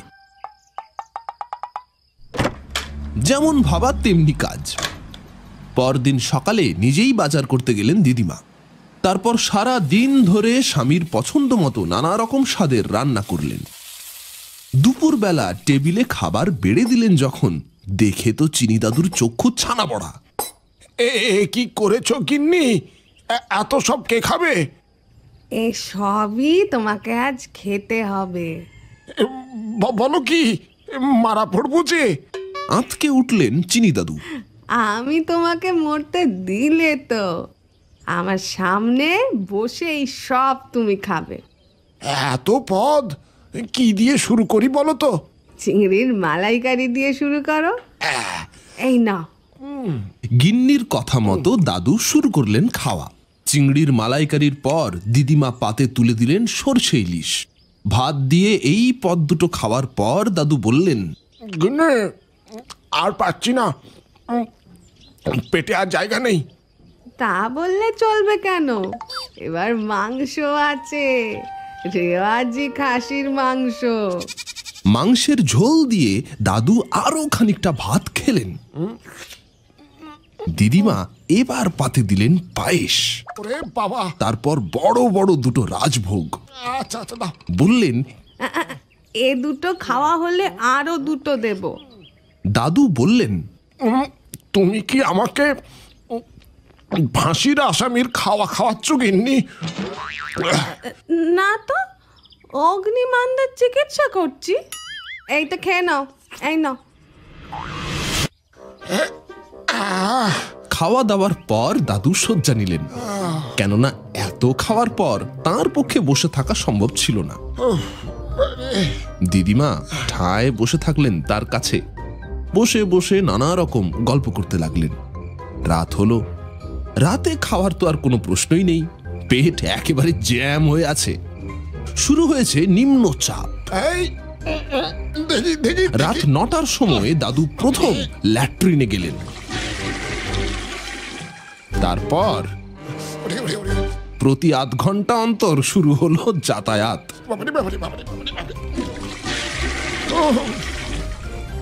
দিদিমা আগে থেকেই এক জাগ ভর্তি নুন জল তৈরি করে রেখেছিলেন। বাথরুম থেকে ফিরে এলেই কর্তাকে তিনি সেই জল খাইয়ে যেতে লাগলেন। ভোর রাত পর্যন্ত চলল এই ল্যাট্রিন থেরাপি। পেট একেবারে খালি হয়ে গেল। ক্লান্ত হয়ে দাদু ঘুমিয়ে পড়ল। দিদিমা যে একেবারেই ভয় পাননি তা নয়। শেষ পর্যন্ত হিতে বিপরীত না হয়ে যায়। তবে কর্তার ধাত তার জানা ছিল বলে মনে একটু সাহস ছিল। সেবার যখন নেমন্তন্ন বাড়িতে গলা পর্যন্ত মাংস, পোলাও, দই, মিষ্টি খাবার পর বাজি ধরে তিনি এক ডজন সেদ্ধ ডিম খেয়েছিলেন, তখন তো অবস্থা আরও খারাপ হয়ে গেছিল। দিদিমা তাকে চৌবাচ্চার ঠান্ডা জলে গলা পর্যন্ত ডুবিয়ে রেখেছিলেন। ঘণ্টাখানেক পরে দাদু একেবারে ফুরফুরে হয়ে উঠেছিলেন। দাদুর যখন মৃদু নাসিকা ধ্বনি শুরু হলো, তখন তিনি নিশ্চিন্ত হয়ে একটু গড়িয়ে নিলেন।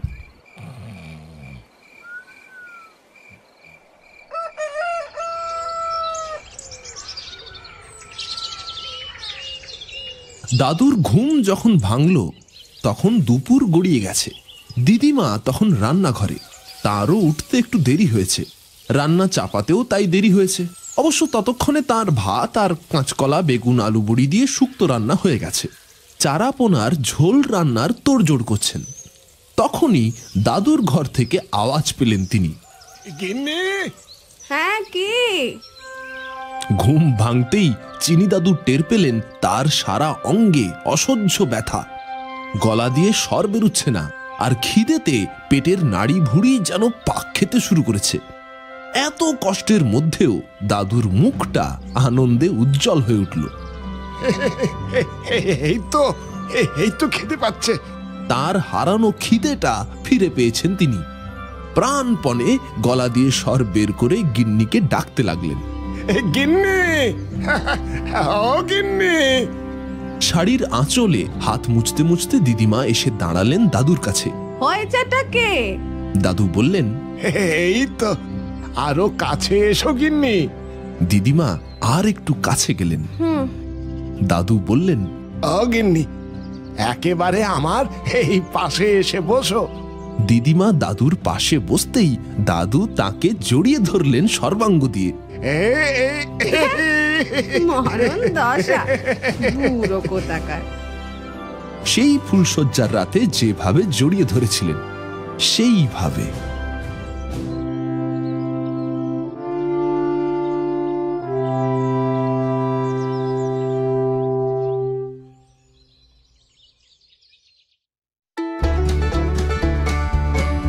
গাছতলার গল্পে আজ শুনছিলেন শীতল গঙ্গোপাধ্যায়ের গল্প চিনি দাদুর অগ্নিবান্ধ গল্পের ধ্বনি পরিকল্পনা, সম্পাদনা এবং সমগ্র পরিচালনা আমি প্রীতম গাঙ্গুলি। কেমন লাগল এনজিটিজি অরিজিনালসের আজকের প্রেজেন্টেশন অবশ্যই আমাদের জানান নিচের কমেন্ট বক্সে গল্পটি ভালো লেগে থাকলে অবশ্যই ভিডিওটি লাইক করতে ভুলবেন না। বাংলা সাহিত্যে একটু অন্যরকম মজার মজার গল্প শুনতে সাবস্ক্রাইব করুন নোটে গাছতলার গল্প, মজার একমাত্র ঠিকানা। শ্রোতা বন্ধুদের জানাই অসংখ্য ধন্যবাদ। ভিডিওর নিচে সুপার থ্যাঙ্কস ব্যবহার করে অথবা চ্যানেল মেম্বারশিপ নিয়ে আমাদের আর্থিক সাহায্যও করতে পারেন। খুব শিগগির ফিরে আসব আরও মজার গল্প নিয়ে। খুব ভালো থাকবেন, হাসতে থাকবেন, শুনতে থাকুন নোটে গাছতলার গল্প। আজকের মতো বিদায় বন্ধু। নমস্কার।